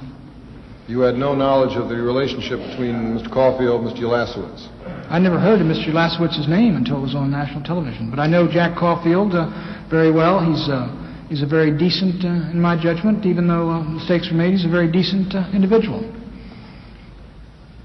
The, um, the matters of Mr. Ulasewicz's uh, investigations, again, do you feel, now that you've heard about them, do you Which ones are you referring to, Senator? Well, I can go right down the whole list of basically, I would say, personal matters related to the various candidates. Do you think these Senator, are proper matters? uh, do I think that um, you're asking? Do I think that the uh, I asked that... I'll well, tell you why I campaigns, campaign, this, that's not my end of a campaign business. Is investigations are done. There was a story in an Atlanta paper where Senator McGovern sent out 100 people to investigate uh, uh, President, all these other fellows, and if we dug up any dirt, they said, uh, well, we'll let that out too. Uh, the, there are these aspects to campaigns. I don't think I've ever been in a political campaign where I haven't heard stories about the private lives and the personal habits of individuals. Uh, uh, but that's not uh, that's not my stock and trade. So, in other words, you would, you'd say that shouldn't be part of a, of a campaign. There's no way you're going to outlaw investigations. Uh, there, I think investigations into backgrounds of candidates, going out, say, to his hometown newspaper and uh, finding statements, say, like Senator McGovern made in '48. Fair enough. And in the course of that thing, what do you do if you come across uh, if you come across something? You know, if you come across something that's uh, personally uh, damaging to the individual. Maybe it depends on how uh, rough the campaign's being fought. Is basically your answer, and I'm trying to be as fair as possible on this matter, that matters of public record certainly are eligible to be pushed out there during a campaign. Right. What's a matter of the record? Right. But this was specifically asked of Mr. Ulasewicz, and of course his investigations went way beyond what was a matter of public record. Went into Well, if they went into personal, um, that's. Uh, I don't think that my own view is that uh, the personal, uh, private lives of uh, of, uh, candid- of uh, candidates uh, they should not be. Uh, they should not be part of a campaign. They should not be discussed by a, a candidate. And and but I, they're political muckrakers just like journalistic, and and you're going to have this until as long as you got politics. People are going to go out and do these things. But I'm I- not involved in it, and I don't. I would not do it myself. And but I don't want to sit up here and uh, and and and assume that I'm a judge of um, of other people who do these kind of investigations. But at least I want to thank you for saying that, because you are part of an administration.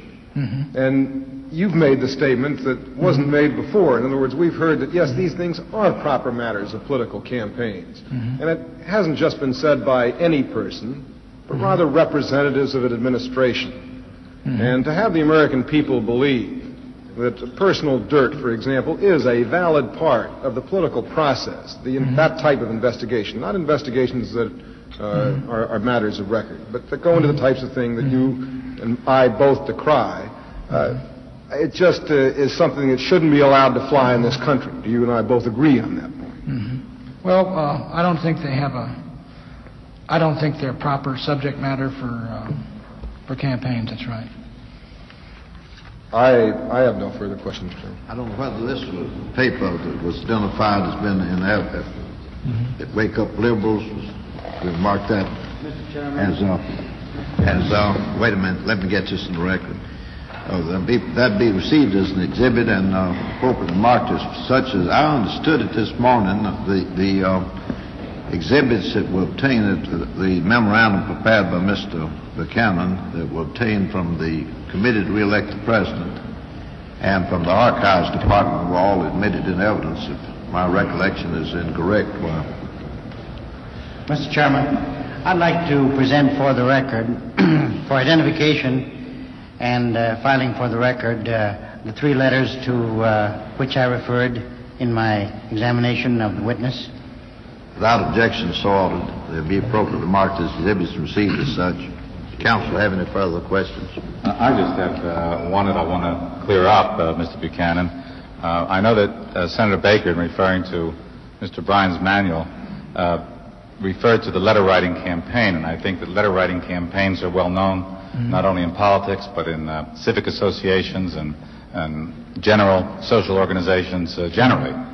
And what I'd like to really get from you bef- as we close this afternoon is is there a difference between what, in fact, is a genuine letter writing campaign, and as I understood the reference in the manual, that certain women who would be volunteers would be asked to use their brains and their writing to write short letters, and they themselves would write the messages that they wanted to write to the editors. Right. Is there a difference, Mr. Buchanan, uh, between that and where the, the message, the irate feeling, is actually manufactured by the political campaign itself, by, and, and that a, a signature is obtained to that, so that the person who reads the letters to the editor column believes that a citizen really wrote that when he didn't.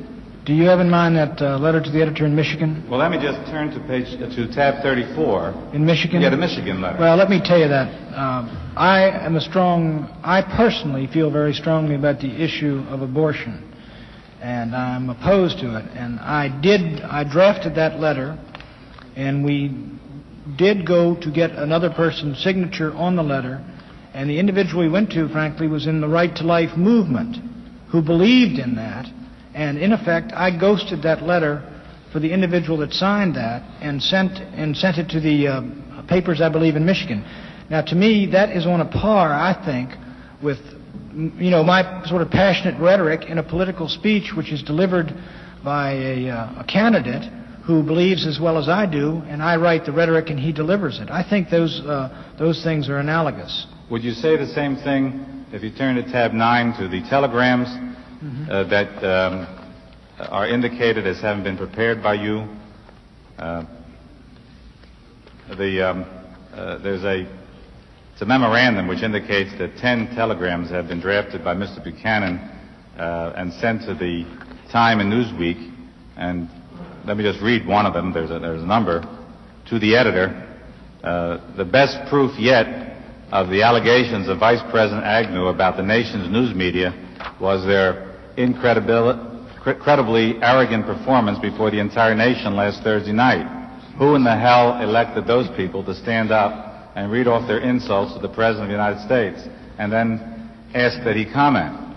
Uh, do you have tab 9? I, I'm having a little Sorry. Where's this now? There's attachment to tab 9. There are a number of Called. Buchanan telegrams right. that were drafted and then sent. No, they weren't. I don't know that they were sent. I think. Here's the thing. I don't know. I, I have not read these memoranda. I don't know um, who signed them. I don't know who signed the Well, what I'm just saying is, and, and, I, and really I'm That's a asking this, item, for- yeah. I'm asking for information. Uh, isn't there again a difference? And I'm talking about fabrication in the sense that uh, a telegram of that nature, which is prepared, and then assume you do get somebody to sign it, uh, appears perhaps in the letter to, letter to editors column in Newsweek, and is read as though a citizen thought of the idea to send that telegram, when as a matter of fact, all of these have been actually manufactured uh, in a political office, actually Right. in the White House, Right. and are sent out to news media.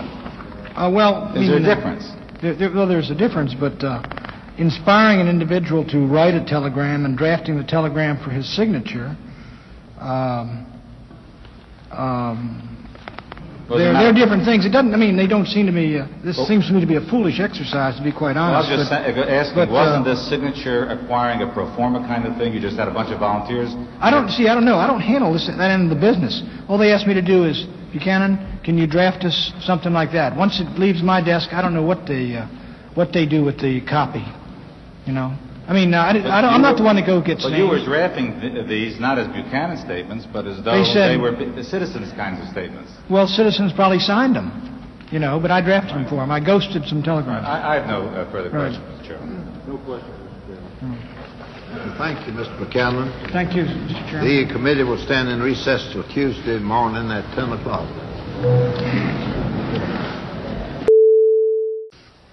Now, I don't know if I can add anything very profound to the practical politics lesson that uh, Pat Buchanan gave the committee today. But as a longtime observer of Dick Nixon and Dick Tuck, I'd like to make a few personal observations. There is a difference between political pranks and character assassination. To compare Dick Tuck to Don Segretti would be like equating Frank Sinatra and Frankenstein. Tuck is a political original, a free soul who attached himself to former California Governor Pat Brown, to the Kennedys, and finally to George McGovern. Now, I was on that Nixon campaign train when Tuck directed it off of a California siding and back on the line. And I opened a fortune cookie later in that campaign that asked Nixon in Chinese to explain the Hughes loan. And I still have a hard hat that he gave me to ward off supposedly hostile Goldwater supporters. But Tuck was never one to let politics stand in the way of his sense of humor. To think that a room full of White House strategists could program a Dick Tuck, well, that's just ridiculous. Instead, they came up with a Segretti, whose forte was character assassination. Actually, as the practical politicians on the committee realized far better than Sam Dash and his rather puritanical lieutenants, a lot of what was agonized over today is as old as Tippecanoe and Tyler, too. As a supposedly friendly newsman, I was asked as long as 15 years ago by Nixon staff people to pass on information, to spy, if you will, on rival candidates. I also was asked to ask planted questions at press conferences. I didn't do it, but I didn't take offense either. No, dirty tricks are nothing new, but like so many other things, they got way out of line in 1972. Where that line is, and whether it can be drawn by this committee, remains to be seen. But off of today's hearing, the senators are off to a bad start.